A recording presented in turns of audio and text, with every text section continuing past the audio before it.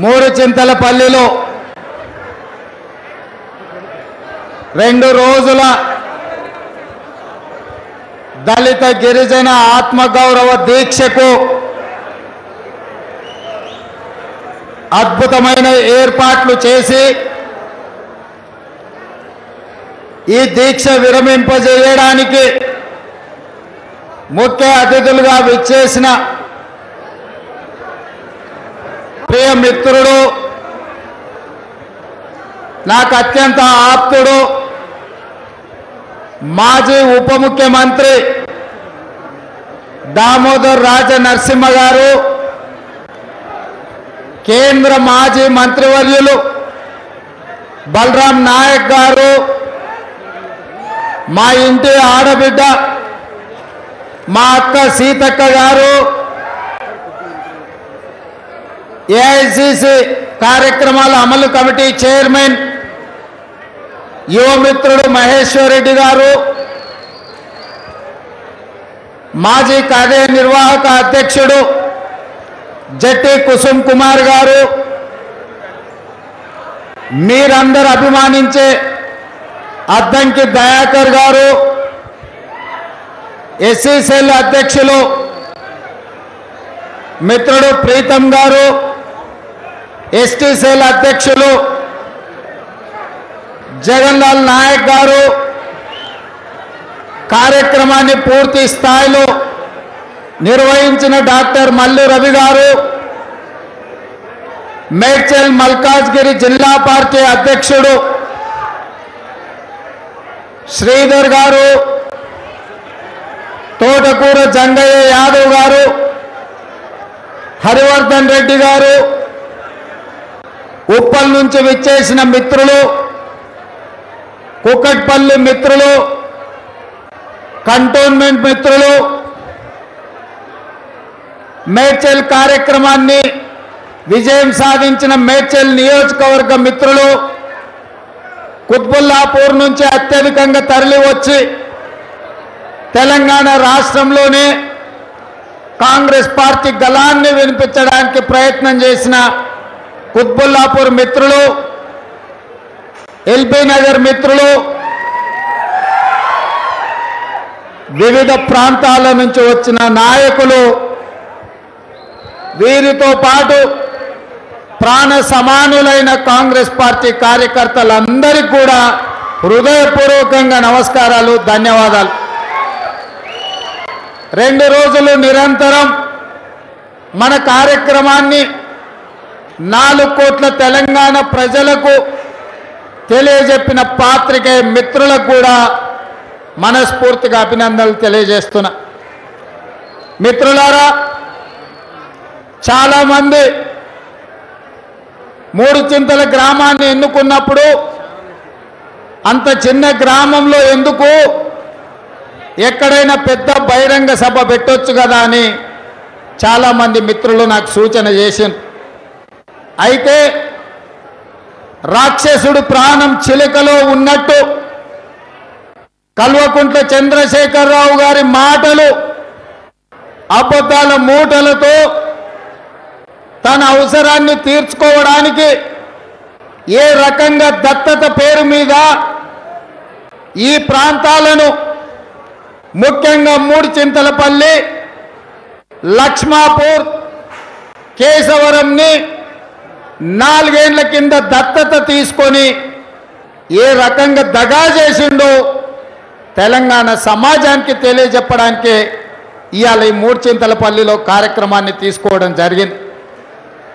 నిన్న ఇదే వేదిక మీద నుంచి నేను మాట్లాడినా ముఖ్యమంత్రి గారు మన వాసాల మర్రిలో మాట చెప్పిండు. గతంలో కూడా ముఖ్యమంత్రి గారు ఇట్లాంటి మాటలు చెప్తుంటారు. రాజు దలుచుకుంటే దెబ్బల కొదవనా? ముఖ్యమంత్రి గారు దలుచుకుంటే అభివృద్ధికి అడ్డమా అని. నేను ఇవాళ టీఆర్ఎస్ అడ్డగాడిదలని నేను అడుగుతున్నా. నాలుగేండ్ల కింద ఇదే మూడు చింతల గ్రామంలో ముఖ్యమంత్రి గారు సభ పెట్టి పంతొమ్మిది వందల అరవై తొమ్మిదిలో తెలంగాణ ఉద్యమంలో క్రియాశీలక పాత్ర పోషించిన ఈ గ్రామ నాయకుడు ఈ ప్రాంత నాయకుడు వీరారెడ్డి గారిని ఆదర్శంగా తీసుకొని వీరారెడ్డి గారు ఉన్నప్పుడు ఈ ప్రాంతంలో పశువుల దవాఖాన కట్టించిండు.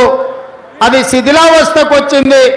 తక్షణమే పశువుల దవాఖాన కట్టిస్తున్నా అని చెప్పిండు పక్కలున్న ఎమ్మెల్యే సుధీర్ రెడ్డి ఈ ప్రాంతంలో ఇరవై ముప్పై వేల మందికి ప్రజా వైద్యశాల లేదు. ప్రజలకు ప్రభుత్వ వైద్యాన్ని అందించడానికి ప్రాథమిక ఆరోగ్య కేంద్రాన్ని కట్టమంటే ఎంబడే ఆ పక్కనున్న లక్ష్మారెడ్డి ఆనాటి వైద్య ఆరోగ్య శాఖ మంత్రికి తిరిగి లక్ష్మారెడ్డి వారంలోనే వీళ్ళకు ప్రాథమిక ఆరోగ్య కేంద్రాన్ని మంజూరు చేయాలి డాక్టర్లను నియమించాలి ఈ ప్రాంత ప్రజలకు ఇక్కడనే వైద్యం అందించాలని చెప్పిండు. ఇదే కాకుండా ఈ ప్రాంతంలో రైతులు ప్రా- ఈ ప్రజలు మొత్తం వ్యవసాయం మీద ఆధారపడతారు. ఈ ప్రాంతానికి ఊరికి కరెంటు లేదు ఐదు హండ్రెడ్ కేవీఏ ట్రాన్స్ఫార్మర్లు మంజూరు చేయమని అడిగినారు అదేవిధంగా ఈ గ్రామంలో పేదోళ్ళు ఉన్నారు. పేదలందరికీ డబుల్ బెడ్రూమ్ ఇండ్లు ఇస్తా అన్నాడు. ఈ ప్రాంతంలో ఎస్సీలకు ఎస్సీ కమ్యూనిటీ హాల్ కడతా అన్నాడు. అదేవిధంగా వివిధ కులాలకు కమ్యూనిటీ హాల్స్ కట్టిస్తా అన్నాడు. ఇవాళ ఈ గ్రామానికి అదేవిధంగా లక్ష్మాపూర్లో భూముల పంచాయతీ ఉన్నది. ఆ భూములో సరిహద్దు లేవు పట్టదారు పాస్ పుస్తకాలు లేవు. ఆ సమస్యను కూడా పరిష్కరిస్తా అన్నాడు. ఇక కేశవరం గురించి చెప్పాల్సిన పనే లేదు. నేను నిన్న ఇవన్నీ అంశాలను ప్రస్తావించకపోయినా ఒక్క మాట మాట్లాడినా. ఈ వేదిక మీద నుంచి టిఆర్ఎస్ నాయకులకు రాష్ట్ర ప్రభుత్వ అధికారులకు ఒక సూచన చేస్తున్నా. నాలుగు సంవత్సరాల క్రితం ముఖ్యమంత్రి గారు ఈ గ్రామాలను దత్తత తీసుకొని ఈ గ్రామాలను అభివృద్ధి చేస్తాని ఈ గ్రామ దళితులను గిరిజనులను ఈ పక్కలున్న తండాలలో ఉన్న వాళ్ళను పేదోళ్ళను ఆశ పెట్టిండు. ఇస్తామంటే వస్తారు కొడతామంటే పోతారు. ఇవాళ ముఖ్యమంత్రి గారు ఇస్తానందుకు ముఖ్యమంత్రి గారి దగ్గరకు వచ్చారు. నేను సూటిగా సవాలు విసిరినా నిన్న ఉదయం నుంచి నేను ఇక్కడ కూర్చున్నా ఇరవై ఐదు తారీఖు సాయంత్రం ఐదు గంటల వరకు మూడు చింతల పల్లిలోనే ఉంటా. బొడ్రాయి కాడ చర్చ పెడతాం ముఖ్యమంత్రి గారు దత్తత తీసుకున్న ఈ గ్రామంలో ఒకవేళ డబుల్ బెడ్రూమ్ ఇల్లు కట్టించినా దళితులకు మూడెకరాల భూమి ఇచ్చినా యాభై ఏడు సంవత్సరాలు నిండినోళ్ళకు పింఛన్ ఇచ్చినా ఇంటికో ఉద్యోగం ఇచ్చినా లక్ష రూపాయల రైతు రుణమాఫీ చేసిన ముఖ్యమంత్రి గారు ఇచ్చిన ఏ ఒక్క హామీనైనా అమలు చేస్తే బొట్రాయి దగ్గరనే చర్చ పెడతాం. ఒకవేళ ఆ చర్చలలో నేను మాట్లాడింది అబద్ధం అయితే ముక్కు నేలకు రాసి ఎంపీ పదవికి రాజీనామా చేస్తా అని చెప్పి సవాలు విసిరిన. ఇరవై నాలుగు గంటలు అయిపోయింది. పాలమ్మేటోడు రాలే నీళ్ళమ్మేటోడు రాలే భూములు కబ్జాలు పెట్టుకున్నటోడు రాలే జోకర్ గాడు మల్లన్న కూడా రాలే. ఎవరినైనా భూమి మీద జోకర్లను చూసినాం బ్రోకర్లను చూసినాం. కానీ పాల మల్లెగాడు సగం జోకర్ సగం బ్రోకర్. వేదిక లెక్క జోకర్ లాగా మాట్లాడతాడు వేదిక దిగితే భూముల బ్రోకర్ లాగా మాట్లాడతాడు. ఎవడు భూములు అమ్మినా ఎవడు కొనుక్కున్నా ఈ పాల మల్లిగానికి కమిషన్ ఇస్తే తప్ప ఈ ప్రాంతంలో భూములు కొనుక్కునే అమ్ముకునే పరిస్థితి లేదు. ఇవాళ భూ కబ్జాలు పెట్టినాడు. మున్సిపల్ ఎన్నికలలో టికెట్లు అమ్ముకున్నాడు. జవహర్ నగర్లో పేదోళ్ళకు భూముల పట్టాలు లేవు రిజిస్ట్రేషన్లు లేవు. ఆడ ఎవడి పేరు మీదనో పట్టాను సృష్టించి ఆ పట్టాన్ని ఇంకొకడికి జీపీఏ ఇచ్చి ఆ జీపీఏతోని తన కోడల మీద రిజిస్ట్రేషన్ చేసుకొని ఇవాళ ఆడ సిఎంఆర్ హాస్పిటల్ అని కట్టి వ్యాపారం చేస్తున్నాడు. జవహర్ నగర్ మున్సిపాలిటీలో ఉన్నదంతా వేల ఎకరాలు ప్రభుత్వ భూమి. ఏ ఒక్కరికి కూడా అక్కడ గుంట భూమి రిజిస్టర్ అయితే లేదు. నేను ఇవాళ ఈ వేదిక మీద నుంచి రాష్ట్ర ముఖ్యమంత్రి గారిని అడుగుతున్నా. జవహర్ నగర్లో రెండు వందల అరవై ఎనిమిది ఇంటి నెంబర్లో తప్పుడు పత్రాలు సృష్టించి నీ మంత్రి మల్లారెడ్డి కోడల పేరు మీద రిజిస్ట్రేషన్ చేయించుకొని ప్రైవేటు దావకాన కట్టుకొని ఇవాళ వ్యాపారం చేస్తున్నాడని నేను నిర్దిష్టమైన ఆరోపణ చేస్తున్నా. సూరారంలో చెరువును ఆక్రమించుకొని చెరువు శిఖం భూమిలో చెరువు కానుకొని చెరువు మత్తడి ఏదైతే వెళ్తుందో తూమును మూసి అలిగెళ్ళకుండా అడ్డు పెట్టి సూరారంలో ప్రభుత్వ దావకాన్లు కట్టుకుంటూ చెరువు కానుకోని అని చెప్పి నేను నిర్దిష్టమైన ఆరోపణ చేస్తున్నా.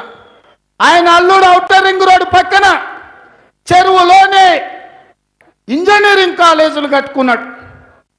ఆయన గుండ్ల పోచంపల్లిలో అనుమతులు లేకుండా అక్రమంగా తప్పుడు గ్రామ పంచాయతీ అనుమతులు సృష్టించి దొంగ సంతకాలు పెట్టి ఇవాళ అక్కడ ఇంజనీరింగ్ కళాశాలలు కట్టిండు. ఆ ఇంజనీరింగ్ కళాశాలలలో ఇవాళ వైద్య విద్య మెడికల్ కాలేజీలో వైద్య చదువులు చెప్పేటోళ్ళు లేరు. ఇంజనీరింగ్ కాలేజీల్లో లెక్చరర్లు ప్రొఫెసర్లు లేరు. ఇన్స్పెక్షన్లకు వస్తుంటే ఒక్క రోజు కోసం ఇరవై వేలు యాభై వేలు ఇచ్చి ఏఐసిటిని దగా చేస్తున్నాడు. ఇవాళ ఈ ప్రాంతంలో ఏ వివాదాస్పద భూమి చూసినా మల్లారెడ్డో మల్లారెడ్డి కొడుకో మల్లారెడ్డి అల్లుడో మల్లారెడ్డి బామ్మార్తో ఇవాళ ఈ భూములను ఆక్రమించుకుంటున్నాడు. ఇవాళ నేను ఈ వేదిక మీద నుంచి సూటిగా మల్లారెడ్డి మీద నిర్దిష్టమైన ఆరోపణ చేస్తున్నా. మీడియా మిత్రులారా మీరు రాసుకోండి.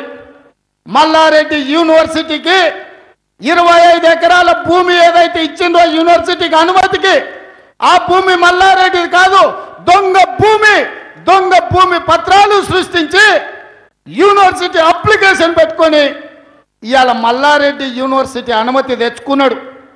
రాష్ట్ర ప్రభుత్వాన్ని రాష్ట్ర ముఖ్యమంత్రిని సూటిగా సవాలు విసురుతున్న మల్లారెడ్డి యూనివర్సిటీలో గుండ్ల పోచంపల్లిలో ఏ భూమినైతే యూనివర్సిటీ పేరు మీద చూపించిండో ఆ భూమి మల్లారెడ్డిది కాదు మల్లారెడ్డి బామ్మర్ది శ్రీనివాస్ రెడ్డి తప్పుడు పత్రాలు సృష్టించి అసైన్మెంట్ భూమిని హైకోర్టులో స్టే ఉంటే ఇక్కడ పాస్బుక్లు సృష్టించి మల్లారెడ్డి ట్రస్టుకు గిఫ్ట్ డీడ్ చేసి యూనివర్సిటీ అనుమతి తీసుకున్నాడు.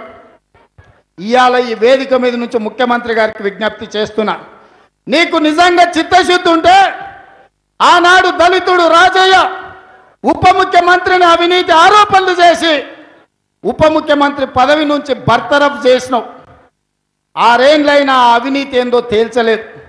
అది నీ ఇంటి పంచాయతో నీ పెంట పంచాయతో నీ ఇష్టం. ఇవాళ నేను నిర్దిష్టమైన ఆరోపణ చేస్తున్నా. మల్లారెడ్డి గారు మెడికల్ కాలేజీల మీద మల్లారెడ్డి గారు ఇంజనీరింగ్ కాలేజీల మీద మల్లారెడ్డి గారు జవహర్ నగర్లో కట్టుకున్న ఆసుపత్రి మీద మల్లారెడ్డి గారికి నువ్వు అనుమతించిన యూనివర్సిటీలో ప్రభుత్వ భూమికి సంబంధించి దాదాపుగా ఇరవై ఎకరాల తప్పుడు పత్రాలు సృష్టించి మల్లారెడ్డి ట్రస్టుకు గిఫ్ట్ డీడ్ మీద యూనివర్సిటీకి పర్మిషన్ ఇచ్చినావు. వీటన్నిటి మీద నువ్వు విచారణకు ఆదేశించు. ఒకవేళ నేను నిరూపించలేకపోతే నువ్వు విధించే శిక్షకు సిద్ధం. లేకపోతే ఊరు ఊర్లో మల్లారెడ్డి ఎట్లొస్తాడో మల్లారెడ్డి అవినీతి కథేందో ప్రతి ఊరు ఊర్లో దండోర వేయించి నిన్ను మల్లారెడ్డిని గుడ్డలిప్పదీస్తామని చెప్పి ఈ వేదిక మీద నుంచి నేను చెప్తున్నా. నిన్న వాడు ఒకడు వచ్చిండు. మొన్న నా మీద పోటీ చేసినాడు. అడ్డుకుంటా అడ్డం పెడతా అని. ఆడి పేరు మర్రి రాజశేఖర రెడ్డి తిర్రి రాజశేఖర రెడ్డి. నువ్వు మర్రివో తిర్రివో నాకైతే తెలియదు కానీ బిడ్డ ఎక్కడన్నా నువ్వు అడ్డం రా మా కాంగ్రెస్ పార్టీ కార్యకర్తలకు. నిన్ను తొక్కి పేగులు తీయకపోతే మా కాంగ్రెస్ పార్టీ కార్యకర్తలు నీకు అప్పుడు తెలుస్తుంది నీ వెనకాల నీ మామున్నాడు అనుకుంటున్నాం వచ్చేటప్పుడు ఒక ఫ్లెక్సీ చూసిన. నాకు అర్థం కాలే ఆ ఫ్లెక్సీ మీద. కేసీఆర్ కేటీఆర్ హరీష్ రావు కవిత ఇంకెవడో కన్నారావు అని ఇంకో కొత్త ఆయన వచ్చిన వాళ్ళే పెట్టారు కింది వరుస చూసిన పెట్టినోడు ఎవడరా మల్లారెడ్డి భద్రారెడ్డి మహేందర్ రెడ్డి మర్రి రాజశేఖర్ రెడ్డి శ్రీనివాస్ రెడ్డి గోపాల్ రెడ్డి. వీళ్ళంతా ఎవరంటే పైన ఉన్నదేమో కేసీఆర్ కుటుంబం కింద ఉన్నదేమో మల్లిగాని కుటుంబం. ఇవన్నీ చూస్తే గమన్న బోయినపల్లి పోలీస్ స్టేషన్కి పోయినా. వరుస ఇట్లా ఫోటోలు పెట్టున్నాయి రెండు వరుసల ఒకడు జేబు దొంగలోడు ఒకడు బస్ స్టాండ్లలో బాగులు తెంకపోయాడు. గట్లా కనిపించింది ఏందా మీ రెండు కుటుంబాల కోసమే పన్నెండు వందల మంది తెలంగాణ బిడ్డలు ఆత్మ బలిదానాలు చేసుకున్నారా?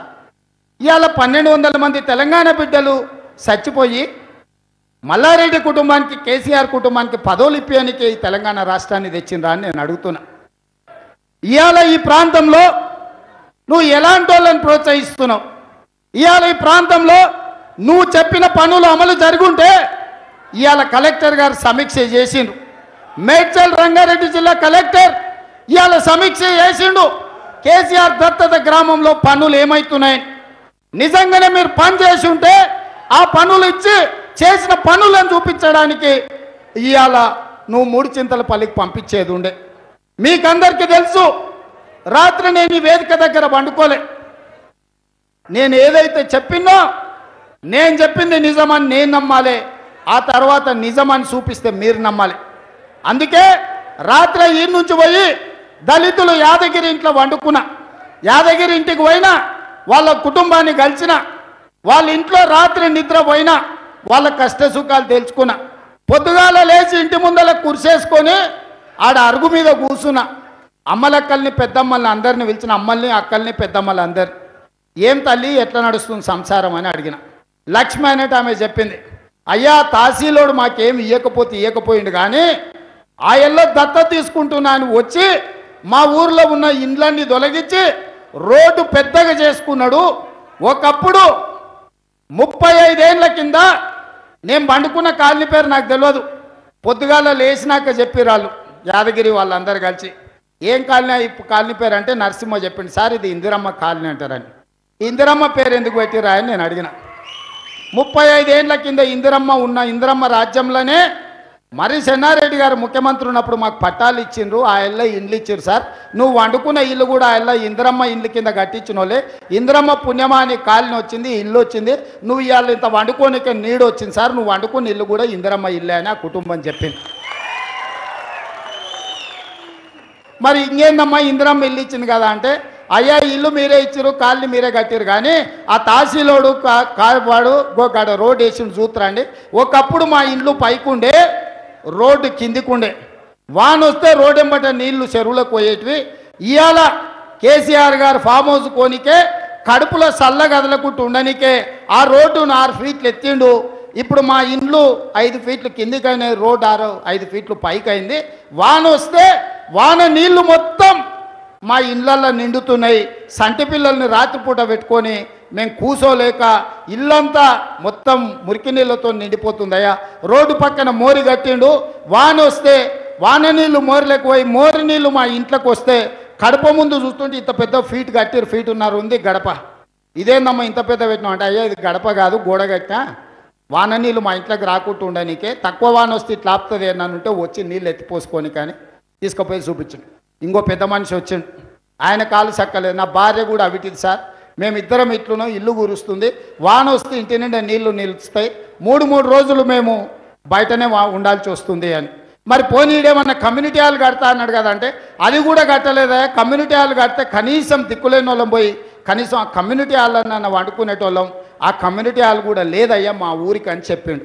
ఇక జర అసూటమైన బాగయ్య కలిసిండు కుల పెద్ద. బాగా ఏం బాగా ఏం సంగతి అని అంటే అయ్యా నీకేం చెప్పాలి? ఇరవై రెండో సర్వే నెంబర్ ముప్పై సర్వే నెంబర్ల యాభై ఎకరాల భూములు ఇందిరమ్మ ఉన్నప్పుడు మాకు పట్టాలు ఇచ్చిర్రు. ఇందిరమ్మ పేరు మీద ఇన్లేని బతికినాం. ఇప్పుడు ఆ భూమి రెండు కోట్లకి ఎకరం అయింది. మనం మీకు కొత్త పాస్ పుస్తకాలు ఇస్తామని పాత పాస్ పుస్తకాలు వచ్చి తీసుకుపోయింది ఎంఆర్ఓ ఎంఆర్ఓ తీసుకుపోయినప్పటి నుంచి రైతు బంధు వస్తలేదు రైతు బీమా వస్తలేదు. కొత్త పాస్ పుస్తకాలు అడుగు తీస్తలేరాయా? ఇప్పుడు ఆ భూమి గుంజుకొని మమ్మల్ని అన్యాయం చేస్తారంట అనాథాలను చేస్తారంట. ఎట్లా సారు అని చెప్పి బాగా పెద్ద మనిషి గడిచిండు నేను అడుగుతూ నీ రాష్ట్ర ముఖ్యమంత్రి మీరు దత్తత తీసుకున్న గ్రామంలో కనీసము మీ సౌకర్యం కోసం మీ విలాసవంతమైన జీవితం కోసం మీరు రోడ్డు వెడల్పు చేసుకున్నారు. రోడ్డు మీద నుంచి పోయే మోరు నీళ్ళన్నా ఆ ఇందిరమ్మ కాలనీలో దళితుల ఇండ్లకు ఓకుట చర్యలు తీసుకోవాలన్న ఇంగిత జ్ఞానం ఈ రాష్ట్ర ముఖ్యమంత్రికి లేదా అని నేను అడుగుతున్నా. ఇవాళ ఈ గ్రామంలో మీరు కట్టించిన డబుల్ బెడ్రూమ్ ఇండ్లే ఉంటే ఈ దళితులు ఈ పక్కనున్న తండాలలో ఉన్న గిరిజనుల బతుకులు ఇంత అన్యాయంగా ఉంటుండేనా అని నేను ఈ రాష్ట్ర ముఖ్యమంత్రిని అడుగుతున్నా. ఇవాళ నువ్వు మూడెకరాల భూమి ఇవ్వకపోతే ఇవ్వకపోతే ఇవాళ ఈ మూడుచింతలపల్లి లక్ష్మాపూర్ కేశవరంలో రెండు కోట్ల రూపాయలకు తక్కువ లేదు భూమి. ఆనాడు ఇందిరమ్మ రాజ్యంలో ఈ గ్రామ దళితులకు ఇచ్చిన యాభై ఎకరాల భూమిని ఇవాళ వాళ్ళ దగ్గర ఉన్న పాస్ పుస్తకాలు కొత్త ఇస్తంతే అని తీసుకుపోయి మోసం చేస్తే ఇంతకంటే మోసం ఏమన్నా ఉంటుందా? ఎవడో ప్రైవేటోడు మోసం చేసిండంటే అర్థం చేసుకోవచ్చు. దగా చేసిండంటే అర్థం చేసుకోవచ్చు. రాష్ట్ర ప్రభుత్వమే ఈ గ్రామంలో ఉండే దళితులను దగా చేస్తుందంటే ఈ ప్రభుత్వాన్ని ఎట్లా క్షమించాలనో మీరు ఒక్కసారి ఆలోచన చేయండి. ఇవాళ ఈ గ్రామంలో మూడు చింతలపల్లి కావచ్చు లక్ష్మీపురం కావచ్చు లేకపోతే కేశవరం కావచ్చు. ఈ చుట్టుముట్టు పక్కలలో ఏడైనా మీరు ఇల్లు కట్టించరా దళితులకు భూములు ఇచ్చిరా పిల్లలకు నౌకర్లు ఇచ్చిండ్రా లేకపోతే లక్ష రూపాయల రైతు రుణమాఫీ చేసిండ్రా ఎవరు వస్తారో రాండి చర్చకు మా గ్రామాలలో యువకులు సిద్ధంగా ఉన్నారు. ఇక ఇది కాకుండా ఆ వీరారెడ్డి పెద్ద మనిషి పాపం. ఏదో తెలంగాణ కోసం కొట్లాడిండు ఊర్లో పేదోళ్ళని ఆదుకున్నాడు ఆ పెద్ద మనిషికి ఇంత విలువ ఉంది. ఆయన పేరు మీద దవాఖాన కట్టిస్తా అని చెప్పినావు కేసీఆర్. నువ్వు ఊకెపోతావా ఇట్లా ఇంత ఇంత అబద్ధాలు అట్లా పెద్ద మనుషుల పేర్లు కూడా నీ రాజకీయానికి వాడుకుంటే ఊకెపోతావా పురుగులు పడిపోతావా? నువ్వు ఒక్కసారి ఆలోచన చెయ్యి. ఇవాళ వీరారెడ్డికి ఉన్న గౌరవాన్ని కూడా నీ రాజకీయ స్వార్థం కోసం మూర్చింతల పల్లిలా ఇవాళ నువ్వు ఇట్లా మోసం చేసినావు.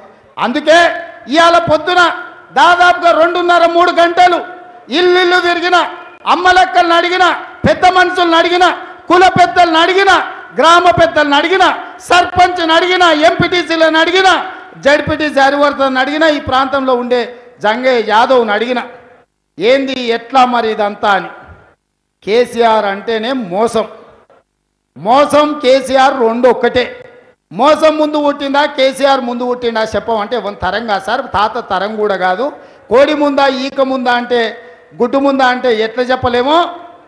మోసం ముందా కేసీఆర్ ముందా అంటే ఏం చెప్పలేను సార్ అని మా నాయకులు చెప్పారు ఇవాళ అందుకే మూడు చింతల పల్లి ప్రజలను వాళ్ళందరి మనసులో నేను కనుక్కున్నది ఒకటే. అయ్యా కాంగ్రెస్ పార్టీ ఏదైనా చేస్తే చెయ్యాలి ఇండ్లు ఇస్తే ఇయ్యాలి మా భూములు మాకు ఇవ్వాలి మా భూములను కాపాడడానికి మాకు కొత్త ఇండ్లు ఇవ్వడానికి మా ఇండ్లకు వస్తున్న మోరి నీళ్ళు ఆపడానికి కాంగ్రెస్ వాళ్ళే కష్టపడాలి మరి టీఆర్ఎస్ వాళ్ళని ఏం చేయాలని అడిగిన. ఏం లేదయ్యా వాడు చింతమాడిక చీటరు ఈ మూడు చింతల పల్లెల చీల్చి చింత చెట్టు గట్టాలి అని చెప్పి ఈ గ్రామ యువకులు చింతమడక చీటర్ను మూడు చింతల పల్లిలో చీల్చి చింత గట్టాలి అని చెప్పి ఈ గ్రామ యువకులు నా దృష్టికి తీసుకొచ్చిండ్రు. తప్పకుండా దామన్న బలరామన్న సీతక్క మహేష్ జట్టి అదేవిధంగా అద్దంకి మేమందరం కష్టపడతాం. ఖచ్చితంగా టీఆర్ఎస్లో డొక్కజించి డోలు కట్టి వాయించే రోజు వస్తుంది. మూడు చింతల పల్లి ప్రజల కష్టాలు తీర్చే రోజు వస్తుంది. ఇక నిన్న ఆయన మాట్లాడిని పిలిచి అంత పొడిగి ఇంత పొడుగు అన్నాడు. ఎగిరెగిరి దంచుతా అన్నాడు. కొడుకు చెప్పిండు అయ్యా ఎగిరి దంచిన గంతే కూలి ఎగరకుంట దంచిన గంతే కూలి. మన పరిస్థితి హుజారాబాద్లో అంత గొప్పగా ఏం లేదని ఆ ఒక ఎన్నిక గెలితేంది ఓడితేంది అని అంటున్నాడు మన అయ్య మీద ఆయనకి ఎంత నమ్మకం ఉందో దీన్ని బట్టి అర్థం చేసుకోరు. అయ్యనేమో పింకాల పోతుండు ఎట్టి పరిస్థితులు హుజారాబాద్లో మేము గెలుస్తామని కొడుకంటుండే అది గెలితే ఎంత గెలవకపోతే ఎంత ఉంటేంది ఊడితేంది. మా అయ్య మస్తు మాటలు చెప్తాడు. మా అయ్య మాటలు నమ్ముతావరా బాయ్ నువ్వు అని కొడుకు ప్రెస్ పెట్టి చెప్పిండు. నేను కేటీఆర్ ప్రెస్ మీట్ చూడండి. అయ్యా శాంతాడంతా చెప్పిండు. అట్లా ఇట్లా ఇట్లా అట్లా అని. ఆయన చెప్పింది ఎవరు నమ్మక ప్రెస్ మీట్ పెట్టడానికి? కేశవరావు రాలే సుఖేందర్ రెడ్డి రాలే డి శ్రీనివాస్ రాలే కడియం శ్రేయ రాలే తుమ్మల నాగేశ్వరరావు రాలే మహేందర్ రెడ్డి రాలే శ్రీనివాస్ యాదవ్ రాలే శ్రీనివాస్ గౌడ్ రాలే. ఈ జోకర్ గాడు మల్లన్న కూడా రాలే. లాస్ట్కి ఎవడు వచ్చిండే? కొడుకే వచ్చిండు తండ్రికి దిక్కులేక ఎందుకంటే ముందర నాడు వాల్సిన వాడు ఆడే కదా. ఆడొచ్చి అయ్యే చెప్పిందంతా అబద్ధం అని చెప్పిండు. ఇది రాష్ట్రంలో జరుగుతున్న పరిస్థితులు. మరి ఈ పరిస్థితులలో కాంగ్రెస్ పార్టీ ఒక మంచి ఆలోచన చేసింది. ఇవాళ కాంగ్రెస్ పార్టీ ఒక నిర్ణయం తీసుకున్నది. మీకు అందరికీ తెలుసు ఆరు దశాబ్దాల కళ అరవై ఏళ్ళల్లో ఈ ప్రజలు ఎన్నోసార్లు ఎన్నో ఉద్యమాలు చేసిరు కొట్లాటాలు చేసిరు పోరాటాలు చేసిరు ప్రాణ త్యాగాలు చేసిరు తెలంగాణ కావాలని కొడుకున్నారు అలాంటి తెలంగాణని ఇవాళ కాంగ్రెస్ పార్టీ ఇచ్చింది. వచ్చిన తెలంగాణలో కేసీఆర్ రెండు సార్లు ముఖ్యమంత్రి అయింది కానీ నాలుగు కోట్ల తెలంగాణ ప్రజలకేమన్నా వచ్చిందా? మీరు ఆలోచన చేయండి. నేను ఒక్కటే అడుగుతున్న తెలంగాణ సమాజాన్ని తెలంగాణ బుద్ధజీవులను మేధావులను ఉద్యమకారులను అమరవీరుల కుటుంబాలను విద్యార్థులను నిరుద్యోగ యువతను నేను ఒకటే విజ్ఞప్తి చేస్తున్న మీరు ఆలోచన చేయండి. కేసీఆర్ పదేళ్ళు ఉద్యమం చేసి ఉండొచ్చు. ఉద్యమం సందర్భంలో ఉద్యోగాలను నీళ్ళను నియామకాలను నిధులను ఎన్నో ఉపన్యాసాలు చెప్పిండు. ఆనాడు ఒప్ప పప్పు వండిండో వంట వార్పు చేసిండో బతుకమ్మ ఆడిండో బోనం కుండ ఎత్తిండో లేకపోతే అప్పుడప్పుడు రాస్తారో ఒక నిరసనలు తెలిపిండో. కానీ ఆయన కష్టానికంటే కూలి ఎక్కువ ఇచ్చింది తెలంగాణ.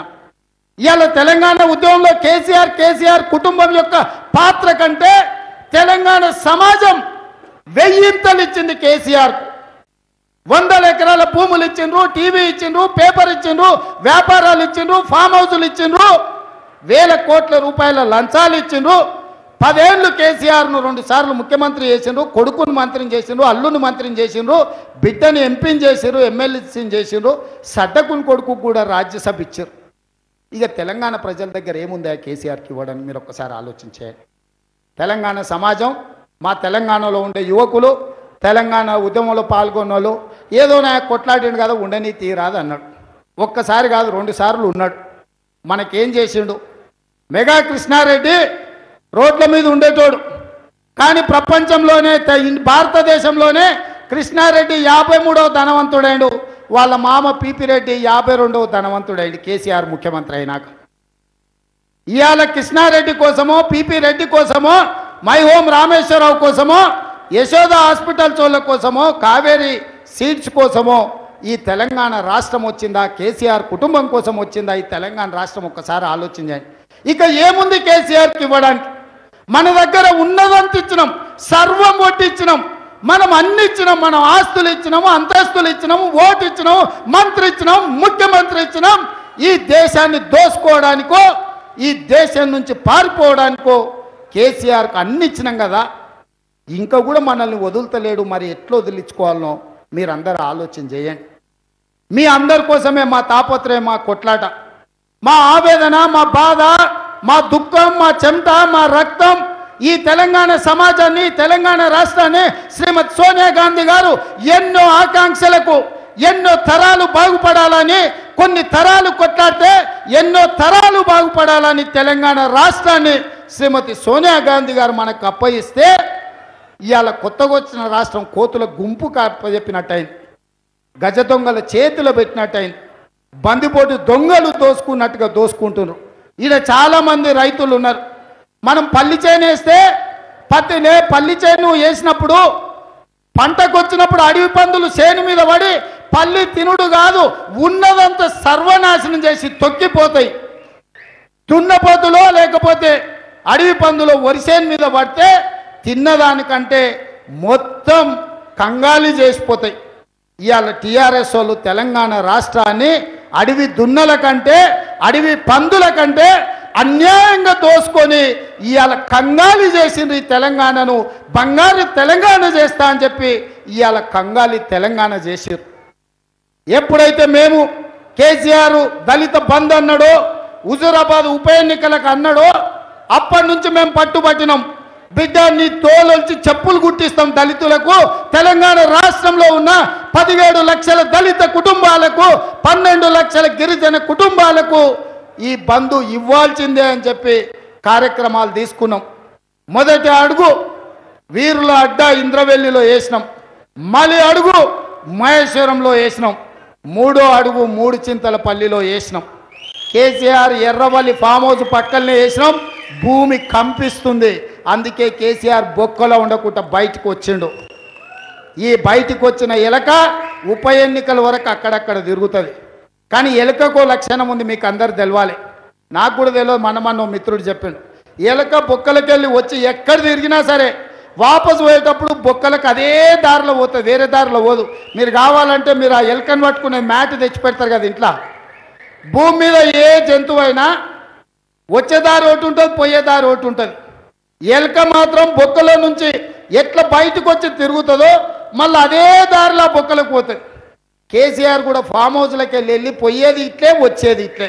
ఈడ పెట్టుర్రు ఇక ఏది పెడతారో మీరు బోను పెట్టండి ఎలకను వట్టూరి. ఎందుకంటే ఈ ఎలక సామాన్యమైన ఎలుక కాదు ఇది జపాన్ ఎలుక. ముందుగానే ప్రమాదాలను గుర్తిస్తుంది. ఒకప్పుడు సముద్రంలో ప్రయాణం చేసే ప్రయాణికులు ఓడలల్లా తుఫాన్లను గుర్తించే యంత్రం లేక తుఫాన్లు రాబోయే ముందుగా గుర్తించడానికి ఏం వ్యవస్థ లేక జపాన్ ఎలుకల్ని పెంచుకునేటోళ్ళు. జపాన్ ఎలుక భూమి మీద అన్నిటికంటే ముందు రాబోయే ప్రమాదాన్ని భూకంపాలను తుఫాన్లను మొట్టమొదట జపాన్ ఎలుక గుర్తిస్తుంది. అందుకే సముద్రంలో ప్రయాణించే సముద్ర ప్రయాణికులు వాళ్ళ ఓడలలో వాళ్ళ జపాన్ ఎలుకల్ని పెంచుకునేటోళ్ళు. ఆ జపాన్ ఏంటంటే అందరికంటే ముందుగానే మేర్కొని కిచకిచ నరిసి అక్కడ ఇక్కడ ఉరుకులాడితే వాళ్ళందరూ కూడా నావికులు గుర్తుపట్టి ప్రమాదం వస్తుందని చెప్పి ఎక్కడైనా బ ఓడను పక్క కాపుకునేటోళ్ళు. ఇవాళ కేసీఆర్ కూడా జపాన్ ఎలకలాకటోడు ప్రమాదాన్ని గుర్తించాడు. గత నలభై రోజులకి ఎప్పుడైనా ఫామ్ హౌస్లో వండినానే కంటి మీద కునుకు పట్టిందా కేసీఆర్కు? వేసింది నిమ్మలంగా దిగిందా ఎక్కిందా? మీరు చెప్పురి నలభై రోజుల నుంచి కాలుగాలిన పిల్లిలాగా తిరుగుతలేడు. కళ్ళు తాగిన కోతిలాగా దుంకుతలేడు అక్కడిక్కడ. అంటే ప్రమాదం కేసీఆర్ గుర్తు వచ్చిండు అందుకే బయటకు వచ్చిండు. కాబట్టి మిత్రులారా ఇప్పుడుగిన మనం కేసీఆర్ను చూసి జాలిపడో బాధపడో లేదంటే పోనీ పాపం అని మనం అన్నామంటే మన జీవితాలు ఇంకా బాగుపడవు. ఇవాళ మన జీవితాలు బాగుపడాలంటే మన ప్రజలు నాలుగు కోట్ల ప్రజలు మంచిగా బ్రతకాలంటే ఉద్యమకారులకు గౌరవం పెరగాలంటే అమరవీరుల కుటుంబాలను మనం గౌరవించుకోవాలి. వాళ్ళకు సరైన గుర్తింపు ఇవ్వాలంటే విద్యార్థులకు చదువుకోవడానికి అవకాశం ఇవ్వాలంటే నిరుద్యోగ యువతకు ఉద్యోగాలు ఇవ్వాలంటే పండించిన పంట రైతుకు గిట్టుబాటు ధర ఇవ్వాలంటే నియోజకవర్గాలలో రైతు రుణమాఫీ జరగాలంటే ఇవాళ కేసీఆర్ పని పట్టాలి. ఇక కేసీఆర్ నిన్న చెప్తా చెప్తా అన్నాడు. అవసరమైతే టైం వస్తే బీసీ మైనారిటీ అదేవిధంగా బ్రాహ్మణులకు కూడా బంధు పెడదామని. కేసీఆర్ నీకు టైం రాదు నీ టైం అయిపోయింది. ఇక నువ్వు ఇంటికే ఇక నీకు టైం వచ్చేది లేదు. నీ టైం అయిపోయింది కేసీఆర్. పట్ట పుట్టే సర్దుకో. నీకు ఇంకా టైం లేదు నువ్వు మాకు ఇచ్చేది లేదు. మేము నీకు ఇచ్చిందంతా అంగి లాగుతో సహా డ్రాయర్తో సహా కట్టు బట్టలు గుంజుకొని నిన్ను బజార్లో నిలబెట్టే రోజు వచ్చింది నీ టైం అయిపోయింది ఇక నీ టైము మళ్ళా రాదు. ఇక తెలంగాణ సమాజానికి నాలుగు కోట్ల ప్రజలకు టైం వచ్చింది. ఇవాళ మనందరికీ టైం వచ్చింది కాబట్టే మనం ఇన్ని వేల మంది దాదాపుగా రెండు రోజులు ఇక్కడ దీక్షలో మద్దతు పలికిండు కేసీఆర్ కూతవేటి దూరంలో ఉంటాడు. పోలీసులు అడ్డుపడ్డా అనుమతులు ఇస్తాం ఇయ్యమని బెదిరించినా ఆ సన్నాసులు రోడ్డుకి అడ్డం కూర్చున్న తొక్కుకుంటా ఇన్ని వేలాది మంది ఇవాళ మూడు చింతల పల్లికి వచ్చిందంటే కేసీఆర్ కాలం అయిపోయింది. కాబట్టి మిత్రులారా ఈ కార్యక్రమం ఇంతటితోనే ఆగదు. భవిష్యత్తులో ఇంకా ఎంతో కొట్లాడాల్సిన అవసరం ఉన్నది. తెలంగాణ సమాజం కోసం నిలబడాల్సిన అవసరం ఉన్నది. ఇవాళ ఈ తెలంగాణ సమాజంలో ముప్పై శాతం జనాభా దళితులు గిరిజనులు పన్నెండు శాతం జనాభా మైనారిటీలు ఈ లెక్కన లెక్కలేసుకుంటూ పోతే ఎనభై ఐదు శాతం బడుగు బలైన దళిత గిరిజన మైనారిటీ వర్గాలు తెలంగాణ సమాజంలో ఉండు ఆ తెలంగాణ సమాజం కోసం ఇవాళ కాంగ్రెస్ పార్టీ నిలబడ్డది. ఇవాళ ఈ కాంగ్రెస్ పార్టీ ఈ తెలంగాణ సమాజానికి అండగా నిలబడుతుంది. మీరు ఆలోచన చేయండి. గ్రామాలు తిరగండి. ఇక్కడున్న కార్యకర్తలకు నేను చేసే విజ్ఞప్తి ఒక్కటే. మనం కొత్తగా చేయాల్సిన పని లేదు. చేసింది గుర్తు చేయండి. తెలంగాణ ఉద్యమం ముసుగులో కేసీఆర్ గారు మనం చేసిన పనులన్నీ కప్పేసిండు. ఇవాళ మీరు ఆలోచన చేయండి. ఫీ ఫీజు రియంబర్స్మెంట్ మనం తేలేదా? ఆరోగ్యశ్రీ మనం తేలేదా? వన్ నాట్ ఎయిట్ మనం తేలేదా? అదే విధంగా రైతు రుణమాఫీ మనం చేయలేదా? ఉచిత కరెంటు మనం ఇయ్యలేదా? శ్రీశైలం మనం కట్టలేదా? నాగార్జున సాగర్ మనం కట్టలేదా? కల్వకుర్తి భీమా నెట్టంపాడు కోయిల్ సాగర్ మనం కట్టలేదా? ఈరోజు గుప్ప అలీ సాగర్ ఇందిరా సాగర్ రాజీవ్ సాగర్ ఈ ప్రాజెక్టులని మనం కట్టలేదా? Osmania university Kakatiya university Palamuru university Mahatma Gandhi university జిల్లాకు ఒక యూనివర్సిటీని చదువుకునే పిల్లలకు కాంగ్రెస్ పార్టీ ఇవ్వలేదా? ప్రతి కిలోమీటర్కు ఒక ప్రాథమిక పాఠశాల ప్రతి మూడు కిలోమీటర్లకు ఒక ప్రాథమిక ఉన్నత పాఠశాల ప్రతి ఐదు కిలోమీటర్లకు ఒక హై స్కూలు ప్రతి మండలానికి ఒక జూనియర్ కాలేజు ప్రతి రెవెన్యూ డివిజన్కు ఒక ఇంజనీరింగ్ కాలేజు ప్రతి జిల్లాకు ఒక మెడికల్ కాలేజ్ ఇచ్చి ప్రభుత్వ ఖర్చులతో పేదోళ్ళు చదువుకోవడానికి వాళ్ళ చదువులకు అన్ని ఏర్పాట్లు చేసింది కాంగ్రెస్ పార్టీ. కానీ ఇవాళ కేసీఆర్ వచ్చినాక నాలుగు వేల ఆరు వందల ముప్పై నాలుగు స్కూళ్ళు మూతేసిండు. యూనివర్సిటీల నియామకాలు జరగలేదు కాలేజీలు నడుస్తలేవు ఫీజు రియంబర్స్మెంట్ లేదు ఆరోగ్యశ్రీ లేదు. ఏమైందా నీకు ఆరోగ్యశ్రీ లేదు. ఇవాళ రైతు రుణమాఫీ లేదు. ఇట్లా ఏది చూసినా ఇవాళ కేసీఆర్ తెలంగాణ సమాజాన్ని మొత్తం దివాలా దీపించింది మరి ఇవన్నీ ఎందుకు ఇట్లా జరుగుతున్నాయి? మీరు ఒక్కసారి ఆలోచన చేయండి. మా దామాన్ని ఒక మాట చెప్పిండు. ప్రగతి భవన్ను ప్రభుత్వ దవాఖాన చేయాలని. కానీ నేను ఒకటి అనుకున్నా. ఈ వేదిక మీద నుంచి ఒక మాట చెప్తున్నా. మళ్ళీ మా దామన్నను రిక్వెస్ట్ చేసి కన్విన్స్ చేసుకుంటా. ఆ ప్రగతి భవన్ డాక్టర్ బాబా సాహెబ్ బహుజన భవన్గా మారుస్తా. ప్రగతి భవన్ మీద డాక్టర్ బాబా సాహెబ్ అంబేద్కర్ బహుజన భవన్ తయారు చేస్తా. అక్కడి నుంచే దళితులు గిరిజనులు ఆదివాసీలను డాక్టర్లుగా లాయర్లుగా ఇంజనీర్లుగా ఐఏఎస్లుగా ఐపీఎస్లుగా తీర్చిదిద్ది ఉత్పత్తి చేసే కేంద్రంగా మారుస్తా. దళిత ఆదివాసి గిరిజనుల నుంచి డాక్టర్లను లాయర్లను ఇంజనీర్లను ఐఏఎస్లను ఐపీఎస్లను ఉత్పత్తి చేసే కేంద్రంగా కర్మాగారంగా మారుస్తా. అక్కడి నుంచే ఈ దేశానికి కావాల్సిన ఐఏఎస్ ఐపీఎస్లను మా దళిత ఆదివాసి గిరిజన బిడ్డల్ని తయారు చేసి డాక్టర్ బాబాసాహెబ్ అంబేద్కర్ బహుళ భవన్కి బహు బహుజన భవన్ నుంచి సరఫరా చేస్తా. ఈ దేశంలో ఏ రాష్ట్రంలో అయినా ఐఏఎస్ ఐపీఎస్ ఆఫీసర్లు ఎవడన్నా ఉన్నాడంటే వాడు తెలంగాణ బిడ్డగా ఉండేటట్టు ఉత్పత్తి కేంద్రంగా మారుస్తా. చదువుకుంటే బాగుపడతాం. చదువుకుంటే శాసనం చేస్తాం. చదువుకుంటే రాజ్యాధికారంలో భాగస్వాములం అవుతాం. చదువుకుంటే లక్షలాది మందికి సాయం చేస్తాం. చదువుకుంటే కోట్లాది మందికి అండగా నిలబడతాం. చదువుకుంటే ప్రపంచాన్ని అభివృద్ధి పదం వైపు నడిపిస్తాం. చదువుకుంటే కంప్యూటర్ని తయారు చేస్తాం. చదువుకుంటే కరోనా లాంటి వైరస్ వస్తే మందు కనిపెడతాం. కాబట్టి నా దళిత గిరిజన ఆదివాసి బిడ్డలు చదువుకోవాలి. మీ చెమట పోవాలి మీ వాసన పోవాలి మీ కుటుంబాలు మీ ఇండ్లు మిమ్మల్ని చూస్తే దూరంగా పోయేటోళ్ళు ఒక్కసారి దళితులు మమ్మల్ని పలకరిస్తే బాగుండు వాళ్ళ ఇంటికి పిలిస్తే బాగుండు వాళ్ళ ఇంట్లో కూర్చొని పుట్టాడు బువ్వ తింటే మా జన్మ ధన్యమైంది అనుకునేటట్టు అభివృద్ధి పదం వైపు నడిపించడానికి పాటుపడుతుంది కాంగ్రెస్ పార్టీ. నేను ఇవాళ ఈ వేదిక మీద నుంచి చెప్తున్నా. మా యువమిత్రులు చాలా రోజుల నుంచి మా ప్రీతం మా వాళ్ళు అందరూ అంటున్నారు అన్న ఇదంతా బాగానే ఉంది కానీ మరి ఎట్లా అని? ఎట్లా అనేది చేపలు తినుడు కాదు చేపలు వట్టుడు నేర్పాలి. ఇవాళ మా పిల్లలను చదివించుకోవాలి మనం.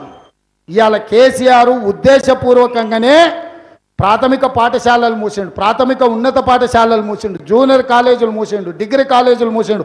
ఇదే ఊర్లో డిగ్రీ కాలేజ్ కోసం మా పిల్లలు రోడ్డుకు అడ్డం పడి అడిగారు డిగ్రీ కాలేజీలు ఇయ్యలే. ఫీజు రియంబర్స్మెంట్ ఎత్తేసిండు. ఎందుక ఇవన్నీ కుట్రలు చేస్తుండంటే పేదోళ్ళ పిల్లలు చదువుకుంటే రాజ్యాధికారంలో వాటా అడుగుతారని. కాబట్టి ఇవాళ రాజ్యాధికారంలో ఎవడో మీకిచ్చుడు కాదు. మీ హక్కులు మీ చేతులు ఉండాలి. మీ అద్దంకి దయాకర్ గొప్పడు కావాలి మీ సీతక్క మీకు సంతకం పెట్టి ఇచ్చగలిగిన చేతికి రావాలి మీ బలరాం నాయక్ మీకు శాసనం తయారు చేయాలి ఈ శాసనాలు ఎట్లుండాలో మా దామన్న ఎస్సీ ఎస్టీ సప్లాన్ ఒక్క కలం పోటీతోని చట్టబద్ధత చేసిండు చదువుకున్న బిడ్డే కాబట్టి ఇవాళ వాళ్ళ నాయన చదువుకున్నాడు మంత్రి అయింది కాబట్టి దామన్నను హెచ్పిఎస్ స్కూల్లో చదివిస్తే మా నాయన ఊర్లో వ్యవసాయం చేసి నేను జడ్పిహెచ్ఎస్లో చదువుకున్నా. దామన్న తండ్రి దామన్నను హెచ్పిఎస్లో చదివించిండు కాబట్టి తరతరాల దళిత బిడ్డల్ని బాగు చేయడానికి ఎస్సీ ఎస్టీ సప్లాన్ తీసుకొచ్చిండు దామన్న. ఎందుకంటే చదువుకున్నాడు కాబట్టి ఆ చదువులో ఉన్న మర్మాన్ని రాజ్యాంగంలో ఉన్న బాబాసాహెబ్ అంబేద్కర్ గారు ఏం రాసిండో దాన్ని అవసోపాన పట్టిండు కాబట్టి ఇవాళ దామన్న ఆ సంతకం పెట్టగలిగిండు. అందుకే నేను కోరుతున్న మిత్రులారా ఇవాళ నేను ఈ వేదిక మీద నుంచి విజ్ఞప్తి చేస్తున్న మా దళిత ఆదివాసీ గిరిజన సోదరులు చదువుకోండి. చదివే మన జీవితాన్ని మారుస్తుంది. ఆ చదివే మన లక్ష్యాన్ని నెరవేరుస్తుంది. ఆ చదివే ఈ ప్రపంచానికి వెయ్యి మందికి లక్ష మందికి మీరు సాయం చేయగలిగిన స్థాయికి తీసుకెళ్తుంది. మీ చదువుల కోసం నేను తాపత్రయపడతా. మిగతావి ఈ ఏడు అరవై ఏళ్ళు వచ్చిన పింఛన్ ఇస్తే మళ్ళీ మూడు నెలలకు ఇంకొనికి అరవై వస్తాయా? అదా అభివృద్ధి అంటే? ఓ ఇల్లు ఇస్తాం. మళ్ళీ పెళ్ళి అయితే కొడుకు పెళ్ళి అయితే వానికి సంసారానికి మళ్ళీ ఇల్లు ఇవ్వాల్సిందే. ఇవన్నీ ఎవడొచ్చినా ఇస్తాడా? ఇవన్నీ ఎవరొచ్చినా ఇస్తారు. నేను అడుగుతున్నా మీరు ఆలోచన చేయండి. ఇందిరమ్మ నాలుగు వందలు మా రాజన్న చెప్పిండు. ఇందిరమ్మ నాలుగు వందల రూపాయలతో ఇల్లుకి ఇచ్చింది. నాలుగు ఎదురు బొంగులు పది తాటాకులు నాలుగు నూరుల రూపాయలు ఇచ్చింది మొదట పేదోటికి ఇల్లు కోసం. తర్వాత ఎనిమిది నూరులకు పెంచింది. తర్వాత వెయ్యి రూపాయలైంది. తర్వాత నాలుగు వేలైంది. తర్వాత ఎనిమిది వేలైంది. తర్వాత ఇరవై వేలైంది. తర్వాత నలభై వేలైంది. తర్వాత లక్ష ఇరవై వేలైంది. అయినా మన పేదరికం పోలే. అసైన్మెంట్ భూములు ఇచ్చినాం. భూములు పిల్లలు వచ్చినా కొద్దిగా అవి మళ్ళీ గుంటలలో మారింది. అయినా మన జీవితాలు మారలే. దీనికంతా పరిష్కారం ప్రపంచమే ఒక ఊరైంది.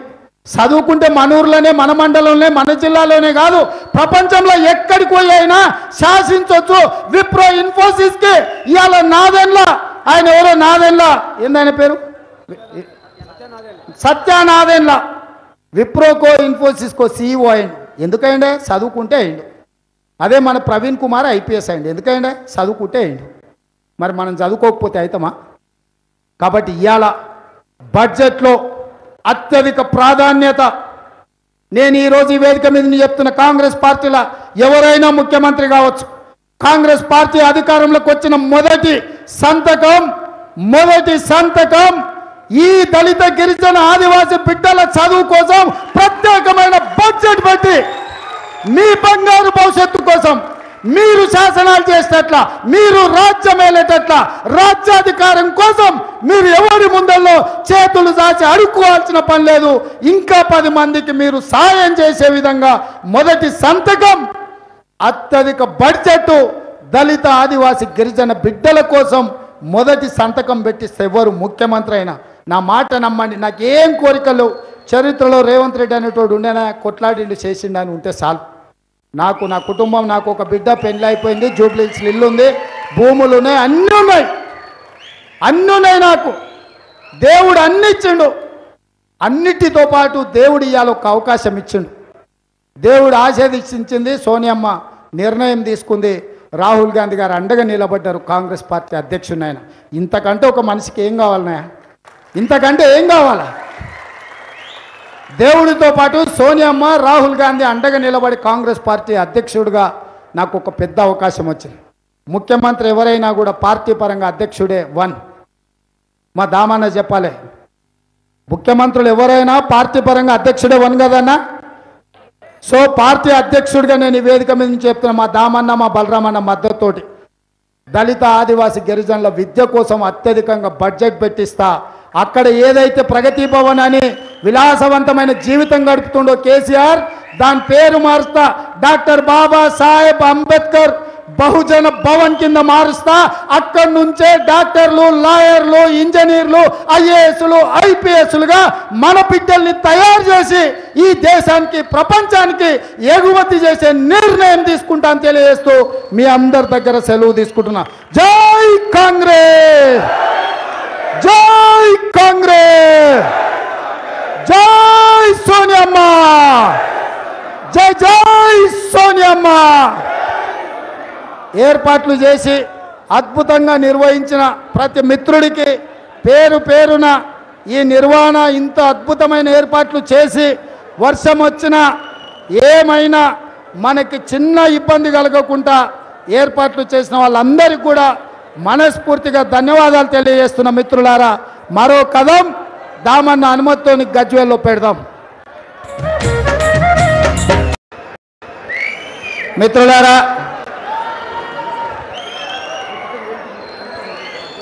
మూడు చింతల పల్లిలో రెండు రోజుల దళిత గిరిజన ఆత్మగౌరవ దీక్షకు అద్భుతమైన ఏర్పాట్లు చేసి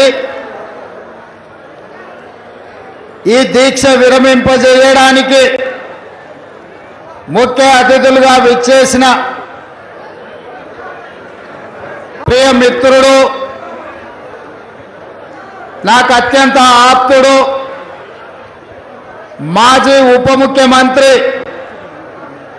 దామోదర్ రాజ నరసింహ గారు. కేంద్ర మాజీ మంత్రివర్యులు బలరాం నాయక్ గారు మా ఇంటి ఆడబిడ్డ మా అక్క సీతక్క గారు ఏఐసిసి కార్యక్రమాల అమలు కమిటీ చైర్మన్ యువమిత్రుడు మహేశ్వర్ రెడ్డి గారు మాజీ కార్యనిర్వాహక అధ్యక్షుడు జట్టి కుసుమ్ కుమార్ గారు మీరందరూ అభిమానించే అద్దంకి దయాకర్ గారు ఎస్సీ సెల్ అధ్యక్షులు మిత్రుడు ప్రీతం గారు ఎస్టీ సెల్ అధ్యక్షులు జగన్లాల్ నాయక్ గారు కార్యక్రమాన్ని పూర్తి స్థాయిలో నిర్వహించిన డాక్టర్ మల్లు రవి గారు మేడ్చల్ మల్కాజ్గిరి జిల్లా పార్టీ అధ్యక్షుడు శ్రీధర్ గారు తోటకూర జంగయ్య యాదవ్ గారు హరివర్ధన్ రెడ్డి గారు ఉప్పల్ నుంచి విచ్చేసిన మిత్రులు కుక్కట్పల్లి మిత్రులు కంటోన్మెంట్ మిత్రులు మేడ్చల్ కార్యక్రమాన్ని విజయం సాధించిన మేడ్చల్ నియోజకవర్గ మిత్రులు కుత్బుల్లాపూర్ నుంచి అత్యధికంగా తరలి వచ్చి తెలంగాణ రాష్ట్రంలోనే కాంగ్రెస్ పార్టీ గలాన్ని వినిపించడానికి ప్రయత్నం చేసిన కుత్బుల్లాపూర్ మిత్రులు ఎల్బీ నగర్ మిత్రులు వివిధ ప్రాంతాల నుంచి వచ్చిన నాయకులు వీరితో పాటు ప్రాణ సమానులైన కాంగ్రెస్ పార్టీ కార్యకర్తలందరికీ కూడా హృదయపూర్వకంగా నమస్కారాలు ధన్యవాదాలు. రెండు రోజులు నిరంతరం మన కార్యక్రమాన్ని నాలుగు కోట్ల తెలంగాణ ప్రజలకు తెలియజెప్పిన పాత్రికే మిత్రులకు కూడా మనస్ఫూర్తిగా అభినందనలు తెలియజేస్తున్నా. మిత్రులారా చాలామంది మూడు చింతల గ్రామాన్ని ఎన్నుకున్నప్పుడు అంత చిన్న గ్రామంలో ఎందుకు ఎక్కడైనా పెద్ద బహిరంగ సభ పెట్టొచ్చు కదా అని చాలామంది మిత్రులు నాకు సూచన చేసింది అయితే రాక్షసుడు ప్రాణం చిలుకలో ఉన్నట్టు కల్వకుంట్ల చంద్రశేఖరరావు గారి మాటలు అబద్ధాల మూటలతో తన అవసరాన్ని తీర్చుకోవడానికి ఏ రకంగా దత్తత పేరు మీద ఈ ప్రాంతాలను ముఖ్యంగా మూడు చింతలపల్లి లక్ష్మాపూర్ కేశవరంని నాలుగేండ్ల కింద దత్తత తీసుకొని ఏ రకంగా దగా చేసిండో తెలంగాణ సమాజానికి తెలియజెప్పడానికి ఇవాళ ఈ మూడు చింతలపల్లిలో కార్యక్రమాన్ని తీసుకోవడం జరిగింది. నిన్న ఇదే వేదిక మీద నుంచి నేను మాట్లాడినా ముఖ్యమంత్రి గారు మన వాసాల మరిలో మాట చెప్పిండు. గతంలో కూడా ముఖ్యమంత్రి గారు ఇట్లాంటి మాటలు చెప్తుంటారు. రాజు దలుచుకుంటే దెబ్బల కొదవన? ముఖ్యమంత్రి గారు దలుచుకుంటే అభివృద్ధికి అడ్డమా అని. నేను ఇవాళ టీఆర్ఎస్ అడ్డగాడిదలను నేను అడుగుతున్నా. నాలుగేండ్ల కింద ఇదే మూడు చింతల గ్రామంలో ముఖ్యమంత్రి గారు సభ పెట్టి పంతొమ్మిది వందల అరవై తొమ్మిదిలో తెలంగాణ ఉద్యమంలో క్రియాశీలక పాత్ర పోషించిన ఈ గ్రామ నాయకుడు ఈ ప్రాంత నాయకుడు వీరారెడ్డి గారిని ఆదర్శంగా తీసుకొని వీరారెడ్డి గారు ఉన్నప్పుడు ఈ ప్రాంతంలో పశువుల దవాఖాన కట్టించిండు. అది శిథిలావస్థకు వచ్చింది. తక్షణమే పశువుల దవాఖాన కట్టిస్తున్నా అని చెప్పిండు పక్కలున్న ఎమ్మెల్యే సుధీర్ రెడ్డి ఈ ప్రాంతంలో ఇరవై ముప్పై వేల మందికి ప్రజా వైద్యశాల లేదు. ప్రజలకు ప్రభుత్వ వైద్యాన్ని అందించడానికి ప్రాథమిక ఆరోగ్య కేంద్రాన్ని కట్టమంటే ఎంబడే ఆ పక్కనున్న లక్ష్మారెడ్డి ఆనాటి వైద్య ఆరోగ్య శాఖ మంత్రికి తిరిగి లక్ష్మారెడ్డి వారంలోనే వీళ్ళకు ప్రాథమిక ఆరోగ్య కేంద్రాన్ని మంజూరు చేయాలి. డాక్టర్లను నియమించాలి. ఈ ప్రాంత ప్రజలకు ఇక్కడనే వైద్యం అందించాలి అని చెప్పిండు. ఇదే కాకుండా ఈ ప్రాంతంలో రైతులు ఈ ప్రజలు మొత్తం వ్యవసాయం మీద ఆధారపడతారు. ఈ ప్రాంతానికి ఊరికి కరెంటు లేదు. ఐదు హండ్రెడ్ కేవీఏ ట్రాన్స్ఫార్మర్లు మంజూరు చేయమని అడిగినారు అదేవిధంగా ఈ గ్రామంలో పేదోళ్ళు ఉన్నారు. పేదలందరికీ డబుల్ బెడ్రూమ్ ఇండ్లు ఇస్తా అన్నాడు. ఈ ప్రాంతంలో ఎస్సీలకు ఎస్సీ కమ్యూనిటీ హాల్ కడతా అన్నాడు. అదేవిధంగా వివిధ కులాలకు కమ్యూనిటీ హాల్స్ కట్టిస్తా అన్నాడు. ఇవాళ ఈ గ్రామానికి అదేవిధంగా లక్ష్మాపూర్లో భూముల పంచాయతీ ఉన్నది. ఆ భూములో సరిహద్దు లేవు పట్టదారు పాస్ పుస్తకాలు లేవు. ఆ సమస్యను కూడా పరిష్కరిస్తా అన్నాడు.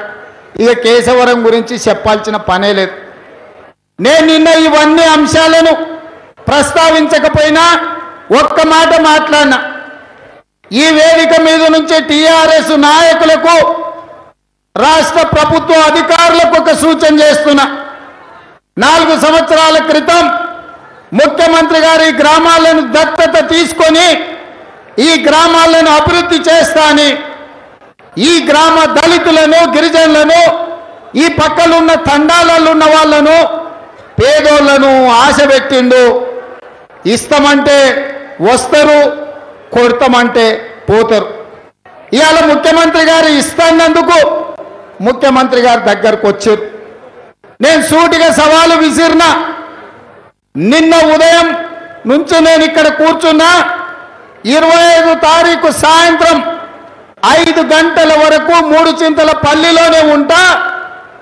బొడ్రాయి కాడ చర్చ పెడతాం ముఖ్యమంత్రి గారు దత్తత తీసుకున్న ఈ గ్రామంలో ఒకవేళ డబుల్ బెడ్రూమ్ ఇల్లు కట్టించినా దళితులకు మూడెకరాల భూమి ఇచ్చినా యాభై ఏడు సంవత్సరాలు నిండినోళ్ళకు పింఛన్ ఇచ్చిన ఇంటికో ఉద్యోగం ఇచ్చిన లక్ష రూపాయల రైతు రుణమాఫీ చేసినా ముఖ్యమంత్రి గారు ఇచ్చిన ఏ ఒక్క హామీనైనా అమలు చేస్తే బొట్రాయి దగ్గరనే చర్చ పెడతాం. ఒకవేళ చర్చలలో నేను మాట్లాడింది అబద్ధం అయితే ముక్కు నేలకు రాసి ఎంపీ పదవికి రాజీనామా చేస్తా అని చెప్పి సవాలు విసిరిన. ఇరవై నాలుగు గంటలు అయిపోయింది. పాలమ్మేటోడు రాలే నీళ్ళమ్మేటోడు రాలే భూములు కబ్జాలు పెట్టుకున్నటోడు రాలే. జోకర్ గారు మల్లన్న కూడా రాలే. ఎవరైనా భూమి మీద జోకర్లను చూసినాం బ్రోకర్లను చూసినాం. కానీ పాల మల్లెగాడు సగం జోకర్ సగం బ్రోకర్. వేదిక లెక్క జోకర్ లాగా మాట్లాడతాడు వేదిక దిగితే భూముల బ్రోకర్ లాగా మాట్లాడతాడు. ఎవడు భూములు అమ్మినా ఎవడు కొనుక్కున్నా ఈ పాల మల్లిగానికి కమిషన్ ఇస్తే తప్ప ఈ ప్రాంతంలో భూములు కొనుక్కునే అమ్ముకునే పరిస్థితి లేదు. ఇవాళ భూ కబ్జాలు పెట్టినాడు. మున్సిపల్ ఎన్నికలలో టికెట్లు అమ్ముకున్నాడు. జవహర్ నగర్లో పేదోళ్ళకు భూముల పట్టాలు లేవు రిజిస్ట్రేషన్లు లేవు. ఆడ ఎవడి పేరు మీదనో పట్టాను సృష్టించి ఆ పట్టాన్ని ఇంకొకడికి జీపీఏ ఇచ్చి ఆ జీపీఏతోని తన కోడల మీద రిజిస్ట్రేషన్ చేసుకొని ఇవాళ ఆడ సిఎంఆర్ హాస్పిటల్ అని కట్టి వ్యాపారం చేస్తున్నాడు. జవహర్ నగర్ మున్సిపాలిటీలో ఉన్నదంతా వేల ఎకరాలు ప్రభుత్వ భూమి. ఏ ఒక్కని కూడా అక్కడ గుంట భూమి రిజిస్టర్ అయితే లేదు. నేను ఇవాళ ఈ వేదిక మీద నుంచి రాష్ట్ర ముఖ్యమంత్రి గారిని అడుగుతున్నా. జవహర్ నగర్లో రెండు వందల అరవై ఎనిమిది ఇంటి నెంబర్లో తప్పుడు పత్రాలు సృష్టించి నీ మంత్రి మల్లారెడ్డి కోడల పేరు మీద రిజిస్ట్రేషన్ చేయించుకొని ప్రైవేటు దావకాన కట్టుకొని ఇవాళ వ్యాపారం చేస్తున్నాడని నేను నిర్దిష్టమైన ఆరోపణ చేస్తున్నా. సూరారంలో చెరువును ఆక్రమించుకొని చెరువు శిఖం భూమిలో చెరువు కానుకొని చెరువు మత్తడి ఏదైతే వెళ్తుందో తూమును మూసి అలిగెళ్ళకుండా అడ్డు పెట్టి సూరారంలో ప్రభుత్వ దావకాన్లు కట్టుకుంటూ చెరువు కానుకోని అని చెప్పి నేను నిర్దిష్టమైన ఆరోపణ చేస్తున్నా. ఆయన అల్లుడు అవుటర్ రింగ్ రోడ్డు పక్కన చెరువులోనే ఇంజనీరింగ్ కాలేజీలు కట్టుకున్నాడు. ఆయన గుండ్ల పోచంపల్లిలో అనుమతులు లేకుండా అక్రమంగా తప్పుడు గ్రామ పంచాయతీ అనుమతులు సృష్టించి దొంగ సంతకాలు పెట్టి ఇవాళ అక్కడ ఇంజనీరింగ్ కళాశాలలు కట్టిండు. ఆ ఇంజనీరింగ్ కళాశాలలలో ఇవాళ వైద్య విద్య మెడికల్ కాలేజీలో వైద్య చదువులు చెప్పేటోళ్ళు లేరు. ఇంజనీరింగ్ కాలేజీల్లో లెక్చరర్లు ప్రొఫెసర్లు లేరు. ఇన్స్పెక్షన్లకు వస్తుంటే ఒక్క రోజు కోసం ఇరవై వేలు యాభై వేలు ఇచ్చి ఏఐసిటిని దగా చేస్తున్నాడు. ఇవాళ ఈ ప్రాంతంలో ఏ వివాదాస్పద భూమి చూసినా మల్లారెడ్డో మల్లారెడ్డి కొడుకో మల్లారెడ్డి అల్లుడు మల్లారెడ్డి బామ్మార్దో ఇవాళ ఈ భూములను ఆక్రమించుకుంటున్నాడు. ఇవాళ నేను ఈ వేదిక మీద నుంచి సూటిగా మల్లారెడ్డి మీద నిర్దిష్టమైన ఆరోపణ చేస్తున్నా. మీడియా మిత్రులారా మీరు రాసుకోండి. మల్లారెడ్డి యూనివర్సిటీకి ఇరవై ఐదు ఎకరాల భూమి ఏదైతే ఇచ్చిందో యూనివర్సిటీకి అనుమతికి ఆ భూమి మల్లారెడ్డిది కాదు దొంగ భూమి దొంగ భూమి పత్రాలు సృష్టించి యూనివర్సిటీ అప్లికేషన్ పెట్టుకొని ఇవాళ మల్లారెడ్డి యూనివర్సిటీ అనుమతి తెచ్చుకున్నాడు. రాష్ట్ర ప్రభుత్వాన్ని రాష్ట్ర ముఖ్యమంత్రిని సూటిగా సవాలు విసురుతున్న మల్లారెడ్డి యూనివర్సిటీలో గుండ్ల పోచంపల్లిలో ఏ భూమినైతే యూనివర్సిటీ పేరు మీద చూపించిండో ఆ భూమి మల్లారెడ్డిది కాదు. మల్లారెడ్డి బామ్మర్ది శ్రీనివాస్ రెడ్డి తప్పుడు పత్రాలు సృష్టించి అసైన్మెంట్ భూమిని హైకోర్టులో స్టే ఉంటే ఇక్కడ పాస్బుక్లు సృష్టించి మల్లారెడ్డి ట్రస్టుకు గిఫ్ట్ డీడ్ చేసి యూనివర్సిటీ అనుమతి తీసుకున్నాడు. ఇవాళ ఈ వేదిక మీద నుంచి ముఖ్యమంత్రి గారికి విజ్ఞప్తి చేస్తున్నా. నీకు నిజంగా చిత్తశుద్ధి ఉంటే ఆనాడు దళితుడు రాజయ్య ఉప ముఖ్యమంత్రిని అవినీతి ఆరోపణలు చేసి ఉప ముఖ్యమంత్రి పదవి నుంచి బర్తరఫ్ చేసినావు. ఆరేండ్లైనా అవినీతి ఏందో తేల్చలేదు. అది నీ ఇంటి పంచాయతో నీ పెంట పంచాయతో నీ ఇష్టం. ఇవాళ నేను నిర్దిష్టమైన ఆరోపణ చేస్తున్నా. మల్లారెడ్డి గారి మెడికల్ కాలేజీల మీద మల్లారెడ్డి గారి ఇంజనీరింగ్ కాలేజీల మీద మల్లారెడ్డి గారు జవహర్ నగర్లో కట్టుకున్న ఆసుపత్రి మీద మల్లారెడ్డి గారికి నువ్వు అనుమతించిన యూనివర్సిటీలో ప్రభుత్వ భూమికి సంబంధించి దాదాపుగా ఇరవై ఎకరాల తప్పుడు పత్రాలు సృష్టించి మల్లారెడ్డి ట్రస్టుకు గిఫ్ట్ డీడ్ మీద యూనివర్సిటీకి పర్మిషన్ ఇచ్చినావు. వీటన్నిటి మీద నువ్వు విచారణకు ఆదేశించు. ఒకవేళ నేను నిరూపించలేకపోతే నువ్వు విధించే శిక్షకు సిద్ధం. లేకపోతే ఊరు ఊర్లో మల్లారెడ్డి ఎట్లొస్తాడో మల్లారెడ్డి అవినీతి కథేందో ప్రతి ఊరు ఊర్లో దండోర వేయించి నిన్ను మల్లారెడ్డిని గుడ్డలిప్పదీస్తామని చెప్పి ఈ వేదిక మీద నుంచి నేను చెప్తున్నా. నిన్న వాడు ఒకడు వచ్చిండు. మొన్న నా మీద పోటీ చేసినాడు. అడ్డుకుంటా అడ్డం పెడతా అని. ఆడి పేరు మర్రి రాజశేఖర రెడ్డో తిర్రి రాజశేఖర రెడ్డో. నువ్వు మర్రివో తిర్రివో నాకైతే తెలియదు కానీ బిడ్డ ఎక్కడైనా నువ్వు అడ్డం రా మా కాంగ్రెస్ పార్టీ కార్యకర్తలకు. నిన్ను తొక్కి పేగులు తీయకపోతే మా కాంగ్రెస్ పార్టీ కార్యకర్తలు నీకు అప్పుడు తెలుస్తుంది నీ వెనకాల నీ మామున్నాడు అనుకుంటున్నాం వచ్చేటప్పుడు ఒక ఫ్లెక్సీ చూసిన. నాకు అర్థం కాలే ఆ ఫ్లెక్సీ మీద. కేసీఆర్ కేటీఆర్ హరీష్ రావు కవిత ఇంకెవడో కన్నారావు అని ఇంకో కొత్త ఆయన వచ్చిన వాళ్ళే పెట్టారు కింది వరుస చూసిన పెట్టినోడు ఎవడరా మల్లారెడ్డి భద్రారెడ్డి మహేందర్ రెడ్డి మర్రి రాజశేఖర్ రెడ్డి శ్రీనివాస్ రెడ్డి గోపాల్ రెడ్డి. వీళ్ళంతా ఎవరంటే పైన ఉన్నదేమో కేసీఆర్ కుటుంబం కింద ఉన్నదేమో మల్లిగాన్ కుటుంబం. ఇవన్నీ చూస్తే గమన్న బోయినపల్లి పోలీస్ స్టేషన్కి పోయినా. వరుస ఇట్లా ఫోటోలు పెట్టున్నాయి రెండు వరుసలలో. ఒకడు జేబు దొంగలోడు ఒకడు బస్ స్టాండ్లలో బాగులు తెంకపోయాడు. గట్లా కనిపించింది ఏందా మీ రెండు కుటుంబాల కోసమే పన్నెండు వందల మంది తెలంగాణ బిడ్డలు ఆత్మ బలిదానాలు చేసుకున్నారా? ఇవాళ పన్నెండు వందల మంది తెలంగాణ బిడ్డలు చచ్చిపోయి మల్లారెడ్డి కుటుంబానికి కేసీఆర్ కుటుంబానికి పదవులు ఇప్పడానికి ఈ తెలంగాణ రాష్ట్రాన్ని తెచ్చిండ్రా అని నేను అడుగుతున్నా. ఇవాళ ఈ ప్రాంతంలో నువ్వు ఎలాంటి వాళ్ళని ప్రోత్సహిస్తున్నావు? ఇవాళ ఈ ప్రాంతంలో నువ్వు చెప్పిన పనులు అమలు జరుగుంటే ఇవాళ కలెక్టర్ గారు సమీక్ష చేసిండ్రు. మేడ్చల్ రంగారెడ్డి జిల్లా కలెక్టర్ ఇవాళ సమీక్ష చేసిండు కేసీఆర్ దత్తత గ్రామంలో పనులు ఏమవుతున్నాయి నిజంగానే మీరు పని చేసి ఉంటే ఆ పనులు ఇచ్చి చేసిన పనులను చూపించడానికి ఇవాళ నువ్వు మూడు చింతల పల్లికి పంపించేది ఉండే. మీకందరికీ తెలుసు రాత్రి నేను ఈ వేదిక దగ్గర వండుకోలే నేను ఏదైతే చెప్పినో నేను చెప్పింది నిజమని నేను నమ్మాలి. ఆ తర్వాత నిజమని చూపిస్తే మీరు నమ్మాలి.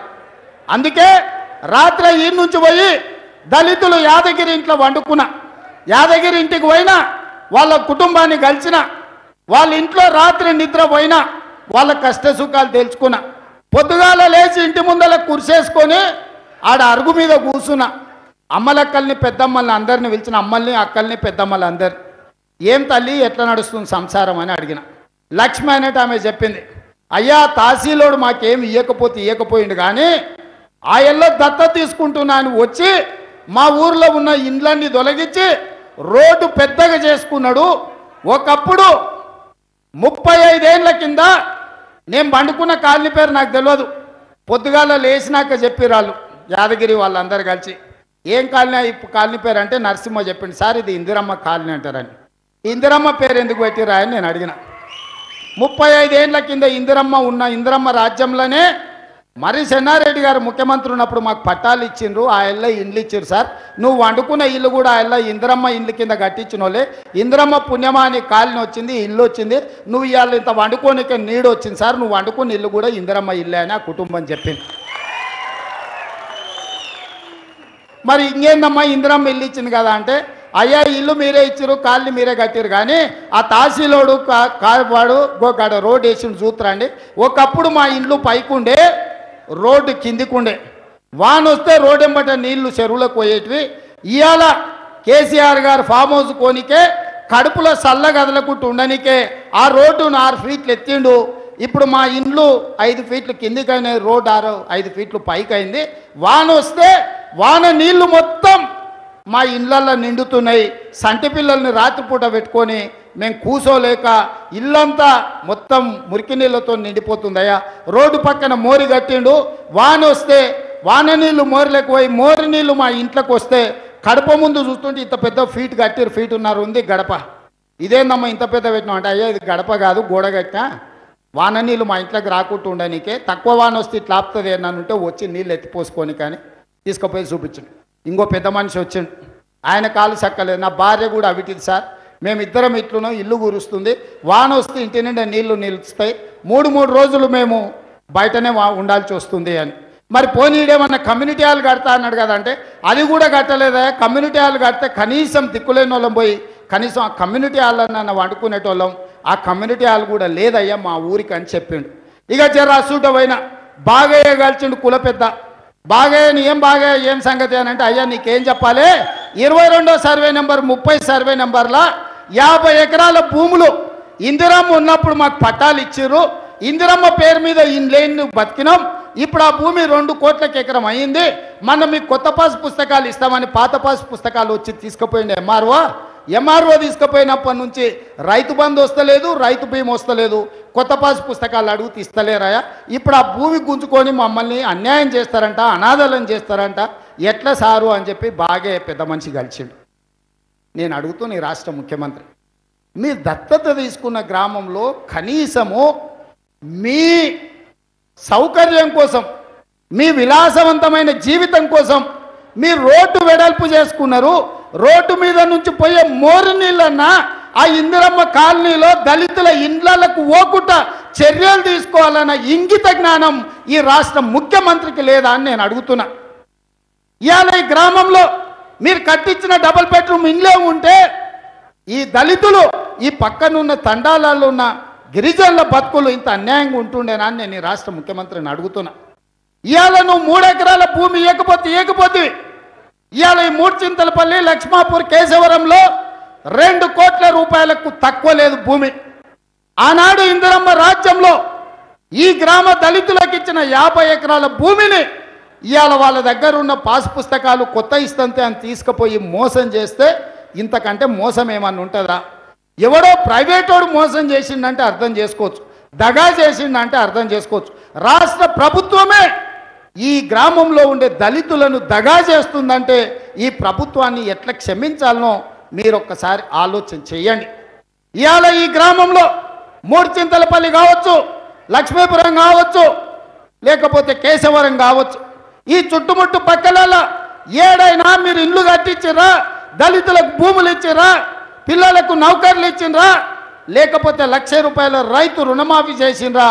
ఎవరు వస్తారో రాండి చర్చకు మా గ్రామాలలో యువకులు సిద్ధంగా ఉన్నారు. ఇక ఇది కాకుండా ఆ వీరారెడ్డి పెద్ద మనిషి పాపం. ఏదో తెలంగాణ కోసం కొట్లాడిండు ఊర్లో పేదోళ్ళని ఆదుకున్నాడు ఆ పెద్ద మనిషికి ఇంత విలువ ఉంది. ఆయన పేరు మీద దవాఖాన కట్టిస్తా అని చెప్పినావు కేసీఆర్. నువ్వు ఊకెపోతావా ఇట్లా ఇంత ఇంత అబద్ధాలు అట్లా పెద్ద మనుషుల పేర్లు కూడా నీ రాజకీయానికి వాడుకుంటే ఊకెపోతావా పురుగులు పడిపోతావా? నువ్వు ఒక్కసారి ఆలోచన చెయ్యి. ఇవాళ వీరారెడ్డికి ఉన్న గౌరవాన్ని కూడా నీ రాజకీయ స్వార్థం కోసం మూర్చింతల పల్లిలా ఇవాళ నువ్వు ఇట్లా మోసం చేసినావు. అందుకే ఇవాళ పొద్దున దాదాపుగా రెండున్నర మూడు గంటలు ఇల్లు తిరిగిన అమ్మలక్కలను అడిగిన పెద్ద మనుషులను అడిగిన కుల పెద్దలను అడిగిన గ్రామ పెద్దలను అడిగిన సర్పంచ్ని అడిగిన ఎంపీటీసీలను అడిగిన జడ్పీటీసీ హరివర్ధన్ అడిగిన ఈ ప్రాంతంలో ఉండే జంగే యాదవ్ని అడిగిన ఏంది ఎట్లా మరి ఇదంతా అని. కేసీఆర్ అంటేనే మోసం. మోసం కేసీఆర్ రెండు ఒక్కటే మోసం ముందు పుట్టిందా కేసీఆర్ ముందు పుట్టిందా చెప్పమంటే వన్ తరంగా సార్ తాత తరం కూడా కాదు. కోడి ముందా ఈక ముందా అంటే గుడ్డు ముందా అంటే ఎట్లా చెప్పలేమో? మోసం ఉందా కేసీఆర్ ముందా అంటే ఏం చెప్పలేను సార్ అని మా నాయకులు చెప్పారు. ఇవాళ అందుకే మూడు చింతల పల్లి ప్రజలను వాళ్ళందరి మనసులో నేను కనుక్కున్నది ఒకటే. అయ్యా కాంగ్రెస్ పార్టీ ఏదైనా చేస్తే చెయ్యాలి ఇండ్లు ఇస్తే ఇవ్వాలి మా భూములు మాకు ఇవ్వాలి మా భూములను కాపాడడానికి మాకు కొత్త ఇండ్లు ఇవ్వడానికి మా ఇండ్లకు వస్తున్న మోరి నీళ్ళు ఆపడానికి కాంగ్రెస్ వాళ్ళే కష్టపడాలి. మరి టీఆర్ఎస్ వాళ్ళని ఏం చేయాలని అడిగిన? ఏం లేదయ్యా వాడు చింతమాడిక చీటరు ఈ మూడు చింతల పల్లెల చీల్చి చింత చెట్టు గట్టాలి అని చెప్పి ఈ గ్రామ యువకులు చింతమడక చీటర్ను మూడు చింతల పల్లిలో చీల్చి చింత గట్టాలి అని చెప్పి ఈ గ్రామ యువకులు నా దృష్టికి తీసుకొచ్చిండ్రు. తప్పకుండా దామన్న బలరామన్న సీతక్క మహేష్ జట్టి అదేవిధంగా అద్దంకి మేమందరం కష్టపడతాం. ఖచ్చితంగా టీఆర్ఎస్లో డొక్కజించి డోలు కట్టి వాయించే రోజు వస్తుంది. మూడు చింతలపల్లి ప్రజల కష్టాలు తీర్చే రోజు వస్తుంది. ఇక నిన్న ఆయన మాట్లాడిని పిలిచి అంత పొడిగి ఇంత పొడుగు అన్నాడు. ఎగిరెగిరి దంచుతా అన్నాడు. కొడుకు చెప్పిండు అయ్యా ఎగిరి దంచిన గంతే కూలి ఎగరకుంట దంచిన గంతే కూలి మన పరిస్థితి హుజారాబాద్లో అంత గొప్పగా ఏం లేదని ఆ ఒక ఎన్నిక గెలితేంది ఓడితేంది అని అంటున్నాడు మన అయ్య మీద ఆయనకి ఎంత నమ్మకం ఉందో దీన్ని బట్టి అర్థం చేసుకోరు. అయ్యను పింకాల పోతుండు ఎట్టి పరిస్థితులు హుజారాబాద్లో మేము గెలుస్తామని కొడుకంటుండే అది గెలితే ఎంత గెలవకపోతే ఎంత ఉంటేంది ఊడితేంది. మా అయ్య మస్తు మాటలు చెప్తాడు. మా అయ్య మాటలు నమ్ముతావరా బాయ్ నువ్వు అని కొడుకు ప్రెస్ మీట్ చెప్పిండు. నేను కేటీఆర్ ప్రెస్ మీట్ చూడండి. అయ్యా శాంతాడంతా చెప్పిండు. అట్లా ఇట్లా ఇట్లా అట్లా అని. ఆయన చెప్పింది ఎవరు నమ్మక ప్రెస్ మీట్ పెట్టడానికి కేశవరావు రాలే సుఖేందర్ రెడ్డి రాలే డి శ్రీనివాస్ రాలే కడియం శ్రేయ రాలే తుమ్మల నాగేశ్వరరావు రాలే మహేందర్ రెడ్డి రాలే శ్రీనివాస్ యాదవ్ రాలే శ్రీనివాస్ గౌడ్ రాలే. ఈ జోకర్ గాడు మల్లన్న కూడా రాలే. లాస్ట్కి ఎవడొచ్చిండే కొడుకే వచ్చిండు తండ్రికి దిక్కులేక ఎందుకంటే ముందర నడవాల్సిన వాడు ఆడే కదా. ఆడొచ్చి అయ్యే చెప్పిందంతా అబద్ధం అని చెప్పిండు. ఇది రాష్ట్రంలో జరుగుతున్న పరిస్థితులు. మరి ఈ పరిస్థితులల్లా కాంగ్రెస్ పార్టీ ఒక మంచి ఆలోచన చేసింది. ఇవాళ కాంగ్రెస్ పార్టీ ఒక నిర్ణయం తీసుకున్నది. మీకు అందరికీ తెలుసు ఆరు దశాబ్దాల కళ అరవై ఏళ్ళల్లో ఈ ప్రజలు ఎన్నోసార్లు ఎన్నో ఉద్యమాలు చేసిరు కొట్లాటాలు చేసిరు పోరాటాలు చేసారు ప్రాణ త్యాగాలు చేసారు తెలంగాణ కావాలని కొడుకున్నారు అలాంటి తెలంగాణని ఇవాళ కాంగ్రెస్ పార్టీ ఇచ్చింది. వచ్చిన తెలంగాణలో కేసీఆర్ రెండు సార్లు ముఖ్యమంత్రి అయింది కానీ నాలుగు కోట్ల తెలంగాణ ప్రజలకేమన్నా వచ్చిందా మీరు ఆలోచన చేయండి. నేను ఒక్కటే అడుగుతున్న తెలంగాణ సమాజాన్ని తెలంగాణ బుద్ధజీవులను మేధావులను ఉద్యమకారులను అమరవీరుల కుటుంబాలను విద్యార్థులను నిరుద్యోగ యువతను నేను ఒకటే విజ్ఞప్తి చేస్తున్న మీరు ఆలోచన చేయండి. కేసీఆర్ పదేళ్ళు ఉద్యమం చేసి ఉండొచ్చు. ఉద్యమం సందర్భంలో ఉద్యోగాలను నీళ్ళను నియామకాలను నిధులను ఎన్నో ఉపన్యాసాలు చెప్పిండు. ఆనాడు ఒప్ప పప్పు వండిండో వంట వార్పు చేసిండో బతుకమ్మ ఆడిండో బోనం కుండ ఎత్తిండో లేకపోతే అప్పుడప్పుడు రాస్తారు కొన్ని నిరసనలు తెలిపిండు. కానీ ఆయన కష్టానికంటే కూలి ఎక్కువ ఇచ్చింది తెలంగాణ. ఇవాళ తెలంగాణ ఉద్యమంలో కేసీఆర్ కేసీఆర్ కుటుంబం యొక్క పాత్ర కంటే తెలంగాణ సమాజం వెయ్యింతలు ఇచ్చింది కేసీఆర్. వందల ఎకరాల భూములు ఇచ్చిండ్రు టీవీ ఇచ్చిండ్రు పేపర్ ఇచ్చిండ్రు వ్యాపారాలు ఇచ్చిండ్రు ఫామ్ హౌసులు ఇచ్చిండ్రు వేల కోట్ల రూపాయల లంచాలు ఇచ్చిండ్రు. పదేళ్ళు కేసీఆర్ను రెండు సార్లు ముఖ్యమంత్రి చేసిండ్రు కొడుకును మంత్రిని చేసిండ్రు అల్లుని మంత్రిని చేసిండ్రు బిడ్డని ఎంపీని చేసిండ్రు ఎమ్మెల్యేని చేసిండ్రు సడ్డకుని కొడుకు కూడా రాజ్యసభ ఇచ్చారు. ఇక తెలంగాణ ప్రజల దగ్గర ఏముందా కేసీఆర్కి ఇవ్వడానికి మీరు ఒక్కసారి ఆలోచించే. తెలంగాణ సమాజం మా తెలంగాణలో ఉండే యువకులు తెలంగాణ ఉద్యమంలో పాల్గొన్న వాళ్ళు ఏదో నా కొట్లాడిండు కదా ఉండని తీరాదు అన్నాడు. ఒక్కసారి కాదు రెండు సార్లు ఉన్నాడు. మనకేం చేసిండు? మెగా కృష్ణారెడ్డి రోడ్ల మీద ఉండేటోడు. కానీ ప్రపంచంలోనే భారతదేశంలోనే కృష్ణారెడ్డి యాభై మూడవ ధనవంతుడైండు. వాళ్ళ మామ పీపిరెడ్డి యాభై రెండవ ధనవంతుడైండు కేసీఆర్ ముఖ్యమంత్రి అయినాక. ఇవాళ కృష్ణారెడ్డి కోసమో పీపీ రెడ్డి కోసమో మై హోమ్ రామేశ్వరరావు కోసమో యశోద హాస్పిటల్ చోళ్ళ కోసమో కావేరీ సీట్స్ కోసమో ఈ తెలంగాణ రాష్ట్రం వచ్చిందా? కేసీఆర్ కుటుంబం కోసం వచ్చిందా? ఈ తెలంగాణ రాష్ట్రం ఒక్కసారి ఆలోచించండి. ఇక ఏముంది కేసీఆర్కి ఇవ్వడానికి? మన దగ్గర ఉన్నదంత ఇచ్చినాం. సర్వం వడ్డించినాం మనం అన్ని ఇచ్చినాం మనం ఆస్తులు ఇచ్చినాము అంతస్తులు ఇచ్చినాము ఓటు ఇచ్చినాము మంత్రి ఇచ్చినాం ముఖ్యమంత్రి ఇచ్చినాం.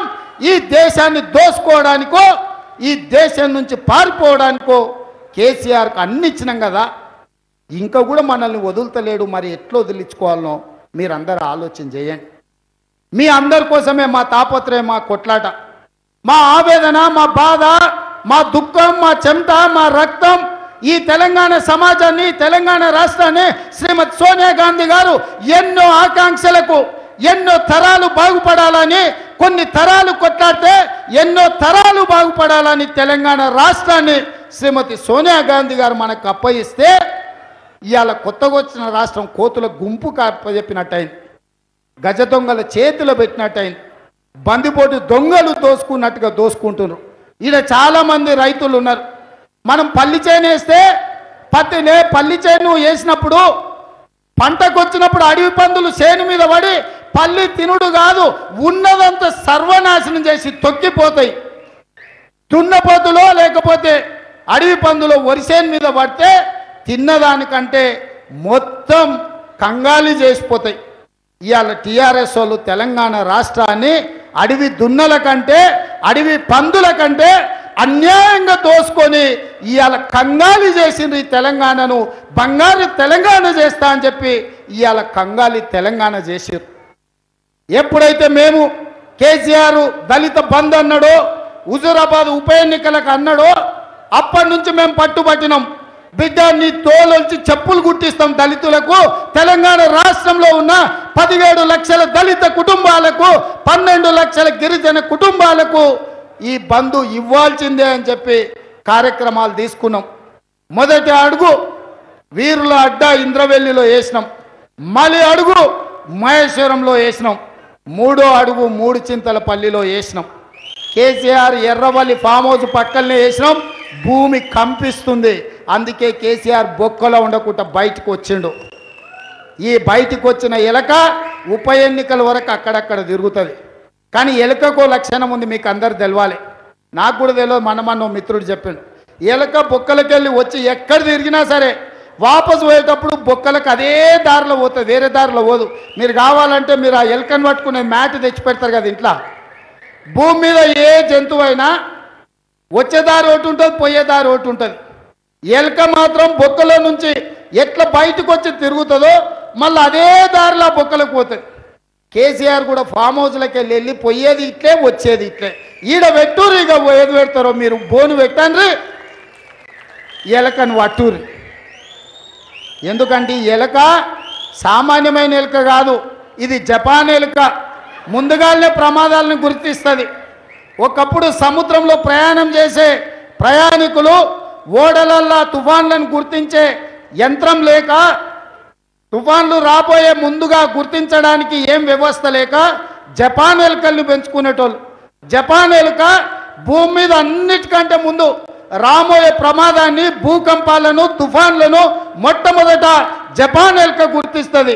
అందుకే సముద్రంలో ప్రయాణించే సముద్ర ప్రయాణికులు వాళ్ళ ఓడలలో వాళ్ళ జపాన్ ఎలుకల్ని పెంచుకునేటోళ్ళు.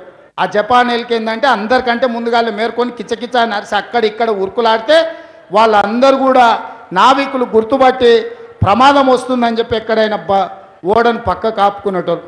ఇవాళ కేసీఆర్ కూడా జపాన్ ఎలకలాకటోడు ప్రమాదాన్ని గుర్తించాడు. గత నలభై రోజులకి ఎప్పుడైనా ఫామ్ హౌస్లో వండినానే కంటి మీద కునుకు పట్టిందా కేసీఆర్కు? వేసింది నిమ్మలంగా దిగిందా ఎక్కిందా? మీరు చెప్పురి నలభై రోజుల నుంచి కాలుగాలిన పిల్లిలాగా తిరుగుతలేడు కళ్ళు తాగిన కోతిలాగా దుంకుతలేడు అక్కడిక్కడ. అంటే ప్రమాదం కేసీఆర్ గుర్తుపట్టిండు. అందుకే బయటకు వచ్చిండు. కాబట్టి మిత్రులారా ఇప్పుడు మనం కేసీఆర్ను చూసి జాలిపడో బాధపడో లేదంటే పోనీ పాపం అని మనం అన్నామంటే మన జీవితాలు ఇంకా బాగుపడవు. ఇవాళ మన జీవితాలు బాగుపడాలంటే మన ప్రజలు నాలుగు కోట్ల ప్రజలు మంచిగా బ్రతకాలంటే ఉద్యమకారులకు గౌరవం పెరగాలంటే అమరవీరుల కుటుంబాలను మనం గౌరవించుకోవాలి. వాళ్ళకు సరైన గుర్తింపు ఇవ్వాలంటే విద్యార్థులకు చదువుకోవడానికి అవకాశం ఇవ్వాలంటే నిరుద్యోగ యువతకు ఉద్యోగాలు ఇవ్వాలంటే పండించిన పంట రైతుకు గిట్టుబాటు ధర ఇవ్వాలంటే నియోజకవర్గాలలో రైతు రుణమాఫీ జరగాలంటే ఇవాళ కేసీఆర్ పని పట్టాలి. ఇక కేసీఆర్ నిన్న చెప్తా చెప్తా అన్నాడు. అవసరమైతే టైం వస్తే బీసీ మైనారిటీ అదేవిధంగా బ్రాహ్మణులకు కూడా బంధు పెడదామని. కేసీఆర్ నీకు టైం రాదు నీ టైం అయిపోయింది. ఇక నువ్వు ఇంటికే ఇక నీకు టైం వచ్చేది లేదు. నీ టైం అయిపోయింది కేసీఆర్. పట్ట పుట్టే సర్దుకో. నీకు ఇంకా టైం లేదు నువ్వు మాకు ఇచ్చేది లేదు. మేము నీకు ఇచ్చిందంతా అంగి లాగుతో సహా డ్రాయర్తో సహా కట్టు బట్టలు గుంజుకొని నిన్ను బజార్లో నిలబెట్టే రోజు వచ్చింది నీ టైం అయిపోయింది ఇక నీ టైము మళ్ళా రాదు. ఇక తెలంగాణ సమాజానికి నాలుగు కోట్ల ప్రజలకు టైం వచ్చింది. ఇవాళ మనందరికీ టైం వచ్చింది కాబట్టే మనం ఇన్ని వేల మంది దాదాపుగా రెండు రోజులు ఇక్కడ దీక్షలో మద్దతు పలికిండ్రు. కేసీఆర్ కూతవేటి దూరంలో ఉంటాడు. పోలీసులు అడ్డుపడ్డా అనుమతులు ఇస్తాం ఇయ్యమని బెదిరించినా ఆ సన్నాసులు రోడ్డుకు అడ్డం కూర్చున్న తొక్కుకుంటా ఇన్ని వేలాది మంది ఇవాళ మూడు చింతల పల్లికి వచ్చిందంటే కేసీఆర్ కాలం అయిపోయింది. కాబట్టి మిత్రులారా ఈ కార్యక్రమం ఇంతటితోనే ఆగదు. భవిష్యత్తులో ఇంకా ఎంతో కొట్లాడాల్సిన అవసరం ఉన్నది. తెలంగాణ సమాజం కోసం నిలబడాల్సిన అవసరం ఉన్నది. ఇవాళ ఈ తెలంగాణ సమాజంలో ముప్పై శాతం జనాభా దళితులు గిరిజనులు పన్నెండు శాతం జనాభా మైనారిటీలు ఈ లెక్కన లెక్కలేసుకుంటూ పోతే ఎనభై ఐదు శాతం బడుగు బలైన దళిత గిరిజన మైనారిటీ వర్గాలు తెలంగాణ సమాజంలో ఉండు ఆ తెలంగాణ సమాజం కోసం ఇవాళ కాంగ్రెస్ పార్టీ నిలబడ్డది. ఇవాళ ఈ కాంగ్రెస్ పార్టీ ఈ తెలంగాణ సమాజానికి అండగా నిలబడుతుంది. మీరు ఆలోచన చేయండి. గ్రామాలు తిరగండి. ఇక్కడున్న కార్యకర్తలకు నేను చేసే విజ్ఞప్తి ఒక్కటే. మనం కొత్తగా చేయాల్సిన పని లేదు. చేసింది గుర్తు చేయండి. తెలంగాణ ఉద్యమం ముసుగులో కేసీఆర్ గారు మనం చేసిన పనులన్నీ కప్పేసిండు. ఇవాళ మీరు ఆలోచన చేయండి. ఫీ ఫీజు రియంబర్స్మెంట్ మనం తేలేదా? ఆరోగ్యశ్రీ మనం తేలేదా? వన్ నాట్ ఎయిట్ మనం తేలేదా? అదే విధంగా రైతు రుణమాఫీ మనం చేయలేదా? ఉచిత కరెంటు మనం ఇయ్యలేదా? శ్రీశైలం మనం కట్టలేదా? నాగార్జున సాగర్ మనం కట్టలేదా? కల్వకుర్తి భీమా నెట్టంపాడు కోయిల్ సాగర్ మనం కట్టలేదా? ఈరోజు గుప్ప అలీ సాగర్ ఇందిరా సాగర్ రాజీవ్ సాగర్ ఈ ప్రాజెక్టులని మనం కట్టలేదా? Osmania university Kakatiya university Palamuru university Mahatma Gandhi university జిల్లాకు ఒక యూనివర్సిటీని చదువుకునే పిల్లలకు కాంగ్రెస్ పార్టీ ఇవ్వలేదా? ప్రతి కిలోమీటర్కు ఒక ప్రాథమిక పాఠశాల ప్రతి మూడు కిలోమీటర్లకు ఒక ప్రాథమిక ఉన్నత పాఠశాల ప్రతి ఐదు కిలోమీటర్లకు ఒక హై స్కూలు ప్రతి మండలానికి ఒక జూనియర్ కాలేజు ప్రతి రెవెన్యూ డివిజన్కు ఒక ఇంజనీరింగ్ కాలేజు ప్రతి జిల్లాకు ఒక మెడికల్ కాలేజ్ ఇచ్చి ప్రభుత్వ ఖర్చులతో పేదోళ్ళు చదువుకోవడానికి వాళ్ళ చదువులకు అన్ని ఏర్పాట్లు చేసింది కాంగ్రెస్ పార్టీ. కానీ ఇవాళ కేసీఆర్ వచ్చినాక నాలుగు వేల ఆరు వందల ముప్పై నాలుగు స్కూళ్ళు మూతేసిండు. యూనివర్సిటీల నియామకాలు జరగలేదు కాలేజీలు నడుస్తలేవు ఫీజు రియంబర్స్మెంట్ లేదు ఆరోగ్యశ్రీ లేదు. ఏమైందా నీకు ఆరోగ్యశ్రీ లేదు. ఇవాళ రైతు రుణమాఫీ లేదు. ఇట్లా ఏది చూసినా ఇవాళ కేసీఆర్ తెలంగాణ సమాజాన్ని మొత్తం దివాలా దీపించింది మరి ఇవన్నీ ఎందుకు ఇట్లా జరుగుతున్నాయి? మీరు ఒక్కసారి ఆలోచన చేయండి. మా దామాన్ని ఒక మాట చెప్పిండు. ప్రగతి భవన్ను ప్రభుత్వ దవాఖాన చేయాలని. కానీ నేను ఒకటి అనుకున్నా. ఈ వేదిక మీద నుంచి ఒక మాట చెప్తున్నా. మళ్ళీ మా దామన్నను రిక్వెస్ట్ చేసి కన్విన్స్ చేసుకుంటా. ఆ ప్రగతి భవన్ డాక్టర్ బాబా సాహెబ్ బహుజన భవన్గా మారుస్తా. ప్రగతి భవన్ మీద డాక్టర్ బాబా సాహెబ్ అంబేద్కర్ బహుజన భవన్ తయారు చేస్తా. అక్కడి నుంచే దళితులు గిరిజనులు ఆదివాసీలను డాక్టర్లుగా లాయర్లుగా ఇంజనీర్లుగా ఐఏఎస్లుగా ఐపీఎస్లుగా తీర్చిదిద్ది ఉత్పత్తి చేసే కేంద్రంగా మారుస్తా. దళిత ఆదివాసి గిరిజనుల నుంచి డాక్టర్లను లాయర్లను ఇంజనీర్లను ఐఏఎస్లను ఐపీఎస్లను ఉత్పత్తి చేసే కేంద్రంగా కర్మాగారంగా మారుస్తా. అక్కడి నుంచే ఈ దేశానికి కావాల్సిన ఐఏఎస్ ఐపీఎస్లను మా దళిత ఆదివాసి గిరిజన బిడ్డల్ని తయారు చేసి డాక్టర్ బాబాసాహెబ్ అంబేద్కర్ బహుళ భవన్కి బహు బహుజన భవన్ నుంచి సరఫరా చేస్తా. ఈ దేశంలో ఏ రాష్ట్రంలో అయినా ఐఏఎస్ ఐపీఎస్ ఆఫీసర్లు ఎవడన్నా ఉన్నాడంటే వాడు తెలంగాణ బిడ్డగా ఉండేటట్టు ఉత్పత్తి కేంద్రంగా మారుస్తా. చదువుకుంటే బాగుపడతాం. చదువుకుంటే శాసనం చేస్తాం. చదువుకుంటే రాజ్యాధికారంలో భాగస్వాములం అవుతాం. చదువుకుంటే లక్షలాది మందికి సాయం చేస్తాం. చదువుకుంటే కోట్లాది మందికి అండగా నిలబడతాం. చదువుకుంటే ప్రపంచాన్ని అభివృద్ధి పదం వైపు నడిపిస్తాం. చదువుకుంటే కంప్యూటర్ని తయారు చేస్తాం. చదువుకుంటే కరోనా లాంటి వైరస్ వస్తే మందు కనిపెడతాం. కాబట్టి నా దళిత గిరిజన ఆదివాసి బిడ్డలు చదువుకోవాలి. మీ చెమట పోవాలి మీ వాసన పోవాలి మీ కుటుంబాలు మీ ఇండ్లు మిమ్మల్ని చూస్తే దూరంగా పోయేటోళ్ళు ఒక్కసారి దళితులు మమ్మల్ని పలకరిస్తే బాగుండు వాళ్ళ ఇంటికి పిలిస్తే బాగుండు వాళ్ళ ఇంట్లో కూర్చొని పుట్టాడు బువ్వ తింటే మా జన్మ ధన్యమైంది అనుకునేటట్టు అభివృద్ధి పదం వైపు నడిపించడానికి పాటుపడుతుంది కాంగ్రెస్ పార్టీ. నేను ఇవాళ ఈ వేదిక మీద నుంచి చెప్తున్నా. మా యువమిత్రులు చాలా రోజుల నుంచి మా ప్రీతం మా వాళ్ళు అందరూ అంటున్నారు అన్న ఇదంతా బాగానే ఉంది కానీ మరి ఎట్లా అని? ఎట్లా అనేది చేపలు తినుడు కాదు చేపలు వట్టుడు నేర్పాలి. ఇవాళ మా పిల్లలను చదివించుకోవాలి మనం. ఇవాళ కేసీఆర్ ఉద్దేశపూర్వకంగానే ప్రాథమిక పాఠశాలలు మూసిండు ప్రాథమిక ఉన్నత పాఠశాలలు మూసిండు జూనియర్ కాలేజీలు మూసిండు డిగ్రీ కాలేజీలు మూసిండు. ఇదే ఊర్లో డిగ్రీ కాలేజ్ కోసం మా పిల్లలు రోడ్డుకు అడ్డం పడి అడిగారు డిగ్రీ కాలేజీలు ఇయ్యలే. ఫీజు రియంబర్స్మెంట్ ఎత్తేసిండు. ఎందుక ఇవన్నీ కుట్రలు చేస్తుండంటే పేదోళ్ళ పిల్లలు చదువుకుంటే రాజ్యాధికారంలో వాటా అడుగుతారని. కాబట్టి ఇవాళ రాజ్యాధికారంలో ఎవడో మీకిచ్చుడు కాదు. మీ హక్కులు మీ చేతులు ఉండాలి. మీ అద్దంకి దయాకర్ గొప్పడు కావాలి మీ సీతక్క మీకు సంతకం పెట్టి ఇచ్చగలిగిన చేతికి రావాలి మీ బలరాం నాయక్ మీకు శాసనం తయారు చేయాలి ఈ శాసనాలు ఎట్లుండాలో మా దామన్న ఎస్సీ ఎస్టీ సప్లాన్ ఒక్క కలం పోటీతోని చట్టబద్ధత చేసిండు చదువుకున్న బిడ్డే కాబట్టి ఇవాళ వాళ్ళ నాయన చదువుకున్నాడు మంత్రి అయింది కాబట్టి దామన్నను హెచ్పిఎస్ స్కూల్లో చదివిస్తే మా నాయన ఊర్లో వ్యవసాయం చేసి నేను జడ్పిహెచ్ఎస్లో చదువుకున్నా. దామన్న తండ్రి దామన్నను హెచ్పిఎస్లో చదివించిండు కాబట్టి తరతరాల దళిత బిడ్డల్ని బాగు చేయడానికి ఎస్సీ ఎస్టీ సప్లాన్ తీసుకొచ్చిండు దామన్న. ఎందుకంటే చదువుకున్నాడు కాబట్టి ఆ చదువులో ఉన్న మర్మాన్ని రాజ్యాంగంలో ఉన్న బాబాసాహెబ్ అంబేద్కర్ గారు ఏం రాసిండో దాన్ని అవసోపాన పట్టిండు కాబట్టి ఇవాళ దామన్న ఆ సంతకం పెట్టగలిగిండు. అందుకే నేను కోరుతున్న మిత్రులారా ఇవాళ నేను ఈ వేదిక మీద నుంచి విజ్ఞప్తి చేస్తున్న మా దళిత ఆదివాసీ గిరిజన సోదరులు చదువుకోండి. చదివే మన జీవితాన్ని మారుస్తుంది. ఆ చదివే మన లక్ష్యాన్ని నెరవేరుస్తుంది. ఆ చదివే ఈ ప్రపంచానికి వెయ్యి మందికి లక్ష మందికి మీరు సాయం చేయగలిగిన స్థాయికి తీసుకెళ్తుంది. మీ చదువుల కోసం నేను తాపత్రయపడతా. మిగతావి ఈ ఏడు అరవై ఏళ్ళు వచ్చిన పింఛన్ ఇస్తే మళ్ళీ మూడు నెలలకు ఇంకొనికి అరవై వస్తాయా? అదా అభివృద్ధి అంటే? ఓ ఇల్లు ఇస్తాం. మళ్ళీ పెళ్ళి అయితే కొడుకు పెళ్ళి అయితే వానికి సంసారానికి మళ్ళీ ఇల్లు ఇవ్వాల్సిందే. ఇవన్నీ ఎవడొచ్చినా ఇస్తాడా? ఇవన్నీ ఎవరొచ్చినా ఇస్తారు. నేను అడుగుతున్నా మీరు ఆలోచన చేయండి. ఇందిరమ్మ నాలుగు వందలు మా రాజన్న చెప్పిండు. ఇందిరమ్మ నాలుగు వందల రూపాయలతో ఇల్లుకి ఇచ్చింది. నాలుగు ఎదురు బొంగులు పది తాటాకులు నాలుగు నూరుల రూపాయలు ఇచ్చింది మొదట పేదోటికి ఇల్లు కోసం. తర్వాత ఎనిమిది నూరులకు పెంచింది. తర్వాత వెయ్యి రూపాయలైంది. తర్వాత నాలుగు వేలైంది. తర్వాత ఎనిమిది వేలైంది. తర్వాత ఇరవై వేలైంది. తర్వాత నలభై వేలైంది. తర్వాత లక్ష ఇరవై వేలైంది. అయినా మన పేదరికం పోలే. అసైన్మెంట్ భూములు ఇచ్చినాం.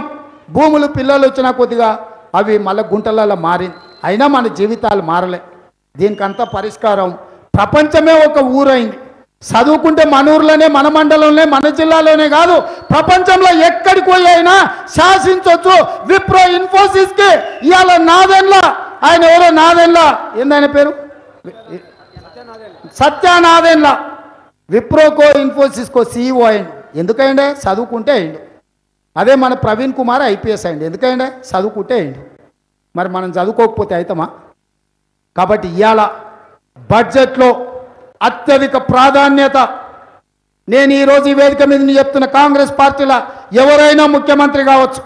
కాంగ్రెస్ పార్టీ అధికారంలోకి వచ్చిన మొదటి సంతకం మొదటి సంతకం ఈ దళిత గిరిజన ఆదివాసి బిడ్డల చదువు కోసం ప్రత్యేకమైన బడ్జెట్ పెట్టి మీ బంగారు భవిష్యత్తు కోసం మీరు శాసనాలు చేసేటట్ల మీరు రాజ్యం ఏలేటట్ల రాజ్యాధికారం కోసం మీరు ఎవరి ముందల్లో చేతులు దాచి అడుక్కోవాల్సిన పని లేదు. ఇంకా పది మందికి మీరు సాయం చేసే విధంగా మొదటి సంతకం అత్యధిక బడ్జెట్ దళిత ఆదివాసి గిరిజన బిడ్డల కోసం మొదటి సంతకం పెట్టిస్తే ఎవరు ముఖ్యమంత్రి అయినా నా మాట నమ్మండి. నాకు ఏం కోరికలు చరిత్రలో రేవంత్ రెడ్డి అనేటోడు ఉండేనా కొట్లాడిండు చేసిండు అని ఉంటే చాలు. నాకు నా కుటుంబం నాకు ఒక బిడ్డ పెళ్ళి అయిపోయింది జూబ్లీస్ ఇల్లు ఉంది భూములు ఉన్నాయి అన్నీ ఉన్నాయి. అన్నీ ఉన్నాయి నాకు. దేవుడు అన్ని ఇచ్చిండు. అన్నిటితో పాటు దేవుడు ఇవాళ ఒక అవకాశం ఇచ్చిండు. దేవుడు ఆశీర్వదించింది సోనియమ్మ నిర్ణయం తీసుకుంది. రాహుల్ గాంధీ గారు అండగా నిలబడ్డారు కాంగ్రెస్ పార్టీ అధ్యక్షుడు ఆయన. ఇంతకంటే ఒక మనిషికి ఏం కావాలన్నాయా ఇంతకంటే ఏం కావాలా? దేవుడితో పాటు సోనియమ్మ రాహుల్ గాంధీ అండగా నిలబడి కాంగ్రెస్ పార్టీ అధ్యక్షుడిగా నాకు ఒక పెద్ద అవకాశం వచ్చింది. ముఖ్యమంత్రి ఎవరైనా కూడా పార్టీ పరంగా అధ్యక్షుడే వన్. మా దామాన్న చెప్పాలి. ముఖ్యమంత్రులు ఎవరైనా పార్టీ పరంగా అధ్యక్షుడే వన్ కదన్నా? సో పార్టీ అధ్యక్షుడిగా నేను ఈ వేదిక మీద నుంచి చెప్తున్నా మా దామన్న మా బలరామన్న మద్దతుతోటి. దళిత ఆదివాసి గిరిజనుల విద్య కోసం అత్యధికంగా బడ్జెట్ పెట్టిస్తా అక్కడ ఏదైతే ప్రగతి భవన్ అని విలాసవంతమైన జీవితం గడుపుతుండో కేసీఆర్ దాని పేరు మారుస్తా. డాక్టర్ బాబా సాహెబ్ అంబేద్కర్ బహుజన భవన్ కింద మారుస్తా. అక్కడి నుంచే డాక్టర్లు లాయర్లు ఇంజనీర్లు ఐఏఎస్లు ఐపీఎస్లుగా మన బిడ్డల్ని తయారు చేసి ఈ దేశానికి ప్రపంచానికి ఎగుమతి చేసే నిర్ణయం తీసుకుంటాను తెలియజేస్తూ మీ అందరి దగ్గర సెలవు తీసుకుంటున్నా. జై కాంగ్రెస్! జై కాంగ్రెస్! జై సోనియమ్మ! జై జై సోనియమ్మ! ఏర్పాట్లు చేసి అద్భుతంగా నిర్వహించిన ప్రతి మిత్రుడికి పేరు పేరున ఈ నిర్వహణ ఇంత అద్భుతమైన ఏర్పాట్లు చేసి వర్షం వచ్చినా ఏమైనా మనకి చిన్న ఇబ్బంది కలగకుండా ఏర్పాట్లు చేసిన వాళ్ళందరికీ కూడా మనస్ఫూర్తిగా ధన్యవాదాలు తెలియజేస్తున్న మిత్రులారా మరో కథం దామన్న అనుమతితో గజ్వేల్లో పెడదాం. మిత్రులారా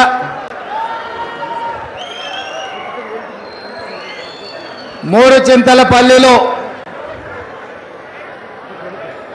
రెండు రోజుల దళిత గిరిజన ఆత్మగౌరవ దీక్షకు అద్భుతమైన ఏర్పాట్లు చేసి ఈ దీక్ష విరమింపజేయడానికి ముఖ్య అతిథులుగా విచ్చేసిన ప్రియ మిత్రుడు నాకు అత్యంత ఆప్తుడు మాజీ ఉప ముఖ్యమంత్రి దామోదర్ రాజ నరసింహ గారు. కేంద్ర మాజీ మంత్రివర్యులు బలరాం నాయక్ గారు మా ఇంటి ఆడబిడ్డ మా అక్క సీతక్క గారు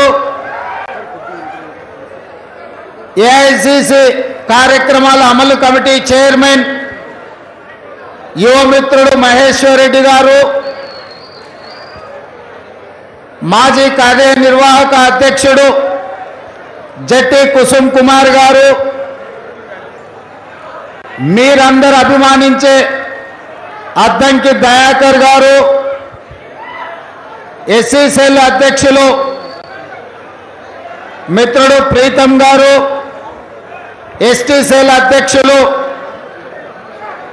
జగన్లాల్ నాయక్ గారు కార్యక్రమాన్ని పూర్తి స్థాయిలో నిర్వహించిన డాక్టర్ మల్లు రవి గారు మేడ్చల్ మల్కాజ్గిరి జిల్లా పార్టీ అధ్యక్షుడు శ్రీధర్ గారు తోటకూర జంగయ్య యాదవ్ గారు హరివర్ధన్ రెడ్డి గారు ఉప్పల్ నుంచి విచ్చేసిన మిత్రులు కుక్కట్పల్లి మిత్రులు కంటోన్మెంట్ మిత్రులు మేడ్చల్ కార్యక్రమాన్ని విజయం సాధించిన మేడ్చల్ నియోజకవర్గ మిత్రులు కుత్బుల్లాపూర్ నుంచి అత్యధికంగా తరలి వచ్చి తెలంగాణ రాష్ట్రంలోనే కాంగ్రెస్ పార్టీ గలాన్ని వినిపించడానికి ప్రయత్నం చేసిన కుత్బుల్లాపూర్ మిత్రులు ఎల్బీ నగర్ మిత్రులు వివిధ ప్రాంతాల నుంచి వచ్చిన నాయకులు వీరితో పాటు ప్రాణ సమానులైన కాంగ్రెస్ పార్టీ కార్యకర్తలందరికీ కూడా హృదయపూర్వకంగా నమస్కారాలు ధన్యవాదాలు. రెండు రోజులు నిరంతరం మన కార్యక్రమాన్ని నాలుగు కోట్ల తెలంగాణ ప్రజలకు తెలియజెప్పిన పాత్రికే మిత్రులకు కూడా మనస్ఫూర్తిగా అభినందనలు తెలియజేస్తున్నా. మిత్రులారా చాలామంది మూడు చింతల గ్రామాన్ని ఎన్నుకున్నప్పుడు అంత చిన్న గ్రామంలో ఎందుకు ఎక్కడైనా పెద్ద బహిరంగ సభ పెట్టొచ్చు కదా అని చాలామంది మిత్రులు నాకు సూచన చేసింది అయితే రాక్షసుడు ప్రాణం చిలుకలో ఉన్నట్టు కల్వకుంట్ల చంద్రశేఖరరావు గారి మాటలు అబద్ధాల మూటలతో తన అవసరాన్ని తీర్చుకోవడానికి ఏ రకంగా దత్తత పేరు మీద ఈ ప్రాంతాలను ముఖ్యంగా మూడు చింతలపల్లి లక్ష్మాపూర్ కేశవరంని నాలుగేండ్ల కింద దత్తత తీసుకొని ఏ రకంగా దగా చేసిండో తెలంగాణ సమాజానికి తెలియజెప్పడానికి ఇవాళ ఈ మూడు చింతలపల్లిలో కార్యక్రమాన్ని తీసుకోవడం జరిగింది. నిన్న ఇదే వేదిక మీద నుంచి నేను మాట్లాడినా ముఖ్యమంత్రి గారు మన వాసాల మర్రిలో మాట చెప్పిండు. గతంలో కూడా ముఖ్యమంత్రి గారు ఇట్లాంటి మాటలు చెప్తుంటారు. రాజు దలుచుకుంటే దెబ్బల కొదవనా? ముఖ్యమంత్రి గారు దలుచుకుంటే అభివృద్ధికి అడ్డమా అని. నేను ఇవాళ టీఆర్ఎస్ అడ్డగాడిదలను నేను అడుగుతున్నా. నాలుగేండ్ల కింద ఇదే మూడు చింతల గ్రామంలో ముఖ్యమంత్రి గారు సభ పెట్టి పంతొమ్మిది వందల అరవై తొమ్మిదిలో తెలంగాణ ఉద్యమంలో క్రియాశీలక పాత్ర పోషించిన ఈ గ్రామ నాయకుడు ఈ ప్రాంత నాయకుడు వీరారెడ్డి గారిని ఆదర్శంగా తీసుకొని వీరారెడ్డి గారు ఉన్నప్పుడు ఈ ప్రాంతంలో పశువుల దవాఖాన కట్టించిండు. అది శిథిలావస్థకు వచ్చింది. తక్షణమే పశువుల దవాఖాన కట్టిస్తున్నా అని చెప్పిండు పక్కలున్న ఎమ్మెల్యే సుధీర్ రెడ్డి ఈ ప్రాంతంలో ఇరవై ముప్పై వేల మందికి ప్రజా వైద్యశాల లేదు. ప్రజలకు ప్రభుత్వ వైద్యాన్ని అందించడానికి ప్రాథమిక ఆరోగ్య కేంద్రాన్ని కట్టమంటే ఎంబడే ఆ పక్కనున్న లక్ష్మారెడ్డి ఆనాటి వైద్య ఆరోగ్య శాఖ మంత్రికి తిరిగి లక్ష్మారెడ్డి వారంలోనే వీళ్ళకు ప్రాథమిక ఆరోగ్య కేంద్రాన్ని మంజూరు చేయాలి. డాక్టర్లను నియమించాలి. ఈ ప్రాంత ప్రజలకు ఇక్కడనే వైద్యం అందించాలని చెప్పిండు. ఇదే కాకుండా ఈ ప్రాంతంలో రైతులు ఈ ప్రజలు మొత్తం వ్యవసాయం మీద ఆధారపడతారు. ఈ ప్రాంతానికి ఊరికి కరెంటు లేదు. ఐదు హండ్రెడ్ కేవీఏ ట్రాన్స్ఫార్మర్లు మంజూరు చేయమని అడిగినారు అదేవిధంగా ఈ గ్రామంలో పేదోళ్ళు ఉన్నారు. పేదలందరికీ డబుల్ బెడ్రూమ్ ఇండ్లు ఇస్తా అన్నాడు. ఈ ప్రాంతంలో ఎస్సీలకు ఎస్సీ కమ్యూనిటీ హాల్ కడతా అన్నాడు. అదేవిధంగా వివిధ కులాలకు కమ్యూనిటీ హాల్స్ కట్టిస్తా అన్నాడు. ఇవాళ ఈ గ్రామానికి అదేవిధంగా లక్ష్మాపూర్లో భూముల పంచాయతీ ఉన్నది. ఆ భూములో సరిహద్దు లేవు పట్టదారు పాస్ పుస్తకాలు లేవు. ఆ సమస్యను కూడా పరిష్కరిస్తా అన్నాడు. ఇక కేశవరం గురించి చెప్పాల్సిన పనే లేదు. నేను నిన్న ఇవన్నీ అంశాలను ప్రస్తావించకపోయినా ఒక్క మాట మాట్లాడినా. ఈ వేదిక మీద నుంచి టీఆర్ఎస్ నాయకులకు రాష్ట్ర ప్రభుత్వ అధికారులకు ఒక సూచన చేస్తున్నా. నాలుగు సంవత్సరాల క్రితం ముఖ్యమంత్రి గారి గ్రామాలను దత్తత తీసుకొని ఈ గ్రామాలను అభివృద్ధి చేస్తా అని ఈ గ్రామ దళితులను గిరిజనులను ఈ పక్కలున్న తండాలలో ఉన్న వాళ్ళను పేదోళ్ళను ఆశ పెట్టిండు. ఇస్తామంటే వస్తారు కొడతామంటే పోతారు. ఇవాళ ముఖ్యమంత్రి గారు ఇస్తానందుకు ముఖ్యమంత్రి గారి దగ్గరకు వచ్చారు నేను సూటిగా సవాలు విసిరినా నిన్న ఉదయం నుంచి నేను ఇక్కడ కూర్చున్నా ఇరవై ఐదు తారీఖు సాయంత్రం ఐదు గంటల వరకు మూడు చింతల పల్లిలోనే ఉంటా. బొడ్రాయి కాడ చర్చ పెడతాం ముఖ్యమంత్రి గారు దత్తత తీసుకున్న ఈ గ్రామంలో ఒకవేళ డబుల్ బెడ్రూమ్ ఇల్లు కట్టించినా దళితులకు మూడెకరాల భూమి ఇచ్చినా యాభై ఏడు సంవత్సరాలు నిండినోళ్ళకు పింఛన్ ఇచ్చినా ఇంటికో ఉద్యోగం ఇచ్చినా లక్ష రూపాయల రైతు రుణమాఫీ చేసినా ముఖ్యమంత్రి గారు ఇచ్చిన ఏ ఒక్క హామీనైనా అమలు చేస్తే బొట్రాయి దగ్గరనే చర్చ పెడతాం. ఒకవేళ చర్చలలోనే చర్చలలో నేను మాట్లాడింది అబద్ధం అయితే ముక్కు నేలకు రాసి ఎంపీ పదవికి రాజీనామా చేస్తా అని చెప్పి సవాలు విసిరిన. ఇరవై నాలుగు గంటలు అయిపోయింది. పాలమ్మేటోడు రాలే నీళ్ళమ్మేటోడు రాలే భూములు కబ్జాలు పెట్టుకున్నటోడు రాలే. జోకర్ గాడు మల్లన్న కూడా రాలే. ఎవరినైనా భూమి మీద జోకర్లను చూసినాం బ్రోకర్లను చూసినాం. కానీ పాల మల్లెగాడు సగం జోకర్ సగం బ్రోకర్. వేదిక లెక్క జోకర్ లాగా మాట్లాడతాడు వేదిక దిగితే భూమిలో బ్రోకర్ లాగా మాట్లాడతాడు. ఎవడు భూములు అమ్మినా ఎవడు కొనుక్కున్నా ఈ పాల మల్లిగానికి కమిషన్ ఇస్తే తప్ప ఈ ప్రాంతంలో భూములు కొనుక్కునే అమ్ముకునే పరిస్థితి లేదు. ఇవాళ భూ కబ్జాలు పెట్టినాడు. మున్సిపల్ ఎన్నికలలో టికెట్లు అమ్ముకున్నాడు. జవహర్ నగర్లో పేదోళ్ళకు భూముల పట్టాలు లేవు రిజిస్ట్రేషన్లు లేవు. ఆడ ఎవడి పేరు మీదనో పట్టాను సృష్టించి ఆ పట్టాన్ని ఇంకొకడికి జీపీఏ ఇచ్చి ఆ జీపీఏతోని తన కోడల మీద రిజిస్ట్రేషన్ చేసుకొని ఇవాళ ఆడ సిఎంఆర్ హాస్పిటల్ అని కట్టి వ్యాపారం చేస్తున్నాడు. జవహర్ నగర్ మున్సిపాలిటీలో ఉన్నదంతా వేల ఎకరాలు ప్రభుత్వ భూమి. ఏ ఒక్కని కూడా అక్కడ గుంట భూమి రిజిస్టర్ అయితలేదు నేను ఇవాళ ఈ వేదిక మీద నుంచి రాష్ట్ర ముఖ్యమంత్రి గారిని అడుగుతున్నా.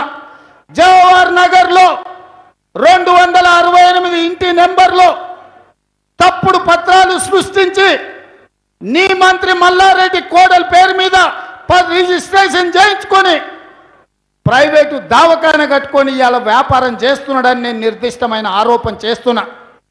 సూరారంలో చెరువును ఆక్రమించుకొని చెరువు శిఖం భూమిలో చెరువు కానుకొని చెరువు మత్తడి ఏదైతే వెళ్తుందో తూమును మూసి అలిగెళ్ళకుండా అడ్డు పెట్టి సూరారంలో ప్రభుత్వ దావకాన్లు కట్టుకుంటూ చెరువు కానుకోని అని చెప్పి నేను నిర్దిష్టమైన ఆరోపణ చేస్తున్నా.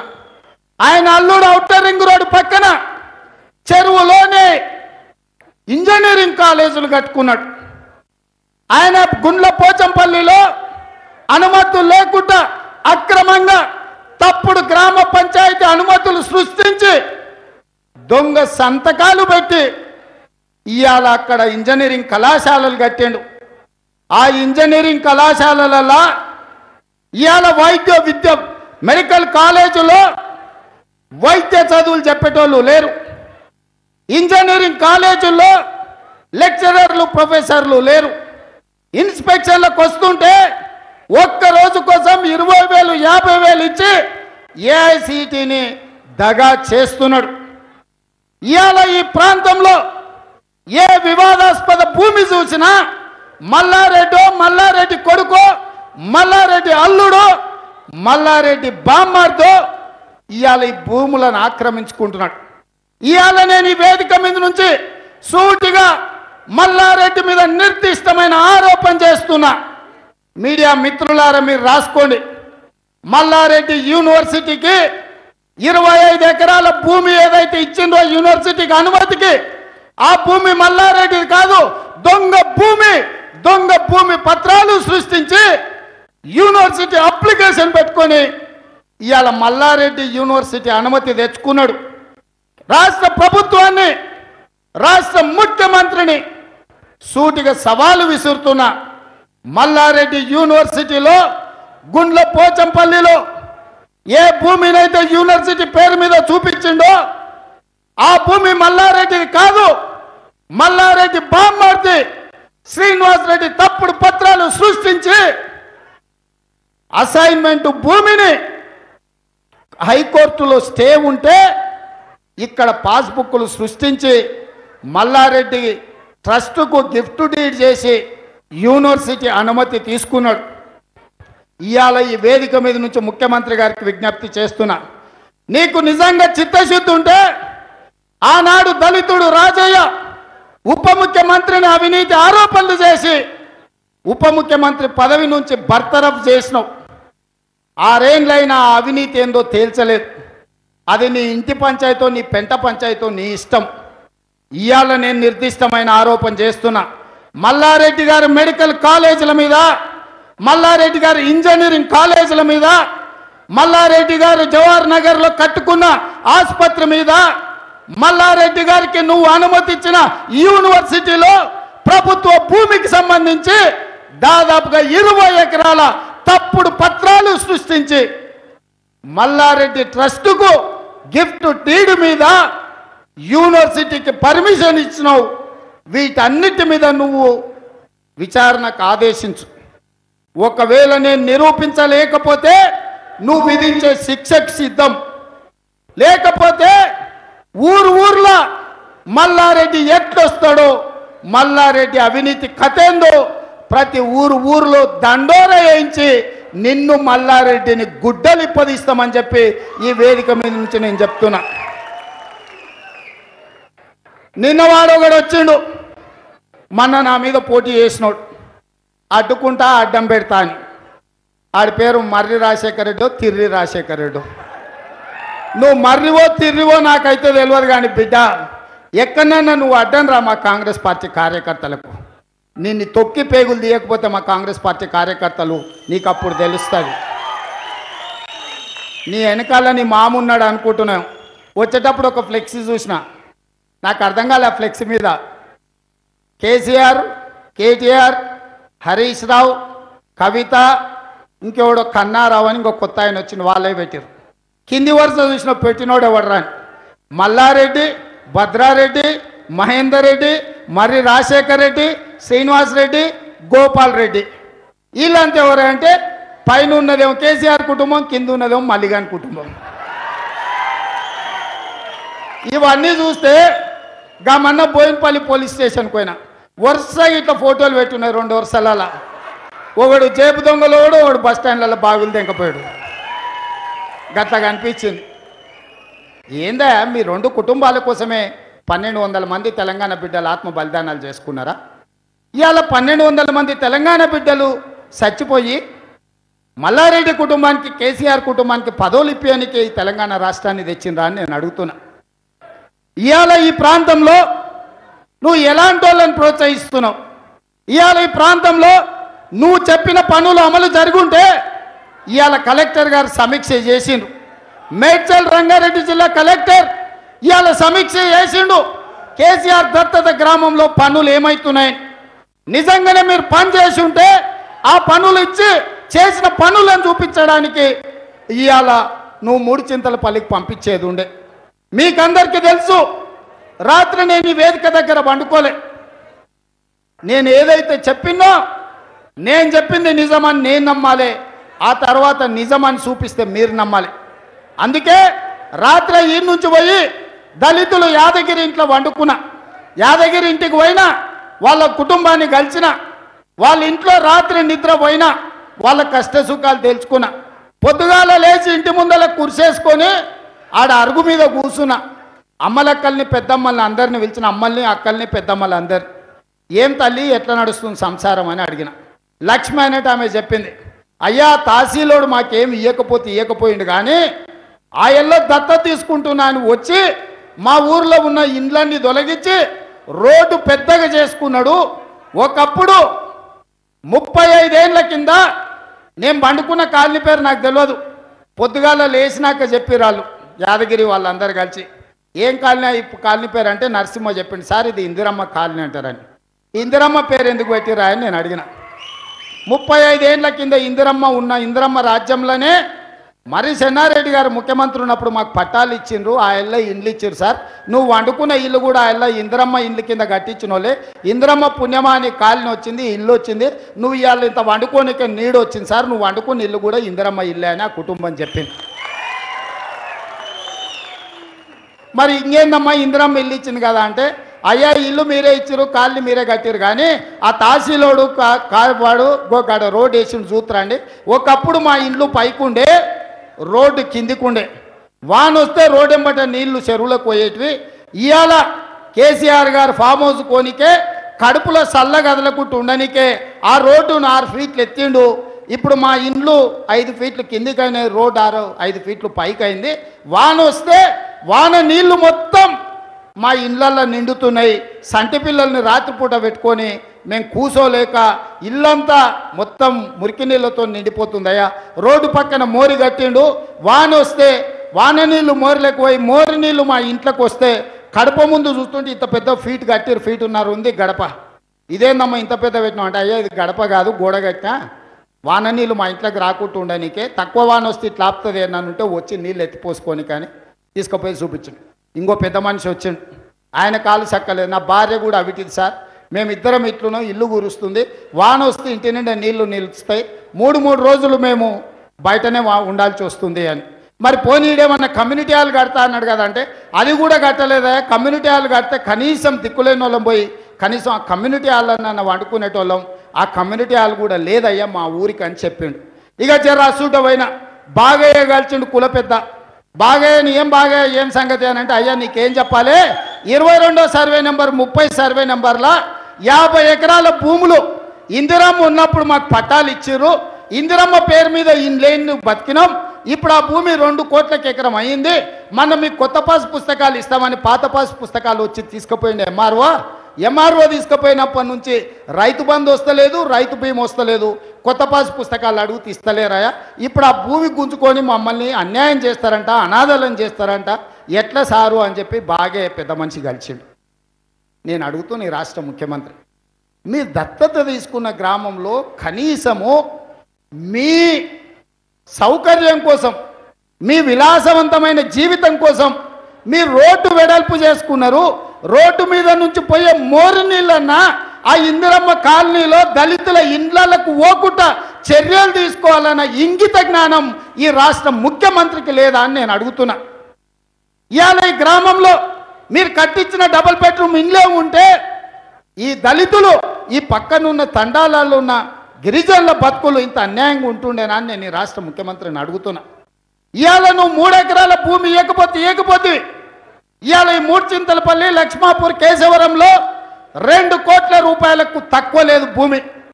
ఆనాడు ఇందిరమ్మ రాజ్యంలో ఈ గ్రామ దళితులకు ఇచ్చిన యాభై ఎకరాల భూమిని ఇవాళ వాళ్ళ దగ్గర ఉన్న పాస్ పుస్తకాలు కొత్త ఇస్తంతే అని తీసుకుపోయి మోసం చేస్తే ఇంతకంటే మోసం ఏమన్నా ఉంటుందా?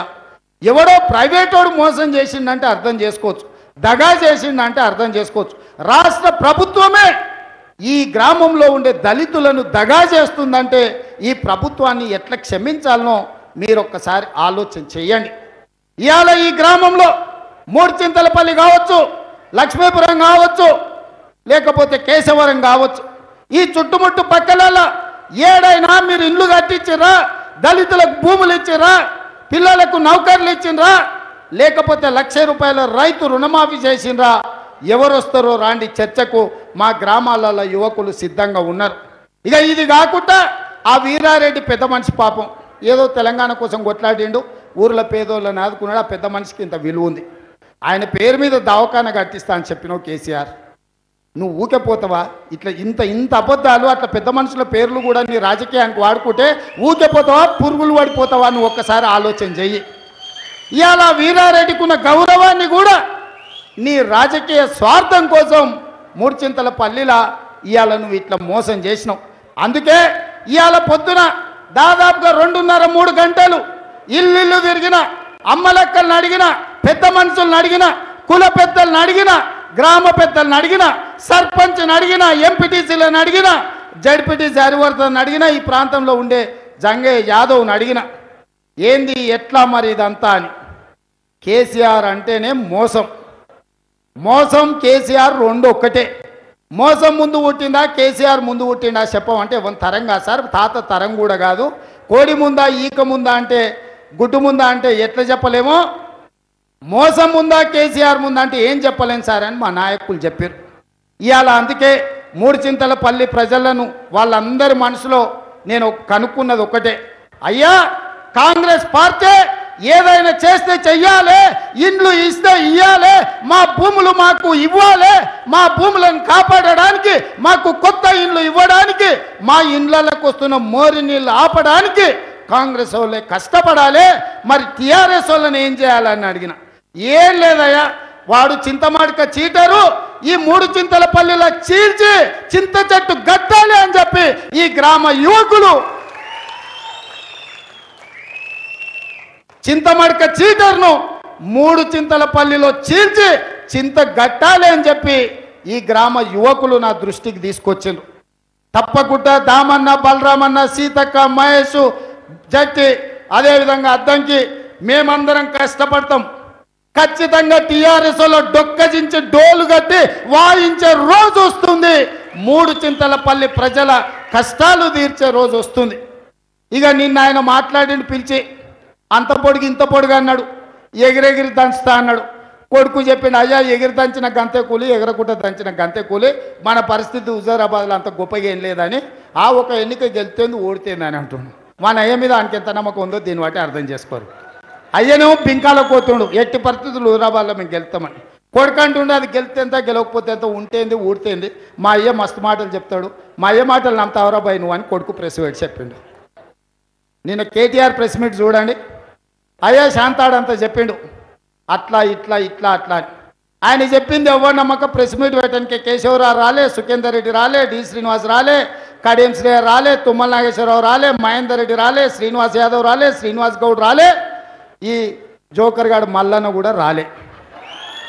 లాస్ట్కి ఎవడొచ్చిండే కొడికే కొడుకే వచ్చిండు తండ్రికి దిక్కులేక ఎందుకంటే ముందర నాడు వాల్సిన వాడు ఆడే కదా. ఆడొచ్చి అయ్యే చెప్పిందంతా అబద్ధం అని చెప్పిండు. ఇది రాష్ట్రంలో జరుగుతున్న పరిస్థితులు. మరి ఈ పరిస్థితులల్లా కాంగ్రెస్ పార్టీ ఒక మంచి ఆలోచన చేసింది. ఇవాళ కాంగ్రెస్ పార్టీ ఒక నిర్ణయం తీసుకున్నది. మీకు అందరికీ తెలుసు ఆరు దశాబ్దాల కళ అరవై ఏళ్ళల్లా ఈ ప్రజలు ఎన్నోసార్లు ఎన్నో ఉద్యమాలు చేసిరు కొట్లాటాలు చేసిరు పోరాటాలు చేసిండ్రు ప్రాణ త్యాగాలు చేసిండ్రు తెలంగాణ కావాలని కొడుకున్నారు అలాంటి తెలంగాణని ఇవాళ కాంగ్రెస్ పార్టీ ఇచ్చింది. వచ్చిన తెలంగాణలో కేసీఆర్ రెండు సార్లు ముఖ్యమంత్రి అయింది కానీ నాలుగు కోట్ల తెలంగాణ ప్రజలకేమన్నా వచ్చిందా మీరు ఆలోచన చేయండి. నేను ఒక్కటే అడుగుతున్న తెలంగాణ సమాజాన్ని తెలంగాణ బుద్ధజీవులను మేధావులను ఉద్యమకారులను అమరవీరుల కుటుంబాలను విద్యార్థులను నిరుద్యోగ యువతను నేను ఒకటే విజ్ఞప్తి చేస్తున్న మీరు ఆలోచన చేయండి. కేసీఆర్ పదేళ్ళు ఉద్యమం చేసి ఉండొచ్చు. ఉద్యమం సందర్భంలో ఉద్యోగాలను నీళ్ళను నియామకాలను నిధులను ఎన్నో ఉపన్యాసాలు చెప్పిండు.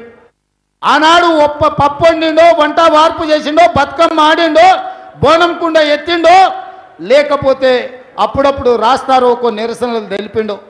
కానీ ఆయన కష్టానికంటే కూలి ఎక్కువ ఇచ్చింది తెలంగాణ. ఇవాళ తెలంగాణ ఉద్యమంలో కేసీఆర్ కేసీఆర్ కుటుంబం యొక్క పాత్ర కంటే తెలంగాణ సమాజం వెయ్యింతలు ఇచ్చింది కేసీఆర్. వందల ఎకరాల భూములు ఇచ్చిండ్రు టీవీ ఇచ్చిండ్రు పేపర్ ఇచ్చిండ్రు వ్యాపారాలు ఇచ్చిండ్రు ఫామ్ హౌసులు ఇచ్చిండ్రు వేల కోట్ల రూపాయల లంచాలు ఇచ్చిండ్రు. పదేళ్ళు కేసీఆర్ను రెండు సార్లు ముఖ్యమంత్రి చేసిండ్రు కొడుకును మంత్రిని చేసిండ్రు అల్లుని మంత్రిని చేసిండ్రు బిడ్డని ఎంపీని చేసిండ్రు ఎమ్మెల్యేని చేసిండ్రు సడ్డకుని కొడుకు కూడా రాజ్యసభ ఇచ్చారు. ఇక తెలంగాణ ప్రజల దగ్గర ఏముందా కేసీఆర్కి ఇవ్వడానికి మీరు ఒక్కసారి ఆలోచించేయండి తెలంగాణ సమాజం మా తెలంగాణలో ఉండే యువకులు తెలంగాణ ఉద్యమంలో పాల్గొన్న ఏదో నా కొట్లాడాడు కదా ఉండని తీరాదు అన్నాడు. ఒక్కసారి కాదు రెండు సార్లు ఉన్నాడు. మనకేం చేసిండు? మెగా కృష్ణారెడ్డి రోడ్ల మీద ఉండేటోడు. కానీ ప్రపంచంలోనే భారతదేశంలోనే కృష్ణారెడ్డి యాభై మూడవ ధనవంతుడైండు. వాళ్ళ మామ పీపిరెడ్డి యాభై రెండవ ధనవంతుడైండు కేసీఆర్ ముఖ్యమంత్రి అయినాక. ఇవాళ కృష్ణారెడ్డి కోసమో పీపిరెడ్డి కోసమో మై హోమ్ రామేశ్వరరావు కోసమో యశోద హాస్పిటల్ చోళ్ళ కోసమో కావేరీ సీట్స్ కోసమో ఈ తెలంగాణ రాష్ట్రం వచ్చిందా? కేసీఆర్ కుటుంబం కోసం వచ్చిందా? ఈ తెలంగాణ రాష్ట్రం ఒక్కసారి ఆలోచించండి. ఇక ఏముంది కేసీఆర్కి ఇవ్వడానికి? మన దగ్గర ఉన్నదంత ఇచ్చినాం. సర్వం కొట్టి మనం అన్ని ఇచ్చినాం. మనం ఆస్తులు ఇచ్చినాము అంతస్తులు ఇచ్చినాము ఓటు ఇచ్చినాము మంత్రి ఇచ్చినాం ముఖ్యమంత్రి ఇచ్చినాం. ఈ దేశాన్ని దోసుకోవడానికో ఈ దేశం నుంచి పారిపోవడానికో కేసీఆర్కు అన్ని ఇచ్చినాం కదా. ఇంకా కూడా మనల్ని వదులుతలేడు. మరి ఎట్లా వదిలించుకోవాలనో మీరందరూ ఆలోచన చేయండి. మీ అందరి కోసమే మా తాపత్రయం మా కొట్లాట. మా ఆవేదన మా బాధ మా దుఃఖం మా చెమట మా రక్తం ఈ తెలంగాణ సమాజాన్ని తెలంగాణ రాష్ట్రాన్ని శ్రీమతి సోనియా గాంధీ గారు ఎన్నో ఆకాంక్షలకు ఎన్నో తరాలు బాగుపడాలని కొన్ని తరాలు కొట్లాడితే ఎన్నో తరాలు బాగుపడాలని తెలంగాణ రాష్ట్రాన్ని శ్రీమతి సోనియా గాంధీ గారు మనకు అప్పగిస్తే ఇవాళ కొత్తగా వచ్చిన రాష్ట్రం కోతుల గుంపు చెప్పినట్టయింది గజ దొంగల చేతిలో పెట్టినట్టయింది. బందిపోటు దొంగలు దోసుకున్నట్టుగా దోసుకుంటున్నారు. ఈడ చాలా మంది రైతులు ఉన్నారు. మనం పల్లి చేను వేస్తే పత్తినే పల్లి చేను వేసినప్పుడు పంటకు వచ్చినప్పుడు అడవి పందులు చేను మీద పడి పల్లి తినుడు కాదు ఉన్నదంతా సర్వనాశనం చేసి తొక్కిపోతాయి. దున్నపోతులో లేకపోతే అడవి పందులో వరిసేను మీద పడితే తిన్నదానికంటే మొత్తం కంగాలి చేసిపోతాయి. ఇవాళ టీఆర్ఎస్ వాళ్ళు తెలంగాణ రాష్ట్రాన్ని అడవి దున్నల కంటే అడవి పందుల కంటే అన్యాయంగా దోసుకొని ఇవాళ కంగాలి చేసింది ఈ తెలంగాణను. బంగారు తెలంగాణ చేస్తా అని చెప్పి ఇవాళ కంగాలి తెలంగాణ చేసిర్రు. ఎప్పుడైతే మేము కేసీఆర్ దళిత బంద్ అన్నాడో హుజూరాబాద్ ఉప ఎన్నికలకు అన్నాడో అప్పటి నుంచి మేము పట్టుబట్టినాం. బిడ్డ నీ తోలొంచి చెప్పులు గుట్టిస్తాం దళితులకు. తెలంగాణ రాష్ట్రంలో ఉన్న పదిహేడు లక్షల దళిత కుటుంబాలకు పన్నెండు లక్షల గిరిజన కుటుంబాలకు ఈ బంధు ఇవ్వాల్సిందే అని చెప్పి కార్యక్రమాలు తీసుకున్నాం. మొదటి అడుగు వీరుల అడ్డా ఇంద్రవెల్లిలో వేసినాం. మళ్ళీ అడుగు మహేశ్వరంలో వేసినాం. మూడో అడుగు మూడు చింతల పల్లిలో వేసినాం. కేసీఆర్ ఎర్రవల్లి ఫామ్ హౌస్ పక్కనే వేసినాం. భూమి కంపిస్తుంది. అందుకే కేసీఆర్ బొక్కలో ఉండకుండా బయటకు వచ్చిండు. ఈ బయటికి వచ్చిన ఎలక ఉప ఎన్నికల వరకు అక్కడక్కడ తిరుగుతుంది. కానీ ఎలకకు లక్షణం ఉంది మీకు అందరు తెలవాలి. నాకు కూడా తెలియదు మన మన మిత్రుడు చెప్పిండు. ఎలక బొక్కలకెళ్ళి వచ్చి ఎక్కడ తిరిగినా సరే వాపసు పోయేటప్పుడు బొక్కలకు అదే దారిలో పోతుంది వేరే దారిలో పోదు. మీరు కావాలంటే మీరు ఆ ఎలకను పట్టుకునే మ్యాట్ తెచ్చి పెడతారు కదా ఇంట్లో. భూమి మీద ఏ జంతువు అయినా వచ్చే దారి ఒకటి ఉంటుంది పోయే దారి ఒకటి ఉంటుంది. ఎలక మాత్రం బొక్కలో నుంచి ఎట్లా బయటకు వచ్చి తిరుగుతుందో మళ్ళీ అదే దారిలో బొక్కలకు పోతుంది. కేసీఆర్ కూడా ఫామ్ హౌస్లోకి వెళ్ళి వెళ్ళి పోయేది ఇట్లే వచ్చేది ఇట్లే. ఈడ పెట్టుర్రు ఇక ఏది పెడతారో మీరు బోను పెట్టండి ఎలకను వట్టూరి ఎందుకంటే ఈ ఎలక సామాన్యమైన ఎలుక కాదు ఇది జపాన్ ఎలుక. ముందుగానే ప్రమాదాలను గుర్తిస్తుంది. ఒకప్పుడు సముద్రంలో ప్రయాణం చేసే ప్రయాణికులు ఓడలల్లా తుఫాన్లను గుర్తించే యంత్రం లేక తుఫాన్లు రాబోయే ముందుగా గుర్తించడానికి ఏం వ్యవస్థ లేక జపాన్ ఎలుకల్ని పెంచుకునేటోళ్ళు. జపాన్ ఎలుక భూమి మీద అన్నిటికంటే ముందు రాబోయే ప్రమాదాన్ని భూకంపాలను తుఫాన్లను మొట్టమొదట జపాన్ ఎలుక గుర్తిస్తుంది. అందుకే సముద్రంలో ప్రయాణించే సముద్ర ప్రయాణికులు వాళ్ళ ఓడలలో వాళ్ళ జపాన్ ఎలుకల్ని పెంచుకునేటోళ్ళు. ఆ జపాన్ ఏంటంటే అందరికంటే ముందుగానే మేర్కొని కిచకిచ నరిసి అక్కడ ఇక్కడ ఉరుకులాడితే వాళ్ళందరూ కూడా నావికులు గుర్తుపట్టి ప్రమాదం వస్తుందని చెప్పి ఎక్కడైనా బ ఓడను పక్క కాపుకునేటోళ్ళు. ఇవాళ కేసీఆర్ కూడా జపాన్ ఎలకలాకటోడు ప్రమాదాన్ని గుర్తించాడు. గత నలభై రోజులకి ఎప్పుడైనా ఫామ్ హౌస్లో వండి నానే కంటి మీద కునుకు పట్టిందా కేసీఆర్కు? వేసింది నిమ్మలంగా దిగిందా ఎక్కిందా? మీరు చెప్పురి నలభై రోజుల నుంచి కాలుగాలిన పిల్లిలాగా తిరుగుతలేడు. కళ్ళు తాగిన కోతిలాగా దుంకుతలేడు అక్కడిక్కడ. అంటే ప్రమాదం కేసీఆర్ గుర్తుపట్టిండు. అందుకే బయటకు వచ్చిండు. కాబట్టి మిత్రులారా ఇప్పుడు మనం కేసీఆర్ను చూసి జాలిపడో బాధపడో లేదంటే పోనీ పాపం అని మనం అన్నామంటే మన జీవితాలు ఇంకా బాగుపడవు. ఇవాళ మన జీవితాలు బాగుపడాలంటే మన ప్రజలు నాలుగు కోట్ల ప్రజలు మంచిగా బ్రతకాలంటే ఉద్యమకారులకు గౌరవం పెరగాలంటే అమరవీరుల కుటుంబాలను మనం గౌరవించుకోవాలి.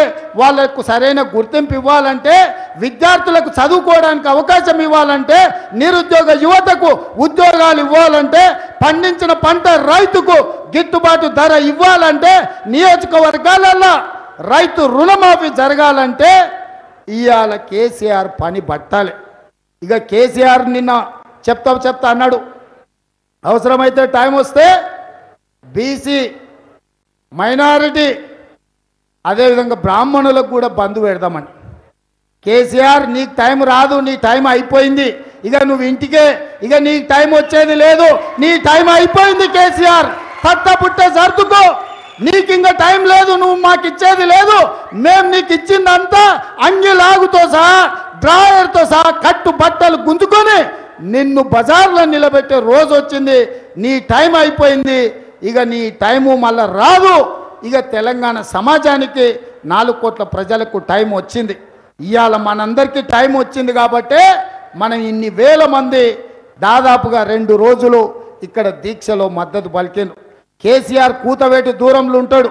పోలీసులు అడ్డుపడ్డా అనుమతులు ఇస్తాం ఇయ్యమని బెదిరించినా ఆ సన్నాసులు రోడ్డుకు అడ్డం కూర్చున్న తొక్కుకుంటా ఇన్ని వేలాది మంది ఇవాళ మూడు చింతల పల్లికి వచ్చిందంటే కేసీఆర్ కాలం అయిపోయింది.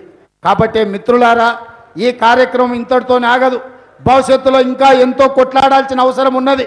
తెలంగాణ సమాజం కోసం నిలబడాల్సిన అవసరం ఉన్నది. ఇవాళ ఈ తెలంగాణ సమాజంలో ముప్పై శాతం జనాభా దళితులు గిరిజనులు పన్నెండు శాతం జనాభా మైనారిటీలు. ఈ లెక్కన లెక్కలేసుకుంటూ పోతే ఎనభై ఐదు శాతం బడుగు బలైన దళిత గిరిజన మైనారిటీ వర్గాలు తెలంగాణ సమాజంలో ఉండు ఆ తెలంగాణ సమాజం కోసం ఇవాళ కాంగ్రెస్ పార్టీ నిలబడ్డది. ఇవాళ ఈ కాంగ్రెస్ పార్టీ ఈ తెలంగాణ సమాజానికి అండగా నిలబడుతుంది. మీరు ఆలోచన చేయండి. గ్రామాలు తిరగండి. ఇక్కడున్న కార్యకర్తలకు నేను చేసే విజ్ఞప్తి ఒక్కటే. మనం కొత్తగా చేయాల్సిన పని లేదు. చేసింది గుర్తు చేయండి. తెలంగాణ ఉద్యమం ముసుగులో కేసీఆర్ గారు మనం చేసిన పనులన్నీ కప్పేసిండు. ఇవాళ మీరు ఆలోచన చేయండి. ఫీ ఫీజు రియంబర్స్మెంట్ మనం తేలేదా? ఆరోగ్యశ్రీ మనం తేలేదా? వన్ నాట్ ఎయిట్ మనం తేలేదా? అదే విధంగా రైతు రుణమాఫీ మనం చేయలేదా? ఉచిత కరెంటు మనం ఇయ్యలేదా? శ్రీశైలం మనం కట్టలేదా? నాగార్జున సాగర్ మనం కట్టలేదా? కల్వకుర్తి భీమా నెట్టంపాడు కోయిల్ సాగర్ మనం కట్టలేదా? ఈరోజు గుప్ప గుట్ప అలీ సాగర్ ఇందిరా సాగర్ రాజీవ్ సాగర్ ఈ ప్రాజెక్టులని మనం కట్టలేదా? Osmania university Kakatiya university Palamuru university Mahatma Gandhi university జిల్లాకు ఒక యూనివర్సిటీని చదువుకునే పిల్లలకు కాంగ్రెస్ పార్టీ ఇవ్వలేదా? ప్రతి కిలోమీటర్కు ఒక ప్రాథమిక పాఠశాల ప్రతి మూడు కిలోమీటర్లకు ఒక ప్రాథమిక ఉన్నత పాఠశాల ప్రతి ఐదు కిలోమీటర్లకు ఒక హై స్కూలు ప్రతి మండలానికి ఒక జూనియర్ కాలేజు ప్రతి రెవెన్యూ డివిజన్కు ఒక ఇంజనీరింగ్ కాలేజు ప్రతి జిల్లాకు ఒక మెడికల్ కాలేజ్ ఇచ్చి ప్రభుత్వ ఖర్చులతో పేదోళ్ళు చదువుకోవడానికి వాళ్ళ చదువులకు అన్ని ఏర్పాట్లు చేసింది కాంగ్రెస్ పార్టీ. కానీ ఇవాళ కేసీఆర్ వచ్చినాక నాలుగు వేల ఆరు వందల ముప్పై నాలుగు స్కూళ్ళు మూతేసిండు. యూనివర్సిటీల నియామకాలు జరగలేదు. కాలేజీలు నడుస్తలేవు. ఫీజు రియంబర్స్మెంట్ లేదు. ఆరోగ్యశ్రీ లేదు. ఏమైందా నీకు ఆరోగ్యశ్రీ లేదు. ఇవాళ రైతు రుణమాఫీ లేదు. ఇట్లా ఏది చూసినా ఇవాళ కేసీఆర్ తెలంగాణ సమాజాన్ని మొత్తం దివాలా దీపించింది మరి ఇవన్నీ ఎందుకు ఇట్లా జరుగుతున్నాయి? మీరు ఒక్కసారి ఆలోచన చేయండి. మా దామాన్ని ఒక మాట చెప్పిండు. ప్రగతి భవన్ను ప్రభుత్వ దవాఖాన చేయాలని. కానీ నేను ఒకటి అనుకున్నా. ఈ వేదిక మీద నుంచి ఒక మాట చెప్తున్నా. మళ్ళీ మా దామన్నను రిక్వెస్ట్ చేసి కన్విన్స్ చేసుకుంటా. ఆ ప్రగతి భవన్ను డాక్టర్ బాబా సాహెబ్ బహుజన భవన్గా మారుస్తా. ప్రగతి భవన్ మీద డాక్టర్ బాబా సాహెబ్ అంబేద్కర్ బహుజన భవన్ తయారు చేస్తా. అక్కడి నుంచే దళితులు గిరిజనులు ఆదివాసీలను డాక్టర్లుగా లాయర్లుగా ఇంజనీర్లుగా ఐఏఎస్లుగా ఐపీఎస్లుగా తీర్చిదిద్ది ఉత్పత్తి చేసే కేంద్రంగా మారుస్తా. దళిత ఆదివాసి గిరిజనుల నుంచి డాక్టర్లను లాయర్లను ఇంజనీర్లను ఐఏఎస్లను ఐపీఎస్లను ఉత్పత్తి చేసే కేంద్రంగా కర్మాగారంగా మారుస్తా. అక్కడి నుంచే ఈ దేశానికి కావాల్సిన ఐఏఎస్ ఐపీఎస్లను మా దళిత ఆదివాసి గిరిజన బిడ్డల్ని తయారు చేసి డాక్టర్ బాబాసాహెబ్ అంబేద్కర్ బహుళ భవన్కి బహు బహుజన భవన్ నుంచి సరఫరా చేస్తా.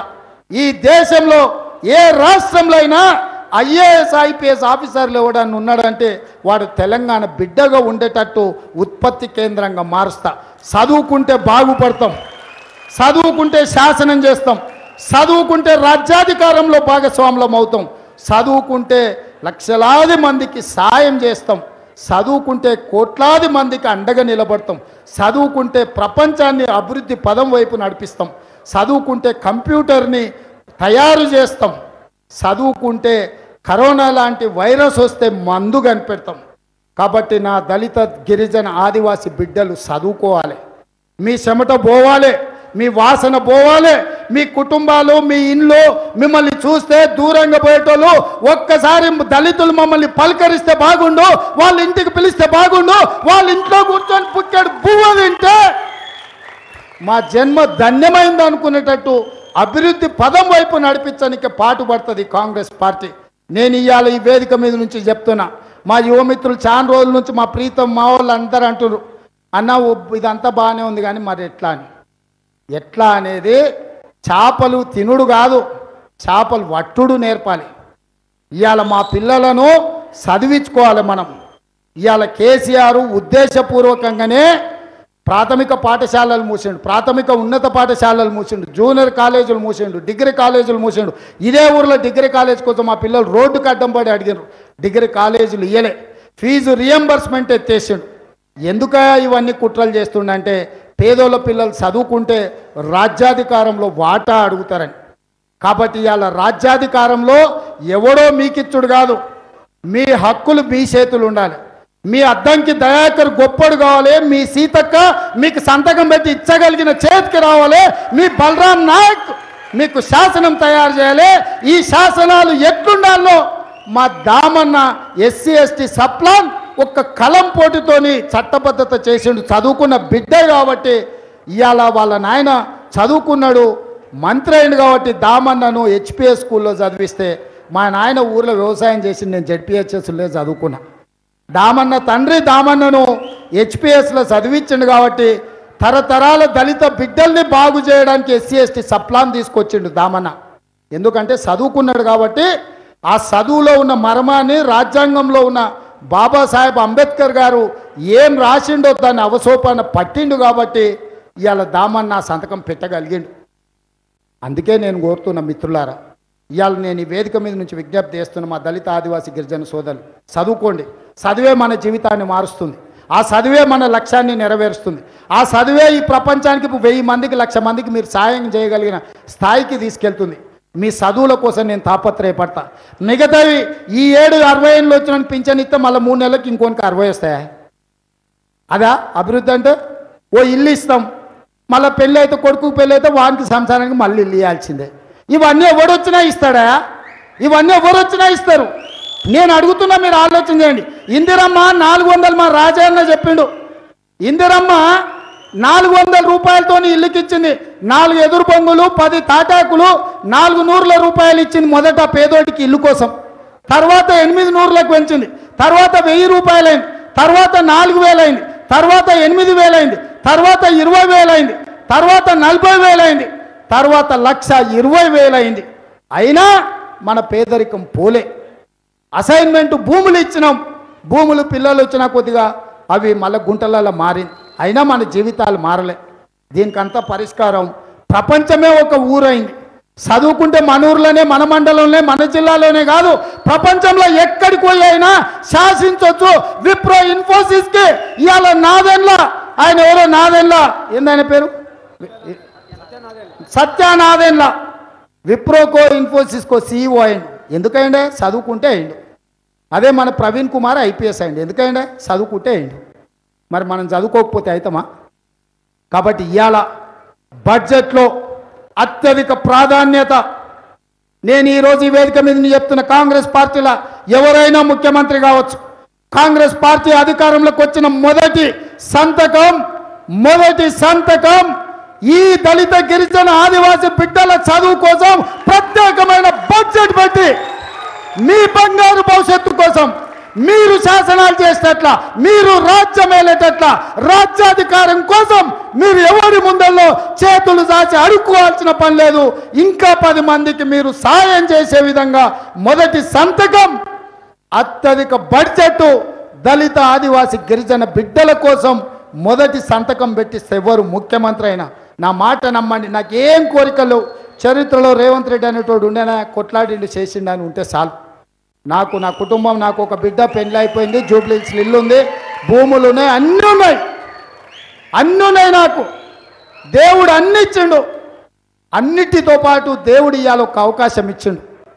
దేవుడు ఆశీర్వదించింది సోనియమ్మ నిర్ణయం తీసుకుంది. రాహుల్ గాంధీ గారు అండగా నిలబడ్డారు కాంగ్రెస్ పార్టీ అధ్యక్షుడు ఆయన ఇంతకంటే ఒక మనిషికి ఏం కావాలన్నాయా ఇంతకంటే ఏం కావాలా? దేవుడితో పాటు సోనియమ్మ రాహుల్ గాంధీ అండగా నిలబడి కాంగ్రెస్ పార్టీ అధ్యక్షుడిగా నాకు ఒక పెద్ద అవకాశం వచ్చింది. ముఖ్యమంత్రి ఎవరైనా కూడా పార్టీ పరంగా అధ్యక్షుడే వన్. మా దామన్న చెప్పాలి. ముఖ్యమంత్రులు ఎవరైనా పార్టీ పరంగా అధ్యక్షుడే వన్ కదన్నా? సో పార్టీ అధ్యక్షుడిగా నేను ఈ వేదిక మీద నుంచి చెప్తున్నా మా దామన్న మా బలరామన్న మద్దతుతోటి. దళిత ఆదివాసి గిరిజనుల విద్య కోసం అత్యధికంగా బడ్జెట్ పెట్టిస్తా. అక్కడ ఏదైతే ప్రగతి భవన్ అని విలాసవంతమైన జీవితం గడుపుతుండో కేసీఆర్ దాని పేరు మారుస్తా. డాక్టర్ బాబా సాహెబ్ అంబేద్కర్ బహుజన భవన్ కింద మారుస్తా.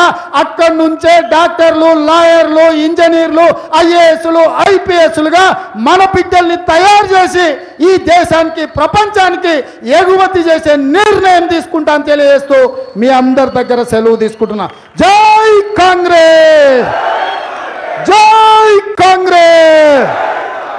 జై సోనియమ్మ! జై జై సోనియమ్మ! ఏర్పాట్లు చేసి అద్భుతంగా నిర్వహించిన ప్రతి మిత్రుడికి పేరు పేరున ఈ నిర్వహణ ఇంత అద్భుతమైన ఏర్పాట్లు చేసి వర్షం వచ్చినా ఏమైనా మనకి చిన్న ఇబ్బంది కలగకుండా ఏర్పాట్లు చేసిన వాళ్ళందరికీ కూడా మనస్ఫూర్తిగా ధన్యవాదాలు తెలియజేస్తున్న మిత్రులారా మరో కథం దామన్న అనుమతితో గజ్వేల్లో పెడదాం. మిత్రులారా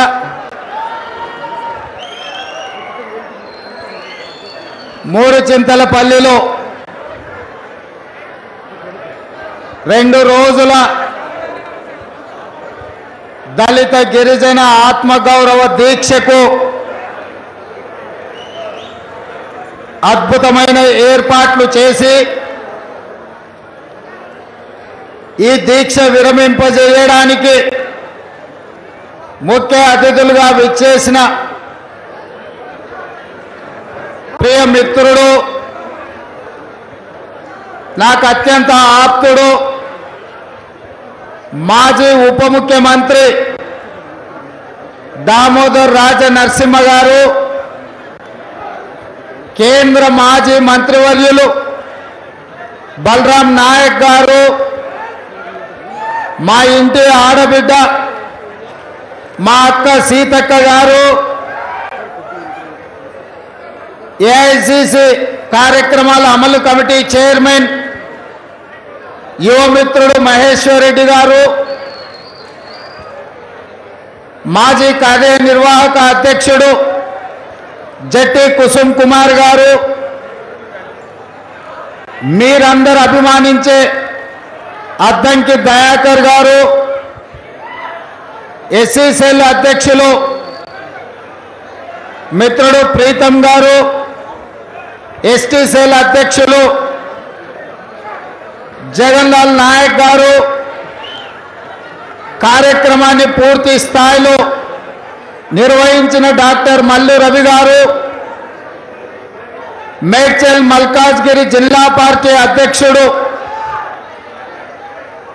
శ్రీధర్ గారు తోటకూర జంగయ్య యాదవ్ గారు హరివర్ధన్ రెడ్డి గారు ఉప్పల్ నుంచి విచ్చేసిన మిత్రులు కుక్కట్పల్లి మిత్రులు కంటోన్మెంట్ మిత్రులు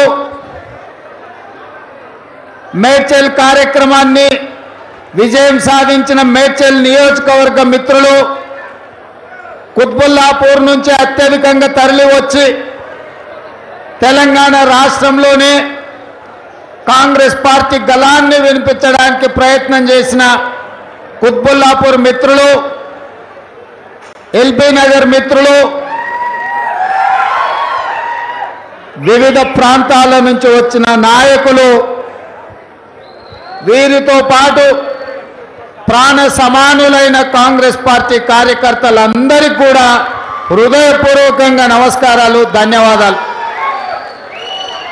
రెండు రోజులు నిరంతరం మన కార్యక్రమాన్ని నాలుగు కోట్ల తెలంగాణ ప్రజలకు తెలియజెప్పిన పాత్రికేయ మిత్రులకు కూడా మనస్ఫూర్తిగా అభినందనలు తెలియజేస్తున్నా.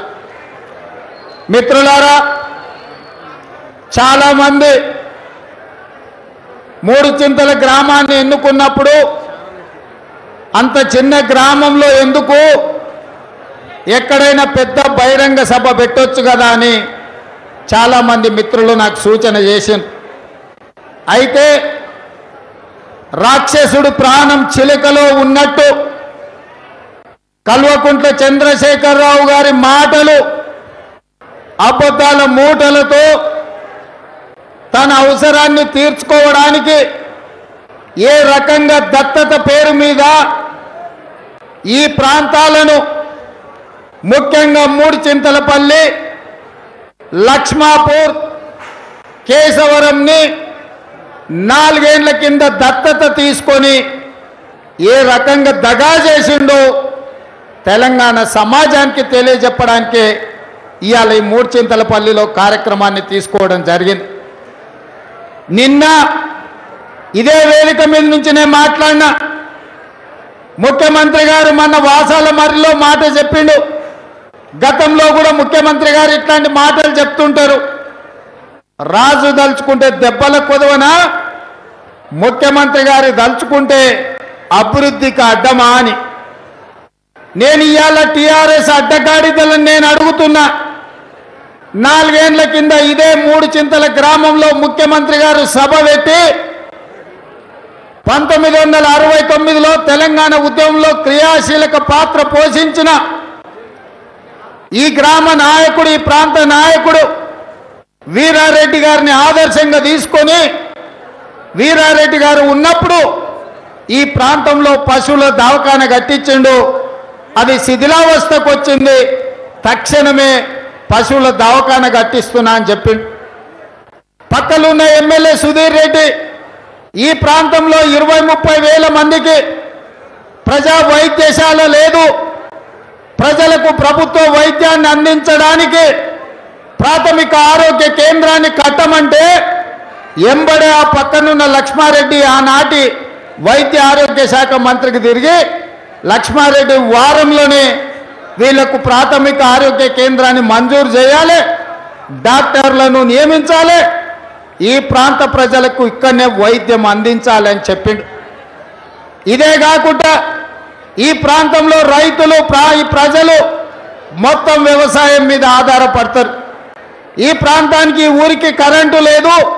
ఐదు హండ్రెడ్ కేవీఏ ట్రాన్స్ఫార్మర్లు మంజూరు చేయమని అడిగినారు అదేవిధంగా ఈ గ్రామంలో పేదోళ్ళు ఉన్నారు. పేదలందరికీ డబుల్ బెడ్రూమ్ ఇండ్లు ఇస్తా అన్నాడు. ఈ ప్రాంతంలో ఎస్సీలకు ఎస్సీ కమ్యూనిటీ హాల్ కడతా అన్నాడు. అదేవిధంగా వివిధ కులాలకు కమ్యూనిటీ హాల్స్ కట్టిస్తా అన్నాడు. ఇవాళ ఈ గ్రామానికి అదేవిధంగా లక్ష్మాపూర్లో భూముల పంచాయతీ ఉన్నది. ఆ భూములో సరిహద్దు లేవు పట్టదారు పాస్ పుస్తకాలు లేవు. ఆ సమస్యను కూడా పరిష్కరిస్తా అన్నాడు. ఇక కేశవరం గురించి చెప్పాల్సిన పనే లేదు. నేను నిన్న ఇవన్నీ అంశాలను ప్రస్తావించకపోయినా ఒక్క మాట మాట్లాడినా. ఈ వేదిక మీద నుంచి టీఆర్ఎస్ నాయకులకు రాష్ట్ర ప్రభుత్వ అధికారులకు ఒక సూచన చేస్తున్నా.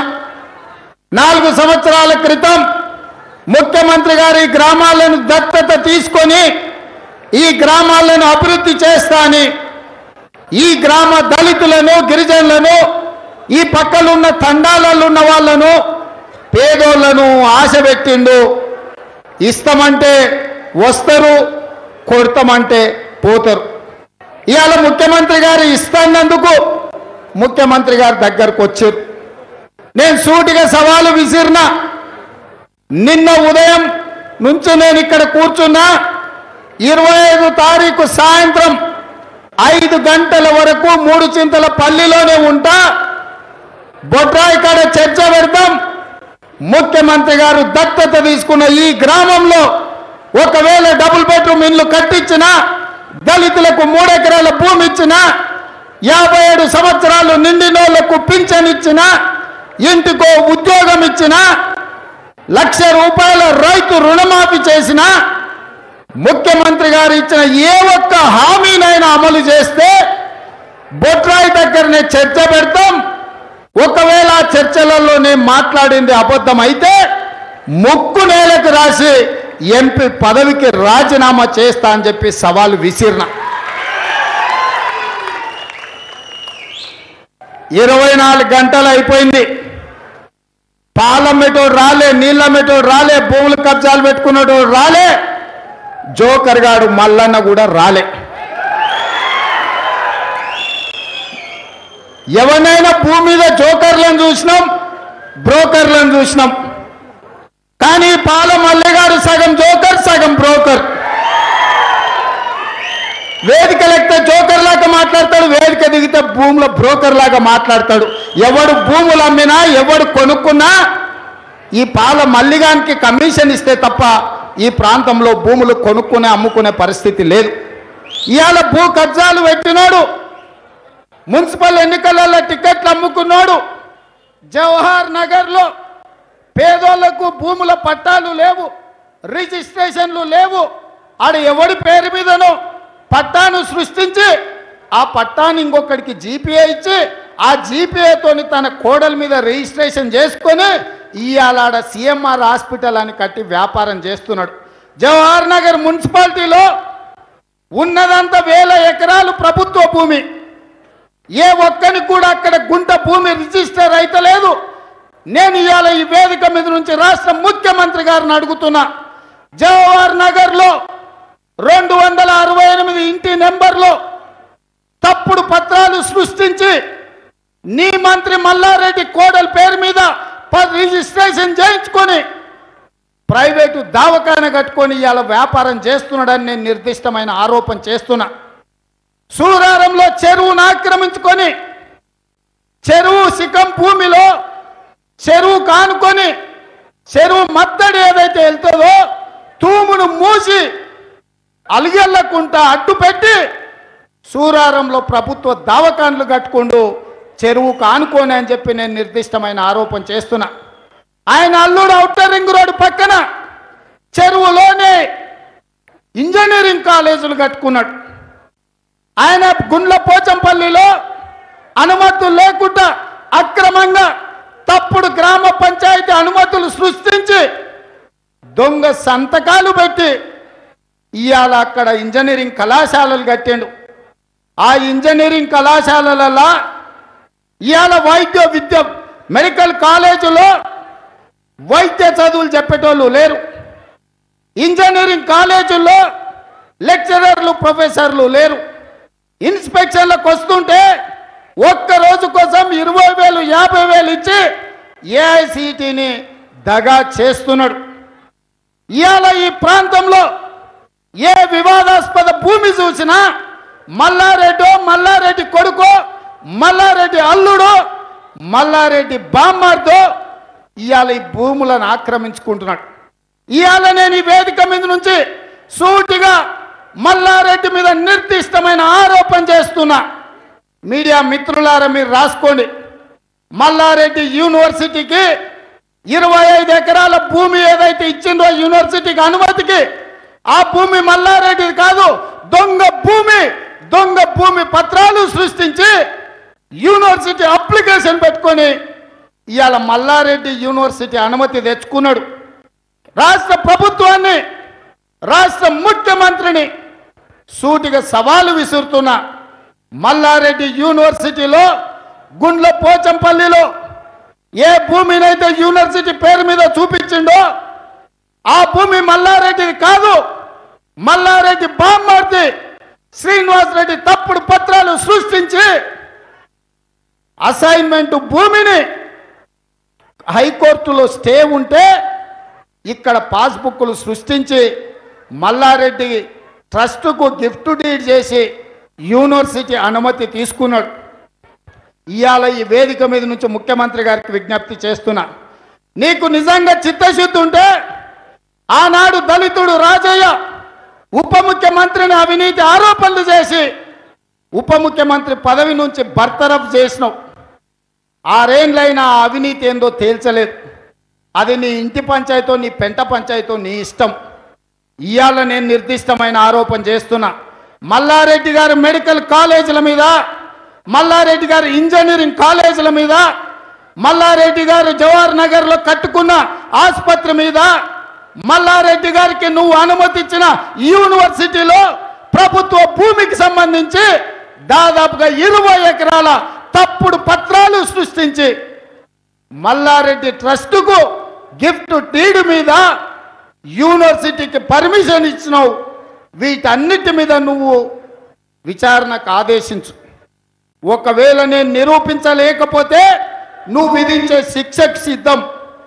లేకపోతే ఊరు ఊర్లో మల్లారెడ్డి ఎట్లొస్తాడో మల్లారెడ్డి అవినీతి కథేందో ప్రతి ఊరు ఊర్లో దండోర వేయించి నిన్ను మల్లారెడ్డిని గుడ్డలిప్పదిస్తామని చెప్పి ఈ వేదిక మీద నుంచి నేను చెప్తున్నా. నిన్న వాడు ఒకడు వచ్చిండు. మొన్న నా మీద పోటీ చేసినాడు. అడ్డుకుంటా అడ్డం పెడతా అని. ఆడి పేరు మర్రి రాజశేఖర రెడ్డో తిర్రి రాజశేఖర రెడ్డో. నువ్వు మర్రివో తిర్రివో నాకైతే తెలియదు కానీ బిడ్డ ఎక్కడన్నా నువ్వు అడ్డం రా మా కాంగ్రెస్ పార్టీ కార్యకర్తలకు. నిన్ను తొక్కి పేగులు తీయకపోతే మా కాంగ్రెస్ పార్టీ కార్యకర్తలు నీకు అప్పుడు తెలుస్తుంది నీ వెనకాల నీ మామున్నాడు అనుకుంటున్నాం. వచ్చేటప్పుడు ఒక ఫ్లెక్సీ చూసిన. నాకు అర్థం కాలే ఆ ఫ్లెక్సీ మీద. కేసీఆర్ కేటీఆర్ హరీష్ రావు కవిత ఇంకెవడో కన్నారావు అని ఇంకో కొత్త ఆయన వచ్చిన వాళ్ళే పెట్టారు కింది వరుస చూసిన పెట్టినోడు ఎవడు రాని మల్లారెడ్డి భద్రారెడ్డి మహేందర్ రెడ్డి మర్రి రాజశేఖర్ రెడ్డి శ్రీనివాస్ రెడ్డి గోపాల్ రెడ్డి. వీళ్ళంతా ఎవరంటే పైన ఉన్నదేమో కేసీఆర్ కుటుంబం కింద ఉన్నదేమో మల్లిగాన్ కుటుంబం. ఇవన్నీ చూస్తే గమన్న బోయినపల్లి పోలీస్ స్టేషన్కి పోయినా. వరుసగా ఇట్లా ఫోటోలు పెట్టున్నాయి రెండు వరుసలలో. ఒకడు జేబు దొంగలు కూడా ఒకడు బస్ స్టాండ్లలో బాగులు తెంకపోయాడు. గట్లా కనిపించింది. ఏందా మీ రెండు కుటుంబాల కోసమే పన్నెండు వందల మంది తెలంగాణ బిడ్డలు ఆత్మ బలిదానాలు చేసుకున్నారా? ఇవాళ పన్నెండు వందల మంది తెలంగాణ బిడ్డలు చచ్చిపోయి మల్లారెడ్డి కుటుంబానికి కేసీఆర్ కుటుంబానికి పదవులు ఇప్పేయడానికి ఈ తెలంగాణ రాష్ట్రాన్ని తెచ్చిందా అని నేను అడుగుతున్నా. ఇవాళ ఈ ప్రాంతంలో నువ్వు ఎలాంటి వాళ్ళని ప్రోత్సహిస్తున్నావు? ఇవాళ ఈ ప్రాంతంలో నువ్వు చెప్పిన పనులు అమలు జరుగుంటే ఇవాళ కలెక్టర్ గారు సమీక్ష చేసిండు మేడ్చల్ రంగారెడ్డి జిల్లా కలెక్టర్ ఇవాళ సమీక్ష చేసిండు. కేసీఆర్ దత్తత గ్రామంలో పనులు ఏమవుతున్నాయి నిజంగానే మీరు పని చేసి ఉంటే ఆ పనులు ఇచ్చి చేసిన పనులను చూపించడానికి ఇవాళ నువ్వు మూడు చింతల పల్లికి పంపించేది ఉండే. మీకందరికీ తెలుసు రాత్రి నేను ఈ వేదిక దగ్గర పండుకోలే. నేను ఏదైతే చెప్పినో నేను చెప్పింది నిజమని నేను నమ్మాలి. ఆ తర్వాత నిజమని చూపిస్తే మీరు నమ్మాలి. అందుకే రాత్రి ఈ నుంచి పోయి దళితులు యాదగిరి ఇంట్లో వండుకున్నా యాదగిరి ఇంటికి పోయినా వాళ్ళ కుటుంబాన్ని కలిసిన వాళ్ళ ఇంట్లో రాత్రి నిద్రపోయినా వాళ్ళ కష్ట సుఖాలు తెలుసుకున్నా. పొద్దుగాల లేచి ఇంటి ముందర కుర్చేసుకొని ఆడ అరుగు మీద కూర్చున్నా అమ్మలక్కల్ని పెద్దమ్మల్ని అందరిని పిలిచిన అమ్మల్ని అక్కల్ని పెద్దమ్మల్ని అందరు ఏం తల్లి ఎట్లా నడుస్తుంది సంసారం? అని అడిగిన. లక్ష్మి అనేట ఆమె చెప్పింది. అయ్యా తహసీలోడు మాకేం ఇయ్యకపోతే ఇయ్యకపోయిండు కానీ ఆ ఎల్లో దత్త తీసుకుంటున్నాను వచ్చి మా ఊర్లో ఉన్న ఇండ్లన్నీ తొలగించి రోడ్డు పెద్దగా చేసుకున్నాడు. ఒకప్పుడు ముప్పై ఐదేళ్ళ కింద నేను పండుకున్న కాలనీ పేరు నాకు తెలియదు. పొద్దుగాల లేచినాక చెప్పిరాళ్ళు యాదగిరి వాళ్ళందరూ కలిసి. ఏం కాలనీ ఇప్పుడు కాలనీ పేరు అంటే నరసింహ చెప్పింది సార్ ఇది ఇందిరమ్మ కాలనీ అంటారని. ఇందిరమ్మ పేరు ఎందుకు పెట్టిరా అని నేను అడిగిన. ముప్పై ఐదేళ్ళ కింద ఇందిరమ్మ ఉన్న ఇందిరమ్మ రాజ్యంలోనే మరి చెన్నారెడ్డి గారు ముఖ్యమంత్రి ఉన్నప్పుడు మాకు పట్టాలు ఇచ్చిండ్రు ఆ ఇళ్ళ ఇండ్లు ఇచ్చారు సార్. నువ్వు వండుకున్న ఇల్లు కూడా ఆ ఇళ్ళ ఇందిరమ్మ ఇండ్ల కింద కట్టించినోలే. ఇంద్రమ్మ ఇందిరమ్మ పుణ్యమా అని కాలిని వచ్చింది ఇల్లు వచ్చింది. నువ్వు ఇవాళ ఇంత వండుకోనికే నీడు వచ్చింది సార్. నువ్వు వండుకున్న ఇల్లు కూడా ఇందిరమ్మ ఇల్లే అని ఆ కుటుంబం చెప్పింది. మరి ఇంకేందమ్మా ఇందిరమ్మ ఇల్లు ఇచ్చింది కదా అంటే అయ్యా ఇల్లు మీరే ఇచ్చారు కాళ్ళని మీరే కట్టారు కానీ ఆ తాసీలోడు కా- కా- రోడ్ వేసి చూత్రండి ఒకప్పుడు మా ఇండ్లు పైకుండే రోడ్డు కిందికుండే. వాన వస్తే రోడ్ ఎంబట నీళ్ళు చెరువులకు పోయేటివి. ఇవాళ కేసీఆర్ గారు ఫామ్ హౌస్ కోనికే కడుపులో సల్ల కదలకుంటూ ఉండనికే ఆ రోడ్డు ఆరు ఫీట్లు ఎత్తిండు. ఇప్పుడు మా ఇండ్లు ఐదు ఫీట్లు కిందికైన రోడ్డు ఆరు ఐదు ఫీట్లు పైకైంది. వాన వస్తే వాన నీళ్ళు మొత్తం మా ఇళ్ళల్లో నిండుతున్నాయి. సంటి పిల్లల్ని రాత్రిపూట పెట్టుకొని మేము కూసోలేక ఇల్లంతా మొత్తం మురికి నీళ్ళతో నిండిపోతుందయ్యా. రోడ్డు పక్కన మోరి కట్టిండు. వాన వస్తే వాన నీళ్ళు మోరిలోకి పోయి మోరి నీళ్ళు మా ఇంట్లోకి వస్తే కడప ముందు చూస్తుంటే ఇంత పెద్ద ఫీట్ కట్టిరు ఫీట్ ఉన్నారు ఉంది గడప. ఇదేందమ్మా ఇంత పెద్ద పెట్టినాం అంటే అయ్యా ఇది గడప కాదు గోడ కట్టినా వాన నీళ్ళు మా ఇంట్లోకి రాకుండా ఉండడానికే తక్కువ వాన వస్తే ఇట్లా ఆపుతుంది ఏమన్నా ఉంటే వచ్చి నీళ్ళు ఎత్తిపోసుకొని కానీ తీసుకుపోయి చూపించండి. ఇంకో పెద్ద మనిషి వచ్చిండు. ఆయన కాలు చక్కలేదు నా భార్య కూడా అవిటిది సార్. మేమిద్దరం ఇట్లున్నాం ఇల్లు కురుస్తుంది. వాన వస్తే ఇంటి నిండా నీళ్ళు నిలుస్తాయి. మూడు మూడు రోజులు మేము బయటనే వా- ఉండాల్సి వస్తుంది అని. మరి పోనీడేమన్నా కమ్యూనిటీ హాల్ కడతా అన్నాడు కదా అంటే అది కూడా కట్టలేదా? కమ్యూనిటీ హాల్ కడితే కనీసం దిక్కులేని వాళ్ళం పోయి కనీసం ఆ కమ్యూనిటీ హాల్ అన్న వండుకునేటోళ్ళం ఆ కమ్యూనిటీ హాల్ కూడా లేదయ్యా మా ఊరికి అని చెప్పిండు. ఇక జర అసూట పోయిన బాగయ్య కలిసిండు కుల పెద్ద. బాగయ్య ఏం బాగా ఏం సంగతి అని అంటే అయ్యా నీకేం చెప్పాలి? ఇరవై రెండో సర్వే నెంబర్ ముప్పై సర్వే నెంబర్లా? యాభై ఎకరాల భూములు. ఇందిరమ్మ ఉన్నప్పుడు మాకు పట్టాలు ఇచ్చిర్రు. ఇందిరమ్మ పేరు మీద ఇన్లేన్ బతికినాం. ఇప్పుడు ఆ భూమి రెండు కోట్లకి ఎకరం అయింది. మనం మీకు కొత్త పాస్ పుస్తకాలు ఇస్తామని పాత పాస్ పుస్తకాలు వచ్చి తీసుకుపోయింది ఎంఆర్ఓ ఎంఆర్ఓ తీసుకుపోయినప్పటి నుంచి రైతు బంధు వస్తలేదు రైతు బీమా వస్తలేదు కొత్త పాస్ పుస్తకాలు అడుగుతూ ఇస్తలేరాయా ఇప్పుడు ఆ భూమి గుంజుకొని మమ్మల్ని అన్యాయం చేస్తారంట అనాథలను చేస్తారంట ఎట్లా సారు అని చెప్పి బాగా పెద్ద మనిషి కలిసిండు.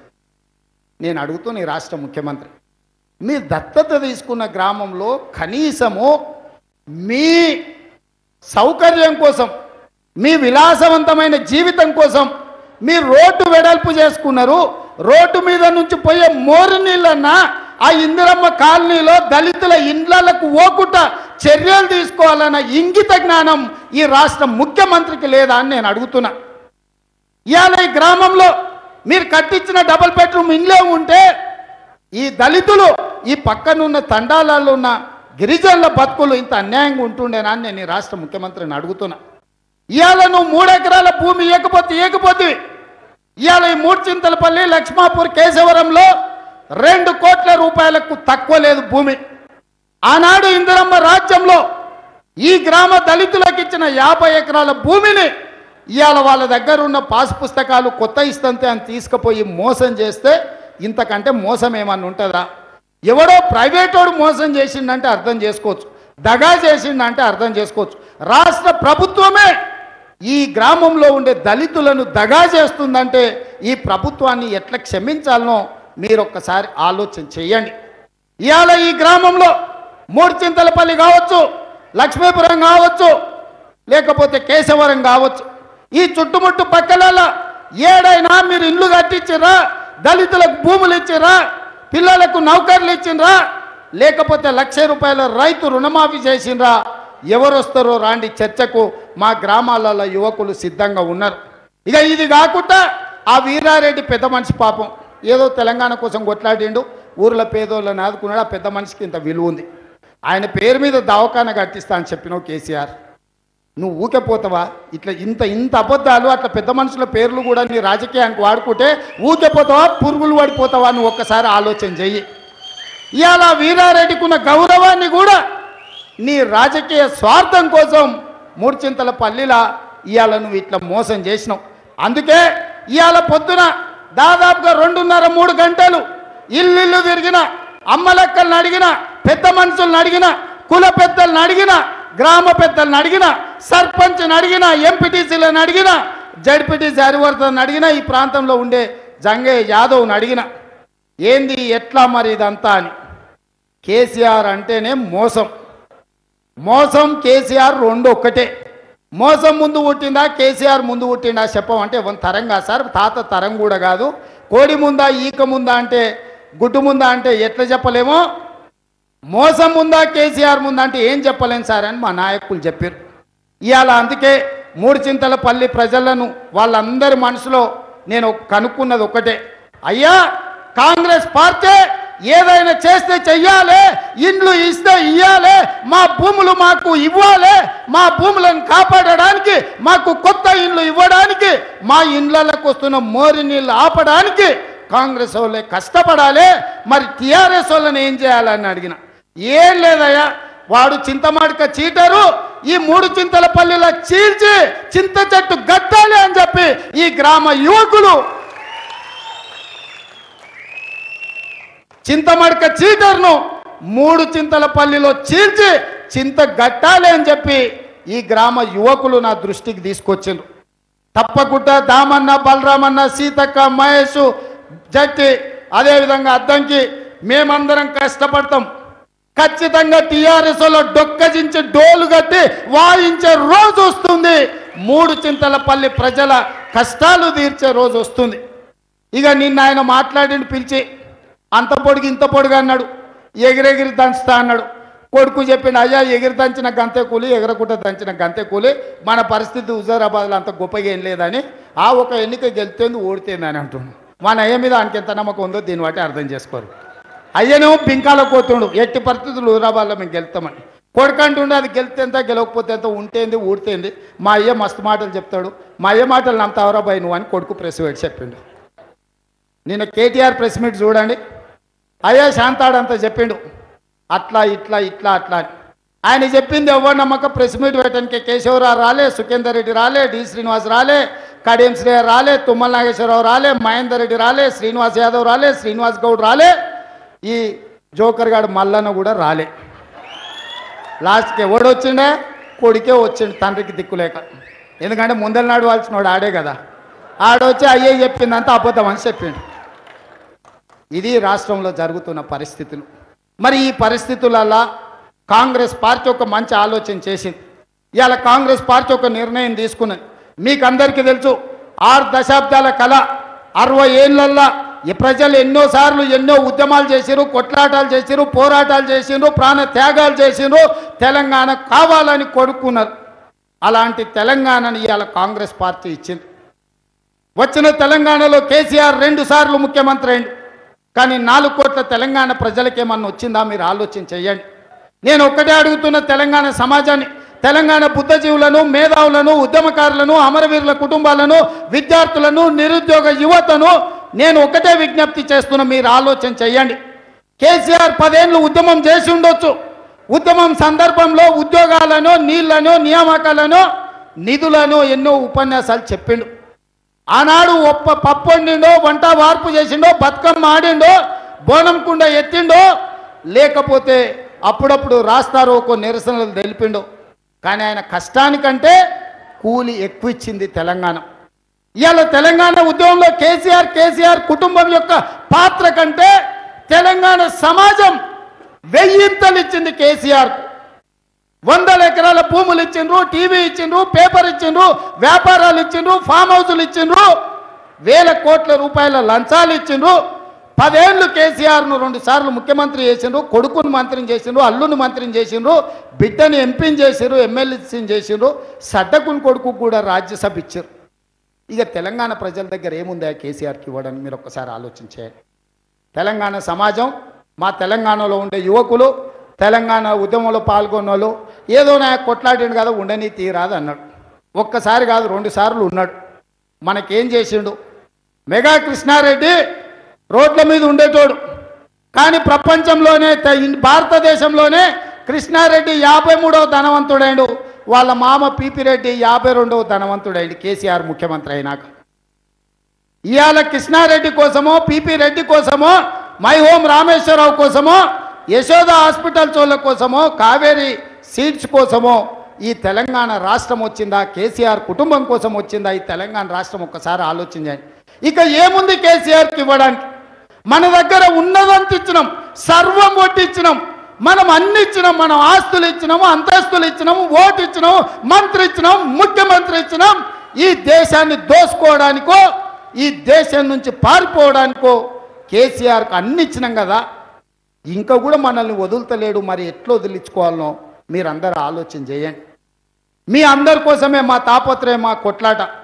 మా ఆవేదన మా బాధ మా దుఃఖం మా చెమట మా రక్తం ఈ తెలంగాణ సమాజాన్ని తెలంగాణ రాష్ట్రాన్ని శ్రీమతి సోనియా గాంధీ గారు ఎన్నో ఆకాంక్షలకు ఎన్నో తరాలు బాగుపడాలని కొన్ని తరాలు కొట్లాడితే ఎన్నో తరాలు బాగుపడాలని తెలంగాణ రాష్ట్రాన్ని శ్రీమతి సోనియా గాంధీ గారు మనకు అప్పయిస్తే ఇవాళ కొత్తగా వచ్చిన రాష్ట్రం కోతుల గుంపు కాపజెప్పినట్టయింది.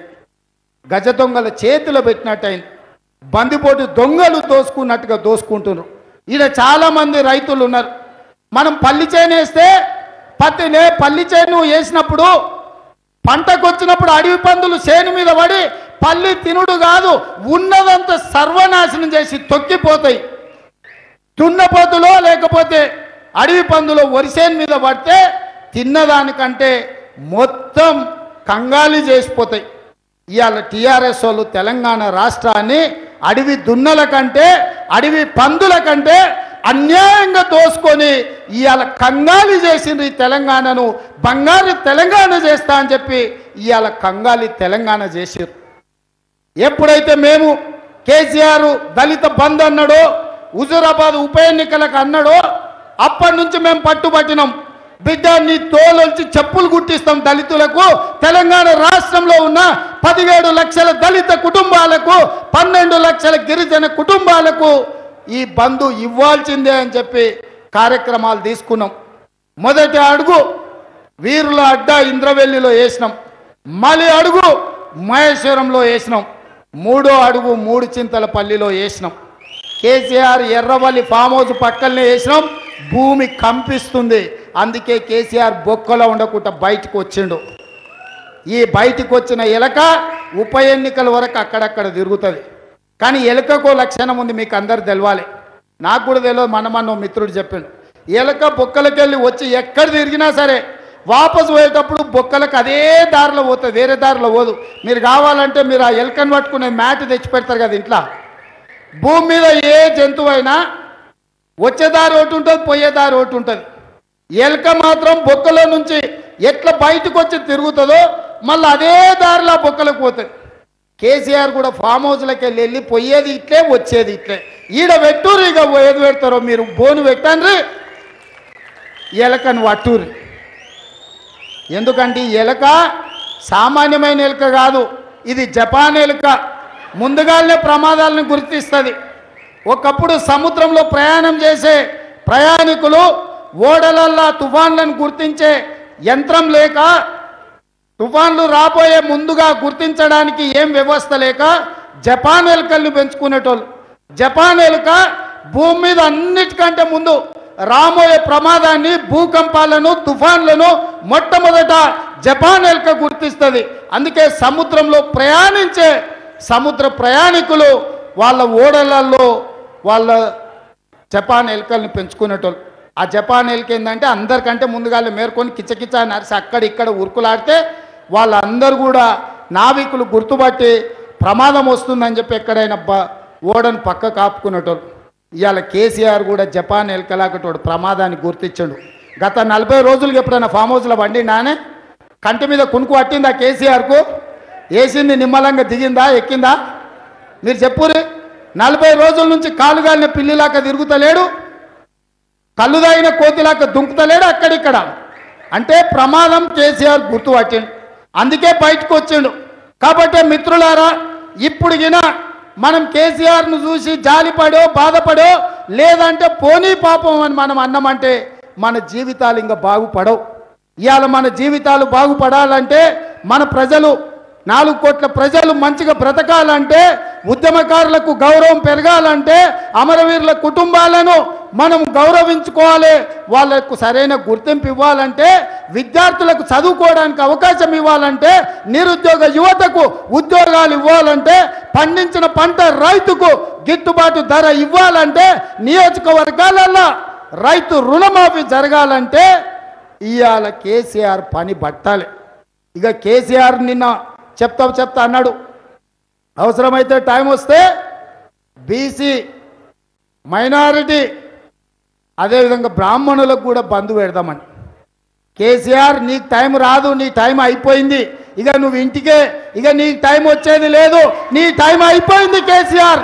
పట్ట పుట్ట సర్దుకో. నీకు ఇంకా టైం లేదు నువ్వు మాకు ఇచ్చేది లేదు. మేము నీకు ఇచ్చిందంతా అంగి లాగుతో సహా డ్రాయర్తో సహా కట్టు బట్టలు గుంజుకొని నిన్ను బజార్లో నిలబెట్టే రోజు వచ్చింది. నీ టైం అయిపోయింది. ఇక నీ టైము మళ్ళా రాదు. ఇక తెలంగాణ సమాజానికి నాలుగు కోట్ల ప్రజలకు టైం వచ్చింది. ఇవాళ మనందరికీ టైం వచ్చింది కాబట్టే మనం ఇన్ని వేల మంది దాదాపుగా రెండు రోజులు ఇక్కడ దీక్షలో మద్దతు పలికిండ్రు. కేసీఆర్ కూతవేటి దూరంలో ఉంటాడు. పోలీసులు అడ్డుపడ్డా అనుమతులు ఇస్తాం ఇయ్యమని బెదిరించినా ఆ సన్నాసులు రోడ్డుకి అడ్డం కూర్చున్న తొక్కుకుంట ఇన్ని వేలాది మంది ఇవాళ మూడు చింతల పల్లికి వచ్చిందంటే కేసీఆర్ కాలం అయిపోయింది. కాబట్టి మిత్రులారా ఈ కార్యక్రమం ఇంతటితోనే ఆగదు. భవిష్యత్తులో ఇంకా ఎంతో కొట్లాడాల్సిన అవసరం ఉన్నది. తెలంగాణ సమాజం కోసం నిలబడాల్సిన అవసరం ఉన్నది. ఇవాళ ఈ తెలంగాణ సమాజంలో ముప్పై శాతం జనాభా దళితులు గిరిజనులు పన్నెండు శాతం జనాభా మైనారిటీలు. ఈ లెక్కన లెక్కలేసుకుంటూ పోతే ఎనభై ఐదు శాతం బడుగు బలైన దళిత గిరిజన మైనారిటీ వర్గాలు తెలంగాణ సమాజంలో ఉండు ఆ తెలంగాణ సమాజం కోసం ఇవాళ కాంగ్రెస్ పార్టీ నిలబడ్డది. ఇవాళ ఈ కాంగ్రెస్ పార్టీ ఈ తెలంగాణ సమాజానికి అండగా నిలబడుతుంది. మీరు ఆలోచన చేయండి. గ్రామాలు తిరగండి. ఇక్కడున్న కార్యకర్తలకు నేను చేసే విజ్ఞప్తి ఒక్కటే. మనం కొత్తగా చేయాల్సిన పని లేదు. చేసింది గుర్తు చేయండి.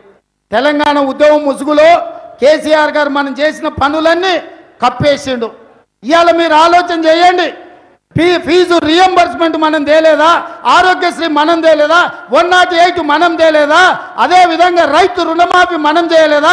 ఉచిత కరెంటు మనం ఇయ్యలేదా? శ్రీశైలం మనం కట్టలేదా? నాగార్జున సాగర్ మనం కట్టలేదా? కల్వకుర్తి భీమా నెట్టంపాడు కోయిల్ సాగర్ మనం కట్టలేదా? ఈరోజు గుప్ప అలీ సాగర్ ఇందిరా సాగర్ రాజీవ్ సాగర్ ఈ ప్రాజెక్టులని మనం కట్టలేదా? Osmania university Kakatiya university Palamuru university Mahatma Gandhi university జిల్లాకు ఒక యూనివర్సిటీని చదువుకునే పిల్లలకు కాంగ్రెస్ పార్టీ ఇవ్వలేదా?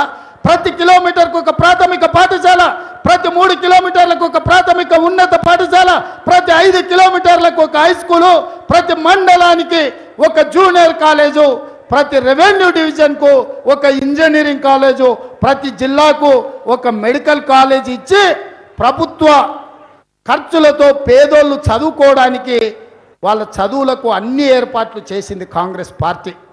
కానీ ఇవాళ కేసీఆర్ వచ్చినాక నాలుగు వేల ఆరు వందల ముప్పై నాలుగు స్కూళ్ళు మూతేసిండు. యూనివర్సిటీల నియామకాలు జరగలేదు. కాలేజీలు నడుస్తలేవు. ఫీజు రియంబర్స్మెంట్ లేదు. ఆరోగ్యశ్రీ లేదు. ఏమైందా నీకు? ఆరోగ్యశ్రీ లేదు. ఇవాళ రైతు రుణమాఫీ లేదు. ఇట్లా ఏది చూసినా ఇవాళ కేసీఆర్ తెలంగాణ సమాజాన్ని మొత్తం దివాలా దీపించింది. మరి ఇవన్నీ ఎందుకు ఇట్లా జరుగుతున్నాయి? మీరు ఒక్కసారి ఆలోచన చేయండి. మా దామాన్ని ఒక మాట చెప్పిండు. ప్రగతి భవన్ను ప్రభుత్వ దవాఖాన చేయాలని. కానీ నేను ఒకటి అనుకున్నా. ఈ వేదిక మీద నుంచి ఒక మాట చెప్తున్నా మళ్ళీ మా దామన్నను రిక్వెస్ట్ చేసి కన్విన్స్ చేసుకుంటా. ఆ ప్రగతి భవన్ డాక్టర్ బాబా సాహెబ్ బహుజన భవన్గా మారుస్తా. ప్రగతి భవన్ మీద డాక్టర్ బాబా సాహెబ్ అంబేద్కర్ బహుజన భవన్ తయారు చేస్తా. అక్కడి నుంచే దళితులు గిరిజనులు ఆదివాసీలను డాక్టర్లుగా లాయర్లుగా ఇంజనీర్లుగా ఐఏఎస్లుగా ఐపీఎస్లుగా తీర్చిదిద్ది ఉత్పత్తి చేసే కేంద్రంగా మారుస్తా. దళిత ఆదివాసి గిరిజనుల నుంచి డాక్టర్లను లాయర్లను ఇంజనీర్లను ఐఏఎస్లను ఐపీఎస్లను ఉత్పత్తి చేసే కేంద్రంగా కర్మగారంగా మారుస్తా. అక్కడి నుంచే ఈ దేశానికి కావాల్సిన ఐఏఎస్ ఐపీఎస్లను మా దళిత ఆదివాసి గిరిజన బిడ్డల్ని తయారు చేసి డాక్టర్ బాబాసాహెబ్ అంబేద్కర్ బహుళ భవన్కి బహు బహుజన భవన్ నుంచి సరఫరా చేస్తా. ఈ దేశంలో ఏ రాష్ట్రంలో అయినా ఐఏఎస్ ఐపీఎస్ ఆఫీసర్లు ఎవడన్నా ఉన్నాడంటే వాడు తెలంగాణ బిడ్డగా ఉండేటట్టు ఉత్పత్తి కేంద్రంగా మారుస్తా. చదువుకుంటే బాగుపడతాం. చదువుకుంటే శాసనం చేస్తాం. చదువుకుంటే రాజ్యాధికారంలో భాగస్వాములం అవుతాం. చదువుకుంటే లక్షలాది మందికి సాయం చేస్తాం. చదువుకుంటే కోట్లాది మందికి అండగా నిలబడతాం. చదువుకుంటే ప్రపంచాన్ని అభివృద్ధి పదం వైపు నడిపిస్తాం. చదువుకుంటే కంప్యూటర్ని తయారు చేస్తాం. చదువుకుంటే కరోనా లాంటి వైరస్ వస్తే మందు కనిపెడతాం. కాబట్టి నా దళిత గిరిజన ఆదివాసి బిడ్డలు చదువుకోవాలి. మీ చెమట పోవాలి మీ వాసన పోవాలి మీ కుటుంబాలు మీ ఇండ్లు మిమ్మల్ని చూస్తే దూరంగా పోయేటోళ్ళు ఒక్కసారి దళితులు మమ్మల్ని పలకరిస్తే బాగుండు వాళ్ళ ఇంటికి పిలిస్తే బాగుండు వాళ్ళ ఇంట్లో కూర్చొని పుట్టాడు బువ్వ తింటే మా జన్మ ధన్యమైంది అనుకునేటట్టు అభివృద్ధి పదం వైపు నడిపించడానికి పాటుపడుతుంది కాంగ్రెస్ పార్టీ. నేను ఇవాళ ఈ వేదిక మీద నుంచి చెప్తున్నా. మా యువమిత్రులు చాలా రోజుల నుంచి మా ప్రీతం మా వాళ్ళు అందరూ అంటున్నారు అన్న ఇదంతా బాగానే ఉంది కానీ మరి ఎట్లా అని? ఎట్లా అనేది చేపలు తినుడు కాదు చేపలు వట్టుడు నేర్పాలి. ఇవాళ మా పిల్లలను చదివించుకోవాలి మనం. ఇవాళ కేసీఆర్ ఉద్దేశపూర్వకంగానే ప్రాథమిక పాఠశాలలు మూసిండు ప్రాథమిక ఉన్నత పాఠశాలలు మూసిండు జూనియర్ కాలేజీలు మూసిండు డిగ్రీ కాలేజీలు మూసిండు. ఇదే ఊర్లో డిగ్రీ కాలేజ్ కోసం మా పిల్లలు రోడ్డుకు అడ్డం పడి అడిగారు డిగ్రీ కాలేజీలు ఇయ్యలే. ఫీజు రియంబర్స్మెంట్ ఎత్తేసిండు. ఎందుక ఇవన్నీ కుట్రలు చేస్తుండంటే పేదోళ్ళ పిల్లలు చదువుకుంటే రాజ్యాధికారంలో వాటా అడుగుతారని. కాబట్టి ఇవాళ రాజ్యాధికారంలో ఎవడో మీకిచ్చుడు కాదు. మీ హక్కులు మీ చేతులు ఉండాలి. మీ అద్దంకి దయాకర్ గొప్పడు కావాలి మీ సీతక్క మీకు సంతకం పెట్టి ఇచ్చగలిగిన చేతికి రావాలి మీ బలరాం నాయక్ మీకు శాసనం తయారు చేయాలి ఈ శాసనాలు ఎట్లుండాలో మా దామన్న ఎస్సీ ఎస్టీ సప్లాన్ ఒక్క కలం పోటీతోని చట్టబద్ధత చేసిండు చదువుకున్న బిడ్డే కాబట్టి ఇవాళ వాళ్ళ నాయన చదువుకున్నాడు మంత్రి అయింది కాబట్టి దామన్నను హెచ్పిఎస్ స్కూల్లో చదివిస్తే మా నాయన ఊర్లో వ్యవసాయం చేసి నేను జడ్పిహెచ్ఎస్లో చదువుకున్నా. దామన్న తండ్రి దామన్నను హెచ్పిఎస్లో చదివించిండు కాబట్టి తరతరాల దళిత బిడ్డల్ని బాగు చేయడానికి ఎస్సీ ఎస్టీ సప్లాన్ తీసుకొచ్చిండు దామన్న. ఎందుకంటే చదువుకున్నాడు కాబట్టి ఆ చదువులో ఉన్న మర్మాన్ని రాజ్యాంగంలో ఉన్న బాబాసాహెబ్ అంబేద్కర్ గారు ఏం రాసిండో దాన్ని అవసోపాన పట్టిండు కాబట్టి ఇవాళ దామన్న ఆ సంతకం పెట్టగలిగిండు. అందుకే నేను కోరుతున్న మిత్రులారా ఇవాళ నేను ఈ వేదిక మీద నుంచి విజ్ఞప్తి చేస్తున్న మా దళిత ఆదివాసీ గిరిజన సోదరులు చదువుకోండి. చదివే మన జీవితాన్ని మారుస్తుంది. ఆ చదివే మన లక్ష్యాన్ని నెరవేరుస్తుంది. ఆ చదివే ఈ ప్రపంచానికి వెయ్యి మందికి లక్ష మందికి మీరు సాయం చేయగలిగిన స్థాయికి తీసుకెళ్తుంది. మీ చదువుల కోసం నేను తాపత్రయపడతా. మిగతావి ఈ ఏడు అరవై ఏళ్ళు వచ్చిన పింఛన్ ఇస్తే మళ్ళీ మూడు నెలలకు ఇంకోనికి అరవై వస్తాయా? అదా? అభివృద్ధి అంటే ఓ ఇల్లు ఇస్తాం. మళ్ళీ పెళ్ళి అయితే కొడుకు పెళ్ళి అయితే వానికి సంసారానికి మళ్ళీ ఇల్లు ఇవ్వాల్సిందే. ఇవన్నీ ఎవరు వచ్చినా ఇస్తాడా? ఇవన్నీ ఎవరు వచ్చినా ఇస్తారు? నేను అడుగుతున్నా మీరు ఆలోచన చేయండి. ఇందిరమ్మ నాలుగు వందలు మా రాజన్న చెప్పిండు. ఇందిరమ్మ నాలుగు వందల రూపాయలతో ఇల్లుకి ఇచ్చింది. నాలుగు ఎదురు బొంగులు పది తాటాకులు నాలుగు నూరుల రూపాయలు ఇచ్చింది మొదట పేదోటికి ఇల్లు కోసం. తర్వాత ఎనిమిది నూరులకు పెంచింది. తర్వాత వెయ్యి రూపాయలైంది. తర్వాత నాలుగు వేలైంది. తర్వాత ఎనిమిది వేలైంది. తర్వాత ఇరవై వేలైంది. తర్వాత నలభై వేలైంది. తర్వాత లక్ష ఇరవై వేలైంది. అయినా మన పేదరికం పోలే. అసైన్మెంట్ భూములు ఇచ్చినాం. భూములు పిల్లలు వచ్చినా కొద్దిగా అవి మళ్ళీ గుంటలలో మారింది. అయినా మన జీవితాలు మారలే. దీనికంతా పరిష్కారం. ప్రపంచమే ఒక ఊరైంది. చదువుకుంటే మన ఊర్లోనే మన మండలంలోనే మన జిల్లాలోనే కాదు ప్రపంచంలో ఎక్కడికి పోయి అయినా శాసించవచ్చు విప్రో ఇన్ఫోసిస్కి ఇవాళ నాదెన్లా ఆయన ఎవరో నాదెన్లా ఏందాయన పేరు? సత్యానాదెన్ల విప్రోకో ఇన్ఫోసిస్కో సిఇఓ అయింది. ఎందుకైండే చదువుకుంటే అయిండు అదే మన ప్రవీణ్ కుమార్ ఐపీఎస్ అయిండు ఎందుకైండే చదువుకుంటే అయిండు మరి మనం చదువుకోకపోతే అవుతామా కాబట్టి ఇవాళ బడ్జెట్లో అత్యధిక ప్రాధాన్యత నేను ఈరోజు ఈ వేదిక మీద చెప్తున్న కాంగ్రెస్ పార్టీల ఎవరైనా ముఖ్యమంత్రి కావచ్చు. కాంగ్రెస్ పార్టీ అధికారంలోకి వచ్చిన మొదటి సంతకం మొదటి సంతకం ఈ దళిత గిరిజన ఆదివాసీ బిడ్డల చదువు కోసం ప్రత్యేకమైన బడ్జెట్ పెట్టి మీ బంగారు భవిష్యత్తు కోసం మీరు శాసనాలు చేసేటట్ల మీరు రాజ్యం ఏలేటట్ల రాజ్యాధికారం కోసం మీరు ఎవరి ముందల్లో చేతులు దాచి అడుక్కోవాల్సిన పని లేదు. ఇంకా పది మందికి మీరు సాయం చేసే విధంగా మొదటి సంతకం అత్యధిక బడ్జెట్ దళిత ఆదివాసి గిరిజన బిడ్డల కోసం మొదటి సంతకం పెట్టిస్తే ఎవరు ముఖ్యమంత్రి అయినా నా మాట నమ్మండి. నాకేం కోరికలు చరిత్రలో రేవంత్ రెడ్డి అనేటోడు ఉండేనా? కొట్లాడిండు చేసిండు అని ఉంటే చాలు. నాకు నా కుటుంబం నాకు ఒక బిడ్డ పెళ్ళి అయిపోయింది. జూబ్లీస్ ఇల్లు ఉంది. భూములు ఉన్నాయి. అన్నీ ఉన్నాయి. అన్నీ ఉన్నాయి నాకు. దేవుడు అన్ని ఇచ్చిండు. అన్నిటితో పాటు దేవుడు ఇవాళ ఒక అవకాశం ఇచ్చిండు. దేవుడు ఆశీర్వదించింది సోనియమ్మ. నిర్ణయం తీసుకుంది. రాహుల్ గాంధీ గారు అండగా నిలబడ్డారు కాంగ్రెస్ పార్టీ అధ్యక్షుడు ఆయన. ఇంతకంటే ఒక మనిషికి ఏం కావాలన్నా ఇంతకంటే ఏం కావాలా? దేవుడితో పాటు సోనియమ్మ రాహుల్ గాంధీ అండగా నిలబడి కాంగ్రెస్ పార్టీ అధ్యక్షుడిగా నాకు ఒక పెద్ద అవకాశం వచ్చింది. ముఖ్యమంత్రి ఎవరైనా కూడా పార్టీ పరంగా అధ్యక్షుడే వన్. మా దామాన చెప్పాలి. ముఖ్యమంత్రులు ఎవరైనా పార్టీ పరంగా అధ్యక్షుడే వన్ కదన్నా? సో పార్టీ అధ్యక్షుడిగా నేను వేదిక మీద నుంచి చెప్తున్నా మా దామన్న మా బలరామన్న మద్దతుతోటి. దళిత ఆదివాసి గిరిజనుల విద్య కోసం అత్యధికంగా బడ్జెట్ పెట్టిస్తా. అక్కడ ఏదైతే ప్రగతి భవన్ అని విలాసవంతమైన జీవితం గడుపుతుండో కేసీఆర్ దాని పేరు మారుస్తా. డాక్టర్ బాబా సాహెబ్ అంబేద్కర్ బహుజన భవన్ కింద మారుస్తా. అక్కడి నుంచే డాక్టర్లు లాయర్లు ఇంజనీర్లు ఐఏఎస్లు ఐపీఎస్లుగా మన బిడ్డల్ని తయారు చేసి ఈ దేశానికి ప్రపంచానికి ఎగుమతి చేసే నిర్ణయం తీసుకుంటాను తెలియజేస్తూ మీ అందరి దగ్గర సెలవు తీసుకుంటున్నా. జై కాంగ్రెస్! జై కాంగ్రెస్! జై సోనియమ్మ! జై జై సోనియమ్మ! ఏర్పాట్లు చేసి అద్భుతంగా నిర్వహించిన ప్రతి మిత్రుడికి పేరు పేరున ఈ నిర్వహణ ఇంత అద్భుతమైన ఏర్పాట్లు చేసి వర్షం వచ్చినా ఏమైనా మనకి చిన్న ఇబ్బంది కలగకుండా ఏర్పాట్లు చేసిన వాళ్ళందరికీ కూడా మనస్ఫూర్తిగా ధన్యవాదాలు తెలియజేస్తున్న మిత్రులారా మరో కథం దామన్న అనుమతితోని గజ్వేల్లో పెడదాం.